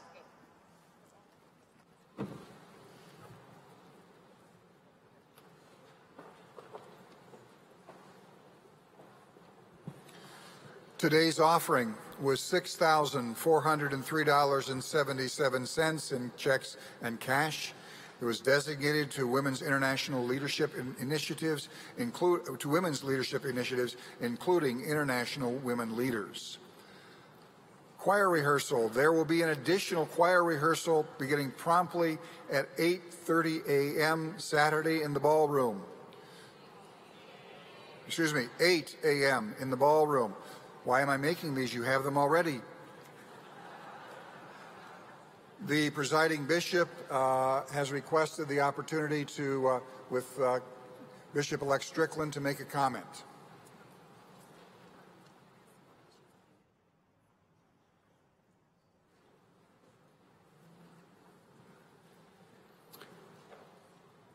Good evening, church. When we come to worship, we come to be fed by bread and wine, by water and word, by song and community of body. We should not come to worship ever experiencing homophobic, xenophobic, any other phobic, or any sort of uh, racial behavior. That behavior of racism was exhibited in a picture that was shown in worship yesterday, and I take full and 100% responsibility for it being shown. For the past five years, I've been able to serve you as the assistant to the presiding bishop and the executive for worship for this church, and I've attempted to do so faithfully. We spend two years planning the worship for the churchwide assembly with tens of thousands of details, 30 to 40 people who help us this, this week, which I'm grateful for. And unfortunately, this was one detail, one very major detail that fell through the cracks. I grieve because I know that through that, many of you grieved. I am deeply apologetic, and even though tomorrow at 10 a.m., I am finished with this job and I can turn my attention to being the bishop elect of the Southeastern Synod. But I do not walk away without addressing this and the responsibility that I have for it as the person who's been the caretaker of worship for this church. And so we have met with our worship team and the team of 40 volunteers. I've met with our colleague John White, who will be the interim assistant to the presiding bishop for worship. He is committed to, with presiding Bishop Eaton, to make sure we put into place our authentic diversity that this church so needs. We pledge to you that not only will we do better, we must. So I extend this apology to you, and I ask your forgiveness, and I ask that you know that it's important to hold one another accountable. May God continue to guide us and bless us knowing that as the family of God, sometimes as family members, we don't always get it right. Bishop. I also take responsibility as presiding bishop of this church. Uh, one thing that was pointed out to me was that, the, that this was unintentional, but the degree of cultural competency that we have in this church is lacking. And so this, we've, we've said what we're going to do is going to be painful and difficult, but we're committed to do it. And so I also apologize. Thank you. Continuing with the announcements. While you had a reprieve this morning from turning in your voting machines and passing them to the right, you do not have it tonight. Please remove your voting cards and pass your voting machines to the right. And also, before leaving the convention center at the end of the assembly, remember to return your ELCA provided iPad. See the announcements section in the guidebook for complete instructions on how to return the iPad. And lastly, if you have dishes at your place, There are tables in the back of the hall where they can be returned. That concludes the announcements. Thank you. Just to let you know um, that the reception begins at 5:30. I think just just a pre-function outside hall, dinner at six, um, and we're going to see a, a quick video now on the 50th anniversary. when I was a 13 year old in confirmation class and um, was told by the pastor uh, what the possible careers were in the church and described uh, being a pastor, I said, Yes, that's what I want to do. And he turned pale and said, Oh, oh, but you can't. Our church doesn't ordain women. So immediately I decided that's what I did want to do.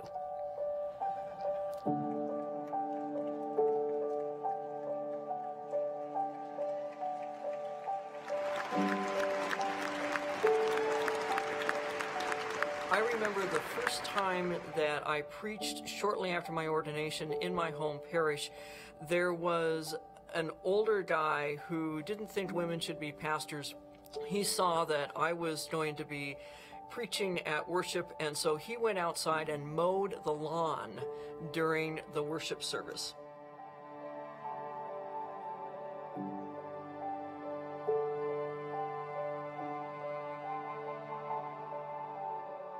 Actually think God was calling all kinds of women to be pastors and bishops long before the church allowed. Maybe the question actually is what happened to the church that the church could finally hear God? And of course, if you look back at those decisions, they were simply, well, we think it's okay. We don't think we're going to get struck dead if we do this. It looks like, according to scripture, this would be okay. No energy, no enthusiasm of, wow, let's invite over half of the population that for 2,000 years has been not allowed to be in that leadership role in the church, let's let them be. The women that I have been surrounded by have never attempted to be leaders as their male counterparts have been, right? They're not attempting or trying to be leaders like the men in their lives. They're leaders in their bodies as they are, and they use the gifts that God has given them as women. Um, and I find I find hope and grace in that. That we don't need to pretend to be what we are not. We get to be exactly who we are, and God gets to use us, uh, or uses us precisely because of who we are. I think women throughout the Lutheran tradition have been extraordinary in really uh, paving the way for future women and showing them that this is not just boy stuff. You know, this isn't just men's work to be done. This is everyone's work to be done. Having our first presiding bishop, uh, Elizabeth Eaton, be the first woman to be presiding bishop is really exciting. And we're living in a time where women in our church are doing more than ever before. This um, older woman, I think she must have been in her 80s, and uh, she had grown up in another Lutheran tradition, always felt called to the ministry, never could. And uh, I was um, administering communion at a gathering, and uh, she was she was weeping. And afterwards, she said, "I never expected that I would ever receive communion from the hands of a, a woman presiding bishop of the ELCA." My hope also is the fact that our voices are actually starting to be heard in this church. And again, there's a lot of pushback. But when Emanuel 9 were sacrificed and murdered, we had to start to address the systemic racism in this church. And what I'm thankful for is that this church actually started doing that work. And it's a long, hard work, and there's some uncomfortable places and some dark places that people don't want to actually even talk about. But the fact that we're trying to do this gives me hope. If I think back to my ordination and I think of that day, first I would say keep wearing those awesome red shoes because I had these glorious red patent heels that I loved. Um, but then I would say remember all the people who were there. Remember the people from camp, from YAGM, from college, from seminary, from people who had known me since I was a baby, my Sunday school teacher. To go back and remember all of those people and remember that it's the whole church calling you into this work and to be excited about that.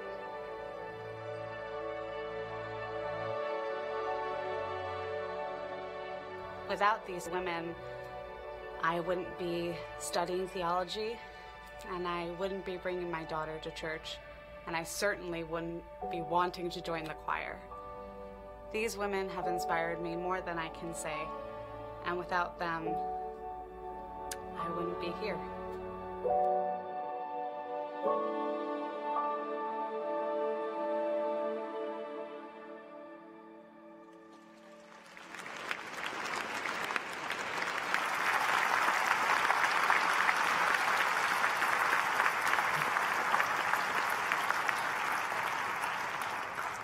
Thank you. I ask that um, we're going to take a time now to conclude in prayer.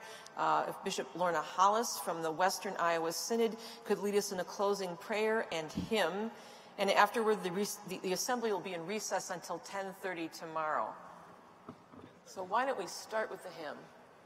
Oh, that's right. And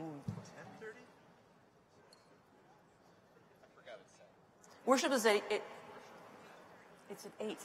But the, we're back in session at 10.30. Don't skip church. Okay, Take My Life That I May Be, which is found on page 43. We'll start with that, and then Bishop Halaas will lead us in prayer.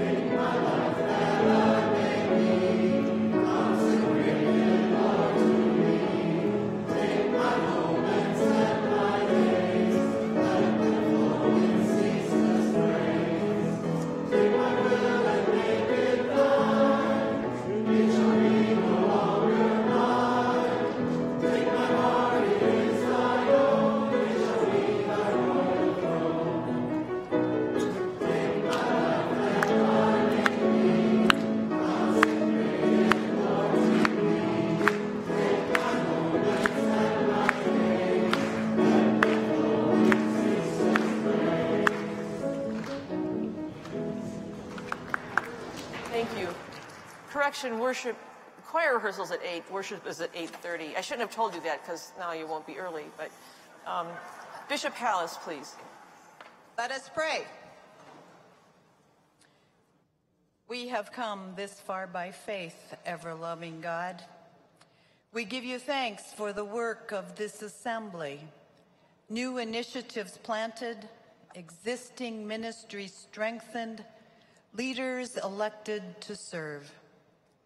Draw your church together, O God, into one great company of disciples, together following our teacher, Jesus Christ, into every walk of life, together serving in Christ's mission to the world, and together witnessing to your love wherever you will send us, all for the sake of Jesus Christ our Lord. Amen. Amen.